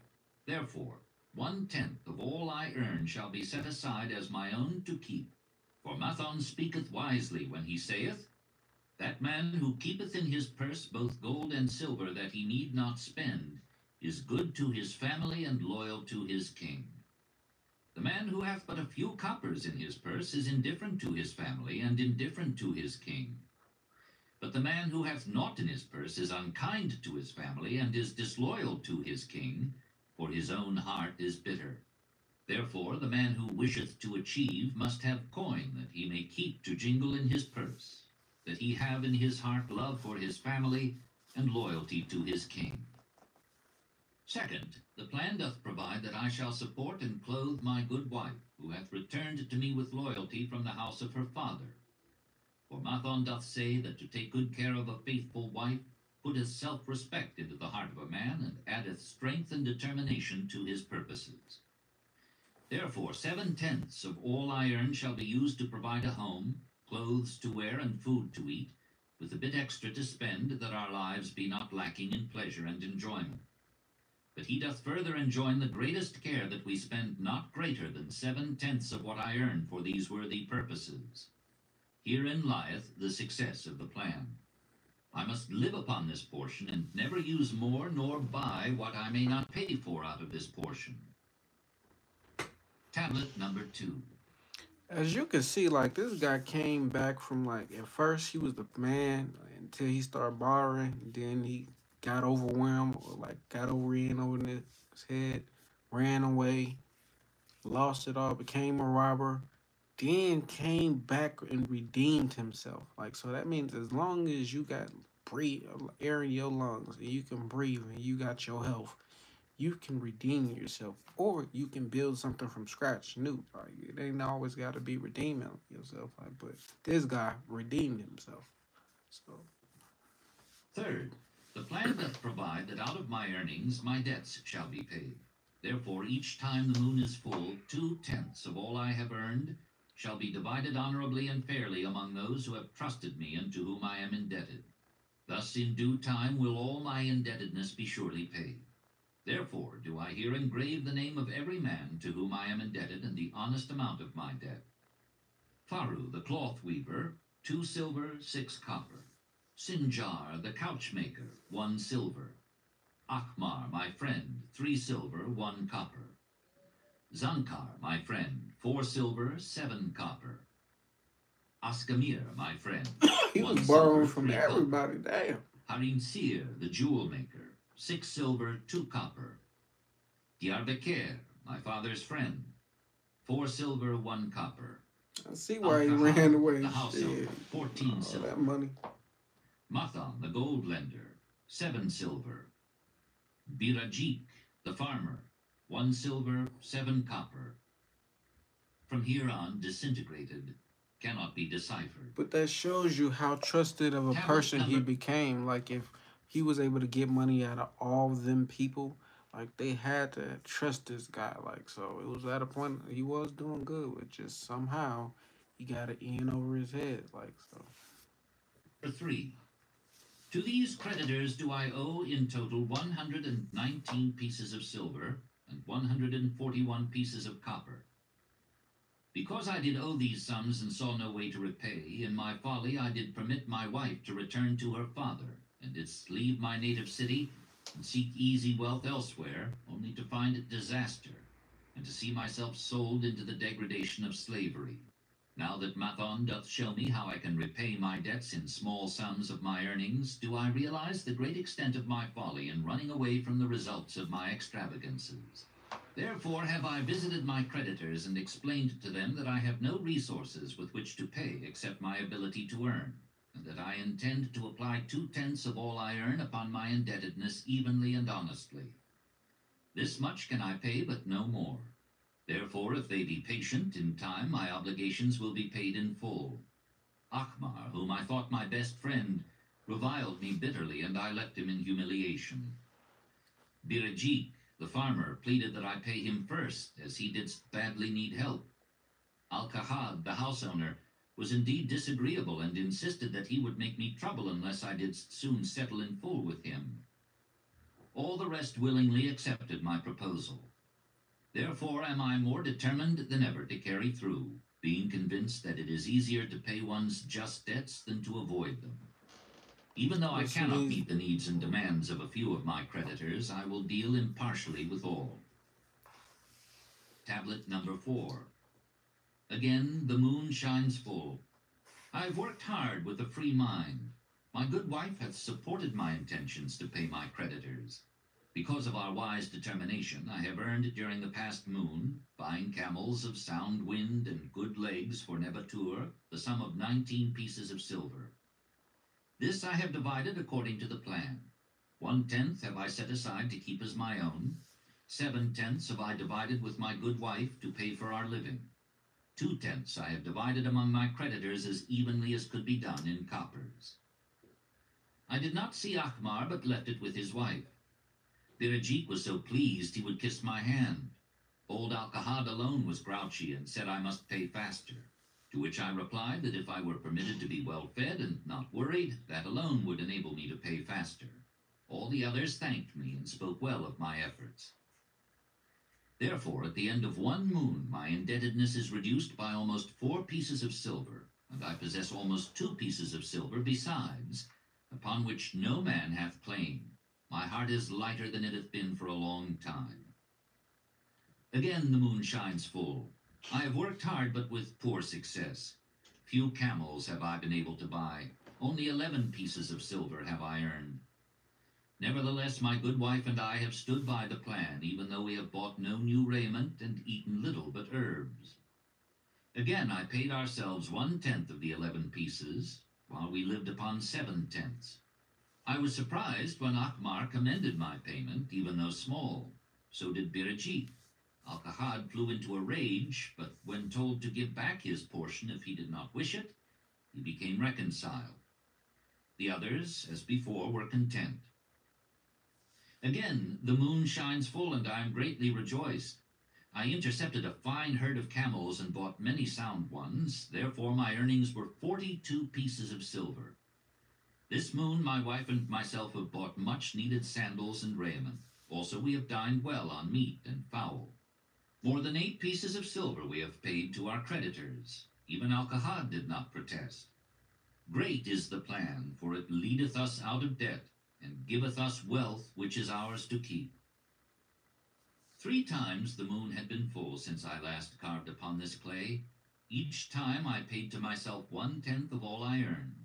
Each time my good wife and I have lived upon seven tenths, even though at times it was difficult. Each time I have paid to my creditors two tenths. In my purse I now have twenty-one pieces of silver that are mine. It maketh my head to stand straight upon my shoulders, and maketh me proud to walk among my friends. My wife keepeth well our home, and is becomingly gowned. We are happy to live together. The plan is of untold value. Hath it not made an honorable man of an ex-slave? Tablet number five. Again the moon shines full, and I remember that it is long since I carved upon the clay. Twelve moons in truth have come and gone, but this day I will not neglect my record, because upon this day I have paid the last of my debts. This is the day upon which my good wife and my thankful self celebrate with great feasting that our determination hath been achieved. Many things occurred upon my final visit to my creditors that I shall long remember. Akmar begged my forgiveness for his unkind words, and said that I was one of all others he most desired for a friend. Old Alkahad is not so bad after all, for he said, Thou wert once a piece of Yeah, once you get your money, ain't no reason to be by pissed any no more. hand that touched thee. But now thou art a piece of bronze capable of holding an edge. If thou needst silver or gold at any time, come to me. Nor is he the only one who holdeth me in high regard. Many others speak deferentially to me. My good wife looketh upon me with a light in her eyes that doth make a man have confidence in himself. Yet it is the plan that hath made my success. It hath enabled me to pay all my debts, and to jingle both gold and silver in my purse. I do commend it to all who wish to get ahead. For truly, if it will enable an ex-slave to pay his debts and have gold in his purse, will it not aid any man to find independence? Nor am I myself finished with it, for I am convinced that if I follow it further, it will make me rich among men. St. Swithin's College, Nottingham University, Newark-on-Trent, Nottingham. Professor Franklin Caldwell, care of British Scientific Expedition, Hilla, Mesopotamia, November 7th, 1936. My dear Professor, if in your further digging into those ruins of Babylon you encounter the ghost of a former resident, an old camel trader named Dabasir, do me a favor. Tell him that his scribbling upon those clay tablets so long ago has earned for him the lifelong gratitude of a couple of college folks back here in England. You will possibly remember my writing a year ago that Mrs. Shrewsbury and myself intended to try his plan for getting out of debt and at the same time having gold to jingle. You may have guessed, even though we tried to keep it from our friends, our desperate straits. We were frightfully humiliated for years by a lot of old debts and worried sick for fear some of the tradespeople might start a scandal that would force me out of the college. We paid and paid, every shilling we could squeeze out of income, but it was hardly enough to hold things even. Besides, we were forced to do all our buying where we could get further credit regardless of higher costs. It developed into one of those vicious circles that grow worse instead of better.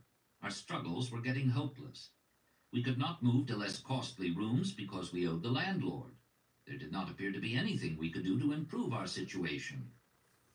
Then here comes your acquaintance, the old camel trader from Babylon, with a plan to do just what we wished to accomplish. He jolly well stirred us up to follow his system. We made a list of all our debts, and I took it around and showed it to everyone we owed. I explained how it was simply impossible for me to ever pay them the way things were going along. They could readily see this themselves from the figures. Then I explained that the only way I saw to pay them in full was to set aside 20% of my income each month to be divided pro rata, which would pay them in full in a little over two years. That in the meantime we would go on a cash basis and give them the further benefit of our cash purchases. They were really quite decent. Our greengrocer, a wise old chap, put it in a way that helped to bring around the rest. If you pay for all you buy and then pay some on what you owe, that is better than you have done, for he ain't paid down the account none in three years. Finally, I secured all their names to an agreement binding them not to molest us as long as the 20% of income was paid regularly. Then we began scheming on how to live upon 70%. We were determined to keep that extra 10% to jingle. The thought of silver and possibly gold was most alluring. It was like having an adventure to make the change. We enjoyed figuring this way and that to live comfortably upon that remaining 70%. We started with rent and managed to secure a fair reduction. Next, we put our favorite brands of tea and such under suspicion, and were agreeably surprised how often we could purchase superior qualities at less cost. It is too long a story for a letter, but anyhow it did not prove difficult. We managed, and right cheerfully at that. What a relief it proved to have our affairs in such a shape we were no longer persecuted by past due accounts. I must not neglect, however, to tell you about that extra 10% we were supposed to jingle. Well, we did jingle it for some time. Now, don't laugh too soon. You see, that is the sporty part. It is the real fun to start accumulating money that you do not want to spend. There is more pleasure in running up such a surplus than there could be in spending it. After we had jingled to our heart's content, we found a more profitable use for it. We took up an investment upon which we could pay that 10% each month. This is proving to be the most satisfying part of our regeneration. It is the first thing we pay out of my check. There is a most gratifying sense of security to know our investment is growing steadily. By the time my teaching days are over, it should be a snug sum, large enough so the income will take care of us from then on. All this out of my same old check. Difficult to believe, yet absolutely true. All our debts being gradually paid and at the same time our investment increasing. Besides, we get along financially even better than before. Who would believe there could be such a difference in results between following a financial plan and just drifting along? At the end of the next year, when all our old bills shall have been paid, we will have more to pay upon our investment, besides some extra for travel. We are determined never again to permit our living expenses to exceed 70% of our income. Now you can understand why we would like to extend our personal thanks to that old chap whose plan saved us from our hell on earth. He knew. He had been through it all. He wanted others to benefit from his own bitter experiences. That is why he spent tedious hours carving his message upon the clay. He had a real message for fellow sufferers, a message so important that after 5,000 years it has risen out of the ruins of Babylon, just as true and just as vital as the day it was buried. Yours sincerely, Alfred H. Shrewsbury, Department of Archaeology. The luckiest man in Babylon. At the head of his caravan proudly rode Sharu-Nada, the merchant prince of Babylon.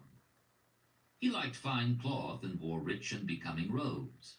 He liked fine animals and sat easily upon his spirited Arabian stallion. To look at him, one would hardly have guessed his advanced years. Certainly, they would not have suspected that he was inwardly troubled. The journey from Damascus is long and the hardships of the desert many. These he minded not. The Arab tribes are fierce and eager to loot rich caravans. These he feared not, for his many fleet-mounted guards were a safe protection. About the youth at his side, whom he was bringing from Damascus, was he disturbed. This was Hadan Gula, the grandson of his partner of other years, Arad Gula, to whom he felt he owed a debt of gratitude which could never be repaid. He would like to do something for this grandson, but the more he considered this, the more difficult it seemed because of the youth himself. Eyeing the young man's rings and earrings, he thought to himself, He thinks jewels are for men. Still, he has his grandfather's strong face, but his grandfather wore no such gaudy robes. Yet I sought him to come, hoping I might help him get a start for himself and get away from the wreck his father has made of their inheritance. Hadan Gula broke in upon his thoughts. Why dost thou work so hard, riding always with thy caravan upon its long journeys? Dost thou never take time to enjoy life? Sharu-Nada smiled. To enjoy life, he repeated. What wouldst thou do to enjoy life if thou wert Sharu-Nada? If I had wealth equal to thine, I would live like a prince. Never across the hot desert would I ride. I would spend the shekels as fast as they came to my purse. I would wear the richest of robes and the rarest of jewels. That would be a life to my liking, a life worth living. Both men laughed. Thy grandfather wore no jewels. Sharu-Nada spoke before he thought, then continued jokingly. Wouldst thou leave no time for work? Work was made for slaves, Hadan Gula responded. Sharu-Nada bit his lip but made no reply, riding in silence until the trail led them to the slope. Here he reined his mount and pointed to the green valley far away. See, there is the valley. Look far down, and thou canst faintly see the walls of Babylon. The tower is the temple of Bel. If thine eyes are sharp, thou mayest even see the smoke from the eternal fire upon its crest. So, that is Babylon? Always have I longed to see the wealthiest city in all the world, Hadan Gula commented. Babylon, where my grandfather started his fortune. Would he were still alive, we would not be so sorely pressed. Why wish his spirit to linger on earth beyond its allotted time? Thou and thy father can well carry on his good work. Alas, of us neither has his gift. Father and myself know not his secret for attracting the golden shekels. Sharu-Nada did not reply, but gave rein to his mount and rode Dang, he didn't get his son the game. Behind them followed the caravan in a cloud of reddish dust. Some time later, they reached the King's Highway and turned south through the irrigated farms. Three old men plowing a field caught Sharu-Nada's attention. They seemed strangely familiar. How ridiculous. One does not pass a field after forty years and find the same men plowing there. Yet something within him said they were the same. One with an uncertain grip held the plow. The others laboriously plodded beside the oxen, ineffectually beating them with their barrel staves to keep them pulling. Forty years ago he had envied these men. How gladly he would have exchanged places. But what a difference now. With pride he looked back at his trailing caravan, well-chosen camels and donkeys, loaded high with valuable goods from Damascus. All this was but one of his possessions. He pointed to the plowers, saying, Still plowing the same field where they were forty years ago. They look it, but why thinkest thou they are the same? I saw them there, Sharunada replied. Recollections were racing rapidly through his mind. Why could he not bury the past and live in the present? Then he saw, as in a picture, the smiling face of Arad Gula. The barrier between himself and the cynical youth beside him dissolved. But how could he help such a superior youth with his spendthrift ideas and bejeweled hands? Work he could offer in plenty to willing workers, but naught for men who considered themselves too good for work. Yet he owed it to Arad Gula to do something, not a half-hearted attempt. He and Arad Gula had never done things that way. They were not that sort of men. The plan came almost in a flash. There were objections. He must consider his own family and his own standing. It would be cruel. It would hurt. Being a man of quick decisions, he waived objections and decided to act. Wouldst thou be interested in hearing how thy worthy grandfather and myself joined in the partnership which proved so profitable? he questioned. Why not just tell me how thou madest the golden shekels? That is all I need to know, the young man parried. Sharunada ignored the reply and continued. We start with those men plowing. I was no older than thou. As the column of men in which I marched approached, good old Megiddo, the farmer, scoffed at the slipshod way in which they plowed. Megiddo was chained next to me. Look at the lazy fellows, he protested. The plow holder makes no effort to plow deep, nor do the beaters keep the oxen in the furrow. How can they expect to raise a good crop with poor plowing? Didst thou say Megiddo was chained to thee? Hadan Gula asked in surprise. Yes, with bronze collars about our necks and a length of heavy chain between us. Next to him was Zabado, the sheep thief. I had known him in Harroun, but the end was a man we called Pirate because he told us not his name. We judged him as a sailor, as he had entwined serpents tattooed upon his chest in sailor fashion. The column was made up thus so the men could walk in fours. Thou wert chained as a slave? Hadan Gula asked incredulously. Did not thy grandfather tell thee I was once a slave?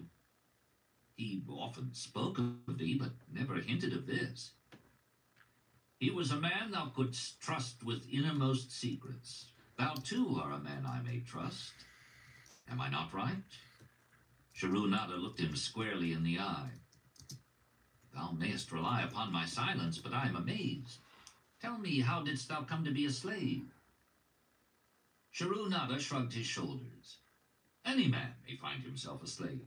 It was a gaming house and barley beer that brought me disaster. I was the victim of my brother's indiscretions. In a brawl, he killed his friend.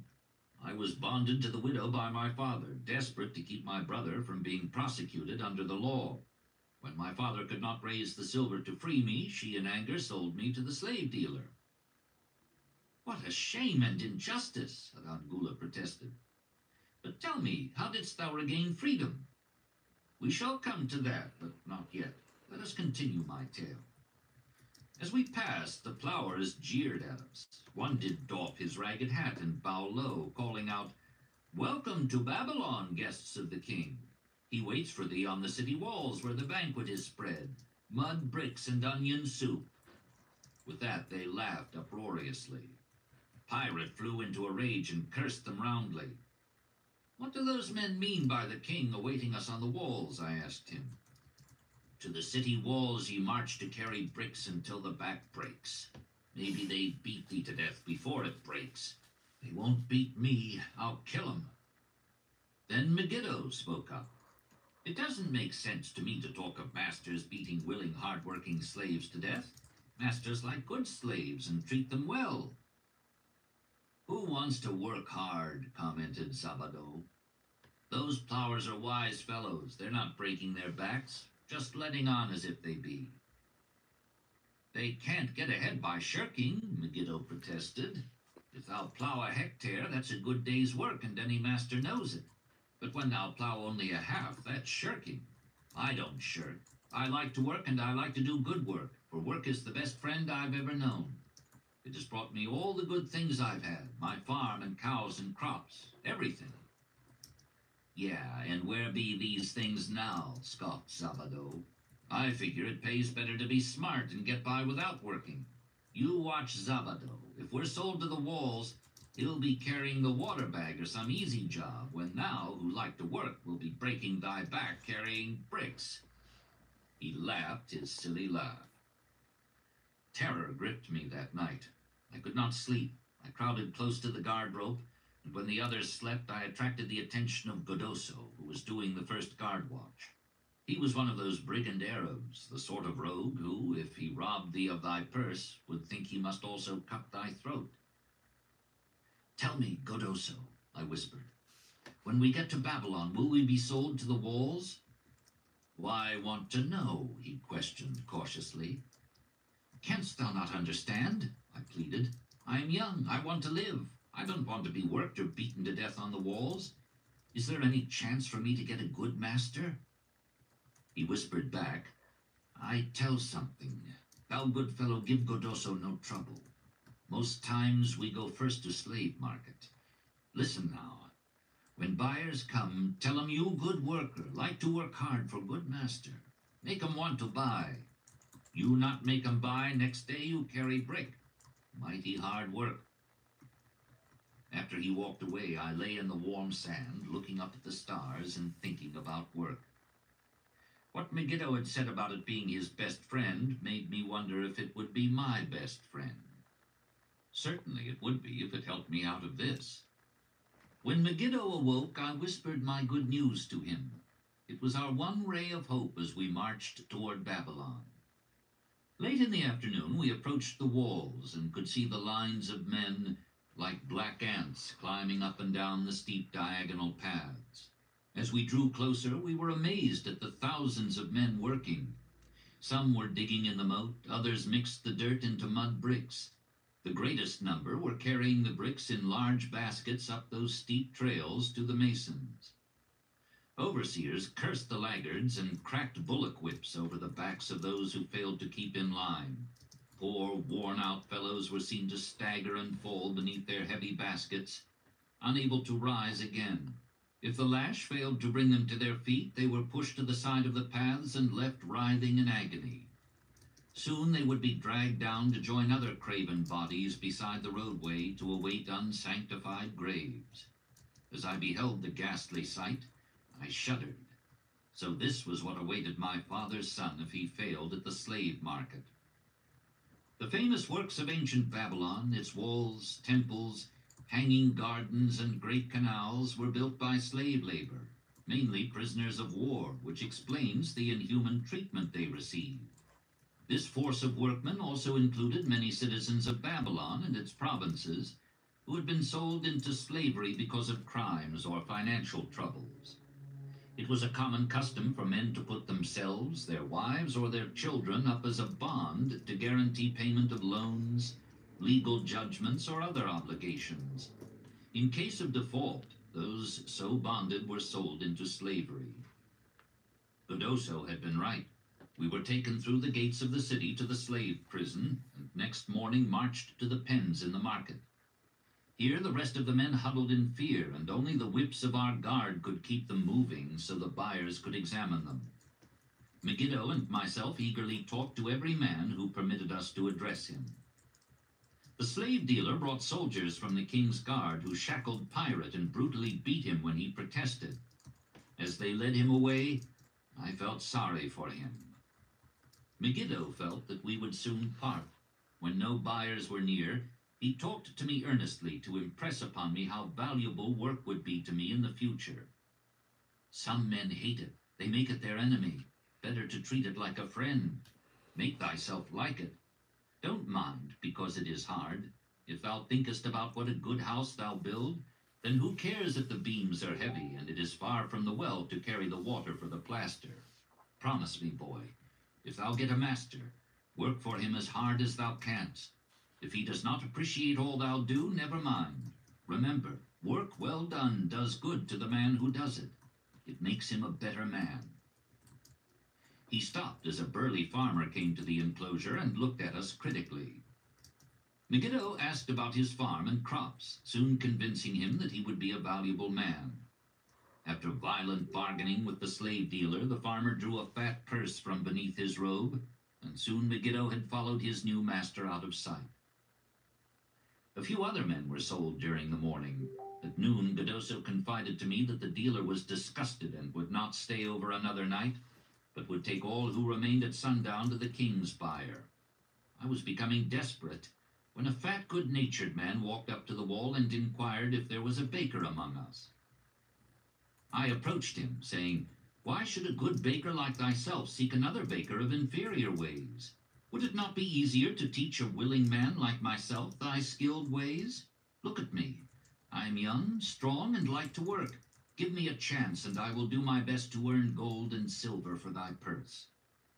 He was impressed by my willingness and began bargaining with the dealer, who had never noticed me since he had bought me, but now waxed eloquent on my abilities, good health, and good disposition. I felt like a fat ox being sold to a butcher. At last, much to my joy, the deal was closed. I followed my new master away, thinking I was the luckiest man in Babylon. My new home was much to my liking.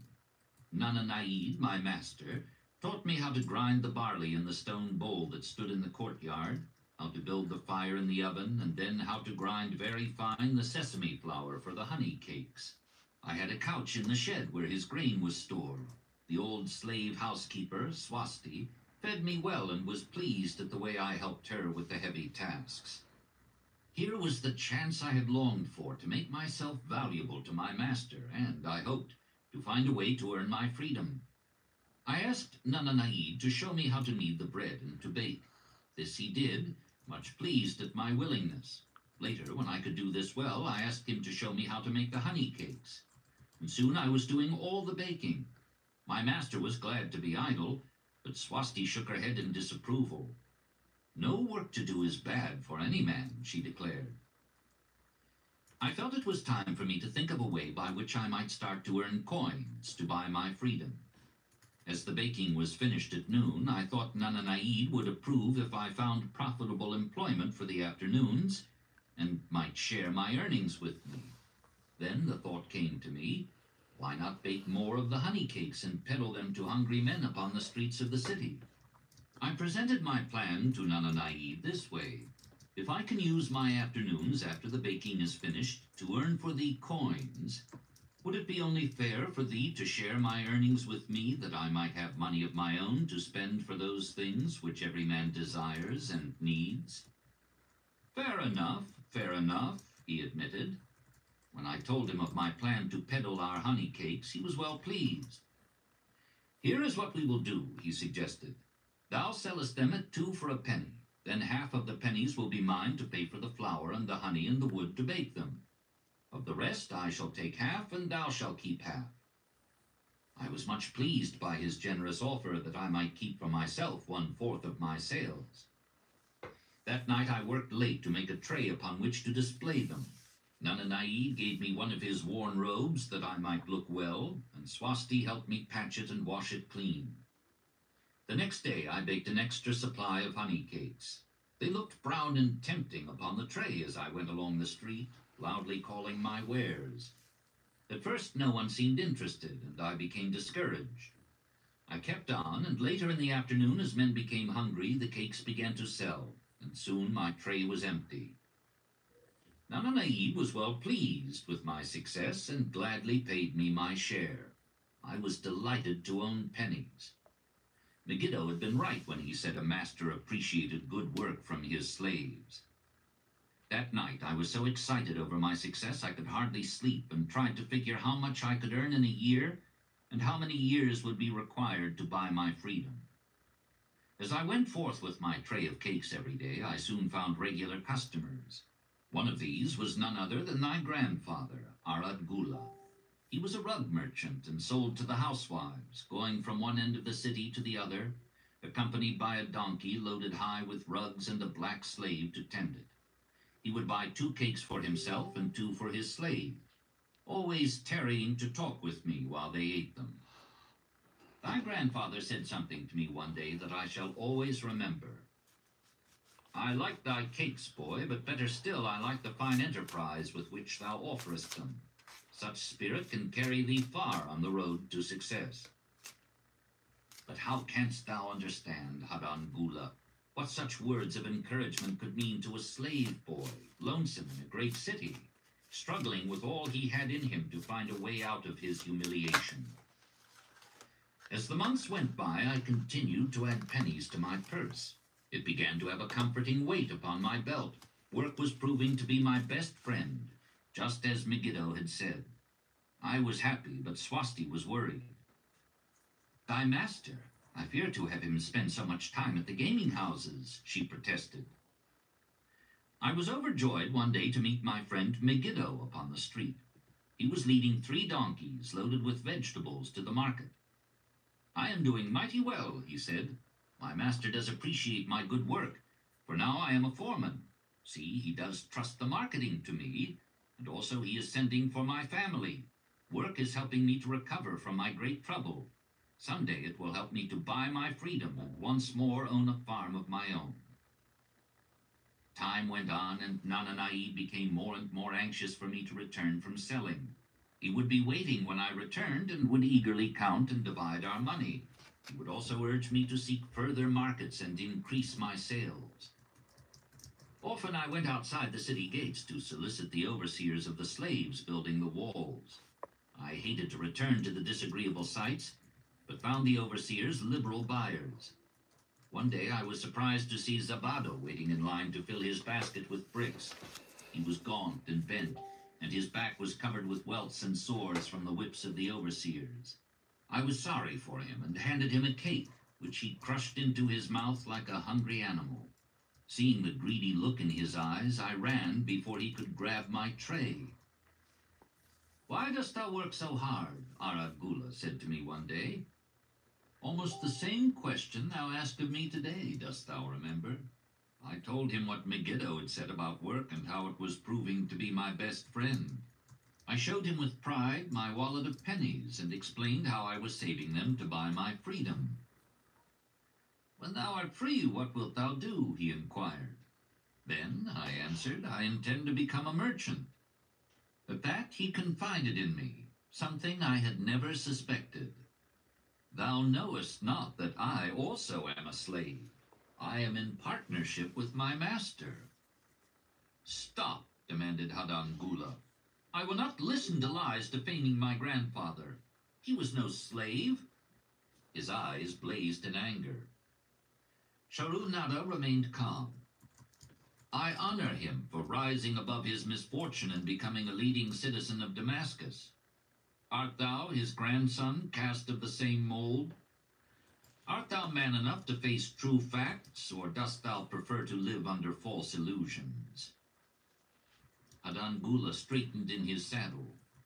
In a voice suppressed with deep emotion, he replied, My grandfather was beloved by all. Countless were his good deeds. When the famine came, did not his gold buy grain in Egypt? And did not his caravan bring it to Damascus, and distribute it to the people so none would starve? Now thou sayest he was but a despised slave in Babylon. Had he remained a slave in Babylon, then he might well have been despised. But when, through his own efforts, he became a great man in Damascus, the gods indeed condoned his misfortunes and honored him with their respect, Sharunada replied. After telling me that he was a slave, Sharunada continued, he explained how anxious he had been to earn his freedom. Now that he had enough money to buy this, he was much disturbed as to what he should do. He was no longer making good sales and feared to leave the support of his master. I protested his indecision. Cling no longer to thy master. Get once again the feeling of being a free man. Act like a free man and succeed like one. Decide what thou desirest to accomplish, and then work will aid thee to achieve it. He went on his way, saying he was glad I had shamed him for his cowardice. One day I went outside the gates again and was surprised to find a great crowd gathering there. When I asked the man for an explanation, he replied, Hast thou not heard? An escaped slave who murdered one of the king's guards has been brought to justice, and will this day be flogged to death for his crime. Even the king himself is to be here. So dense was the crowd about the flogging post, I feared to go near lest my tray of honey cakes be upset. Therefore I climbed up the unfinished wall to see over the heads of the people. I was fortunate in having a view of Nebuchadnezzar himself as he rode by in his golden chariot. Never had I beheld such grandeur, such robes and hangings of gold cloth and velvet. I could not see the flogging, though I could hear the shrieks of the poor slave. I wondered how one so noble as our handsome king could endure to see such suffering. Yet when I saw he was laughing and joking with his nobles, I knew he was cruel and understood why such inhuman tasks were demanded of the slaves building the walls.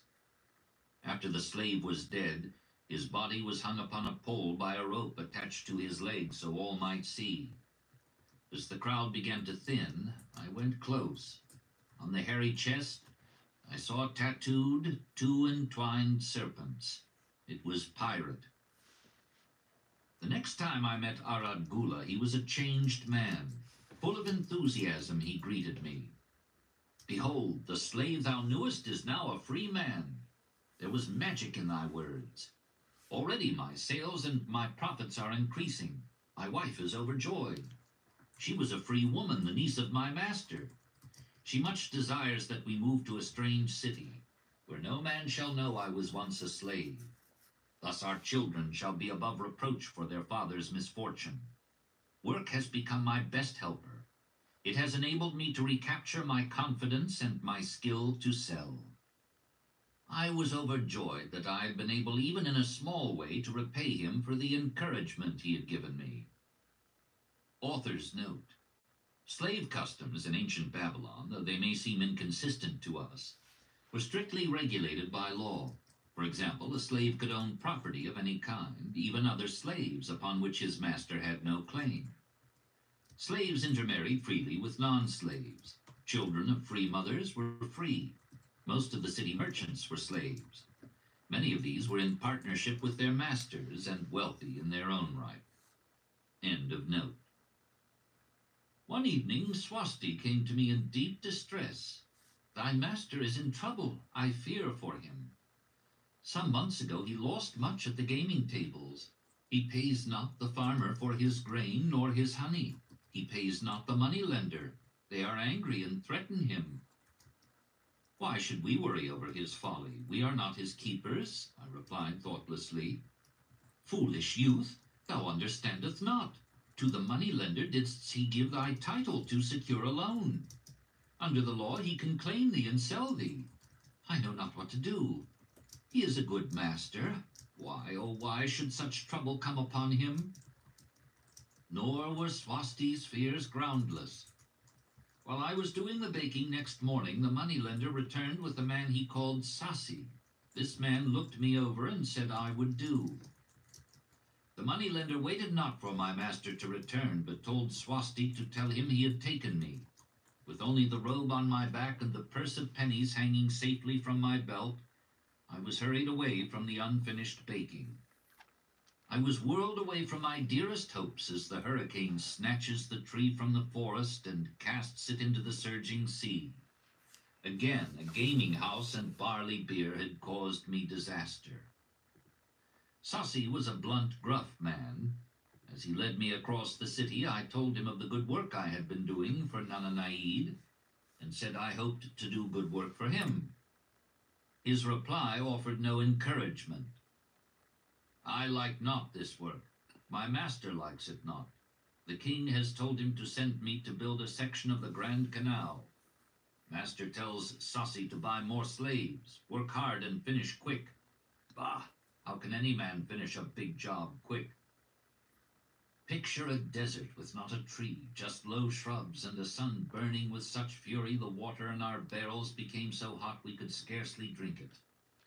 Then picture rows of men going down into the deep excavation and lugging heavy baskets of dirt up soft, dusty trails from daylight until dark. Picture food served in open troughs from which we helped ourselves like swine. We had no tents, no straw for beds. That was the situation in which I found myself. I buried my wallet in a marked spot, wondering if I would ever dig it up again. At first I worked with good will, but as the months dragged on, I felt my spirit breaking. Then the heat fever took hold of my weary body. I lost my appetite and could scarcely eat the mutton and vegetables. At night I would toss in unhappy wakefulness. In my misery, I wondered if Zabado had not the best plan to shirk and keep his back from being broken in work. Then I recalled my last sight of him and knew his plan was not good. I thought of Pirate with his bitterness and wondered if it might be just as well to fight and kill. The memory of his bleeding body reminded me that his plan was also useless. Then I remembered my last sight of Megiddo. His hands were deeply calloused from hard work, but his heart was light and there was happiness on his face. His was the best plan. Yet I was just as willing to work as Megiddo. He could not have worked harder than I. Why did not my work bring me happiness and success? Was it work that brought Megiddo happiness, or was happiness and success merely in the laps of the gods? Was I to work the rest of my life without gaining my desires, without happiness and success? All of these questions were jumbled in my mind, and I had not an answer. Indeed, I was sorely confused. Several days later, when it seemed that I was at the end of my endurance and my questions still unanswered, Sasi sent for me. A messenger had come from my master to take me back to Babylon. I dug up my precious wallet, wrapped myself in the tattered remnants of my robe, and was on my way. As we rode, the same thoughts of a hurricane whirling me hither and thither kept racing through my feverish brain. I seemed to be living the weird words of a chant from my native town of Harroun, besetting a man like a whirlwind, driving him like a storm, whose course no one can foliate, whose destiny no one can foretell. Was I destined to be ever thus punished for I knew not what? What new miseries and disappointments awaited me? When we rode to the courtyard of my master's house, imagine my surprise when I saw Arad Gula awaiting me. He helped me down and hugged me like a long-lost brother. As we went our way, I would have followed him as a slave should follow his master, but he would not permit me. He put his arm about me, saying, I hunted everywhere for thee. When I had almost given up hope, I did meet Swasti, who told me of the money lender, who directed me to thy noble owner. A hard bargain he did drive, and made me pay an outrageous price, but thou art worth it. Thy philosophy and thy enterprise have been my inspiration to this new success. Megiddo's philosophy, not mine, I interrupted. Megiddo's and thine. Thanks to thee both, we are going to Damascus, and I need thee for my partner. See, he exclaimed, in one moment thou wilt be a free man. So saying, he drew from beneath his robe the clay tablet carrying my title. This he raised above his head and hurled it to break in a hundred pieces upon the cobblestones. With glee, he stamped upon the fragments until they were but dust. Tears of gratitude filled my eyes. I knew I was the luckiest man in Babylon. Work, thou see, by this, in the time of my greatest distress, didst prove to be my best friend. My willingness to work enabled me to escape from being sold to join the slave gangs upon the walls. It also so impressed thy grandfather, he selected me for his partner.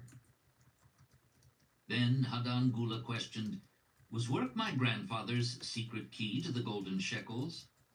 It was the only key he had when I first knew him, Sharru Nada replied. Thy grandfather enjoyed working. The gods appreciated his efforts and rewarded him liberally. I begin to see, Hadan Gula was speaking thoughtfully.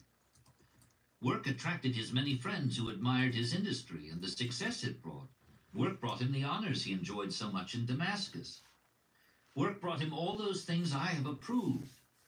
And I thought work was fit only for slaves. Life is rich with many pleasures for men to enjoy, Sharru Nada commented. Each has its place. I am glad that work is not reserved for slaves. Were that the case, I would be deprived of my greatest pleasure. Many things do I enjoy, but nothing takes the place of work. Sharru Nada and Hadan Gula rode in the shadows of the towering walls up to the massive bronze gates of Babylon. At their approach, the gate guards jumped to attention and respectfully saluted an honored citizen. With head held high, Sharru Nada led the long caravan through the gates and up the streets of the city. I have always hoped to be a man like my grandfather, Hadan Gula confided to him. Never before did I realize just what kind of man he was. This thou hast shown me.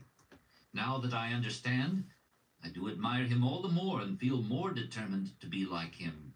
I fear I can never repay thee for giving me the true key to his success. From this day forth I shall use his key. I shall start humbly as he started, which befits my true station better than jewels and fine robes. So saying, Hadan Gula pulled the jeweled baubles from his ears and the rings from his fingers. Then, reining his horse, he dropped back and rode with deep respect behind the leader of the caravan.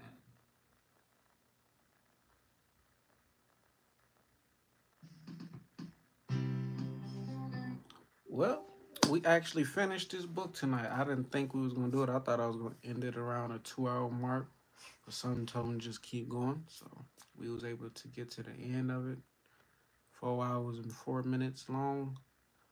It's not that bad. So definitely had a lot of information in it. Definitely uh, as far as saving, investing, like just paying yourself. A lot of people don't pay themselves yet. They'll pay all their bills and be broke and don't got nothing. Like your bills could get cut off, but you, what about you? Are you gonna pay yourself? Start paying yourself. So whether it's ten percent, twenty percent, thirty percent, cause you you gotta you gotta do it. You don't want to keep living paycheck to paycheck. And this it's a marathon, so you're not trying. We're not trying to get rich overnight. We're not trying to make things happen overnight. It's everyday process. We're trying to form habits of like saving and growing financially. So thank you guys for tuning in. Like I said, I will be playing a book tonight over the night. I'm not for sure which book yet, but it's gonna be something that stretches like until I wake up. So whatever that book is, hope you guys tune in. Hope you guys like it. We out this month. Peace.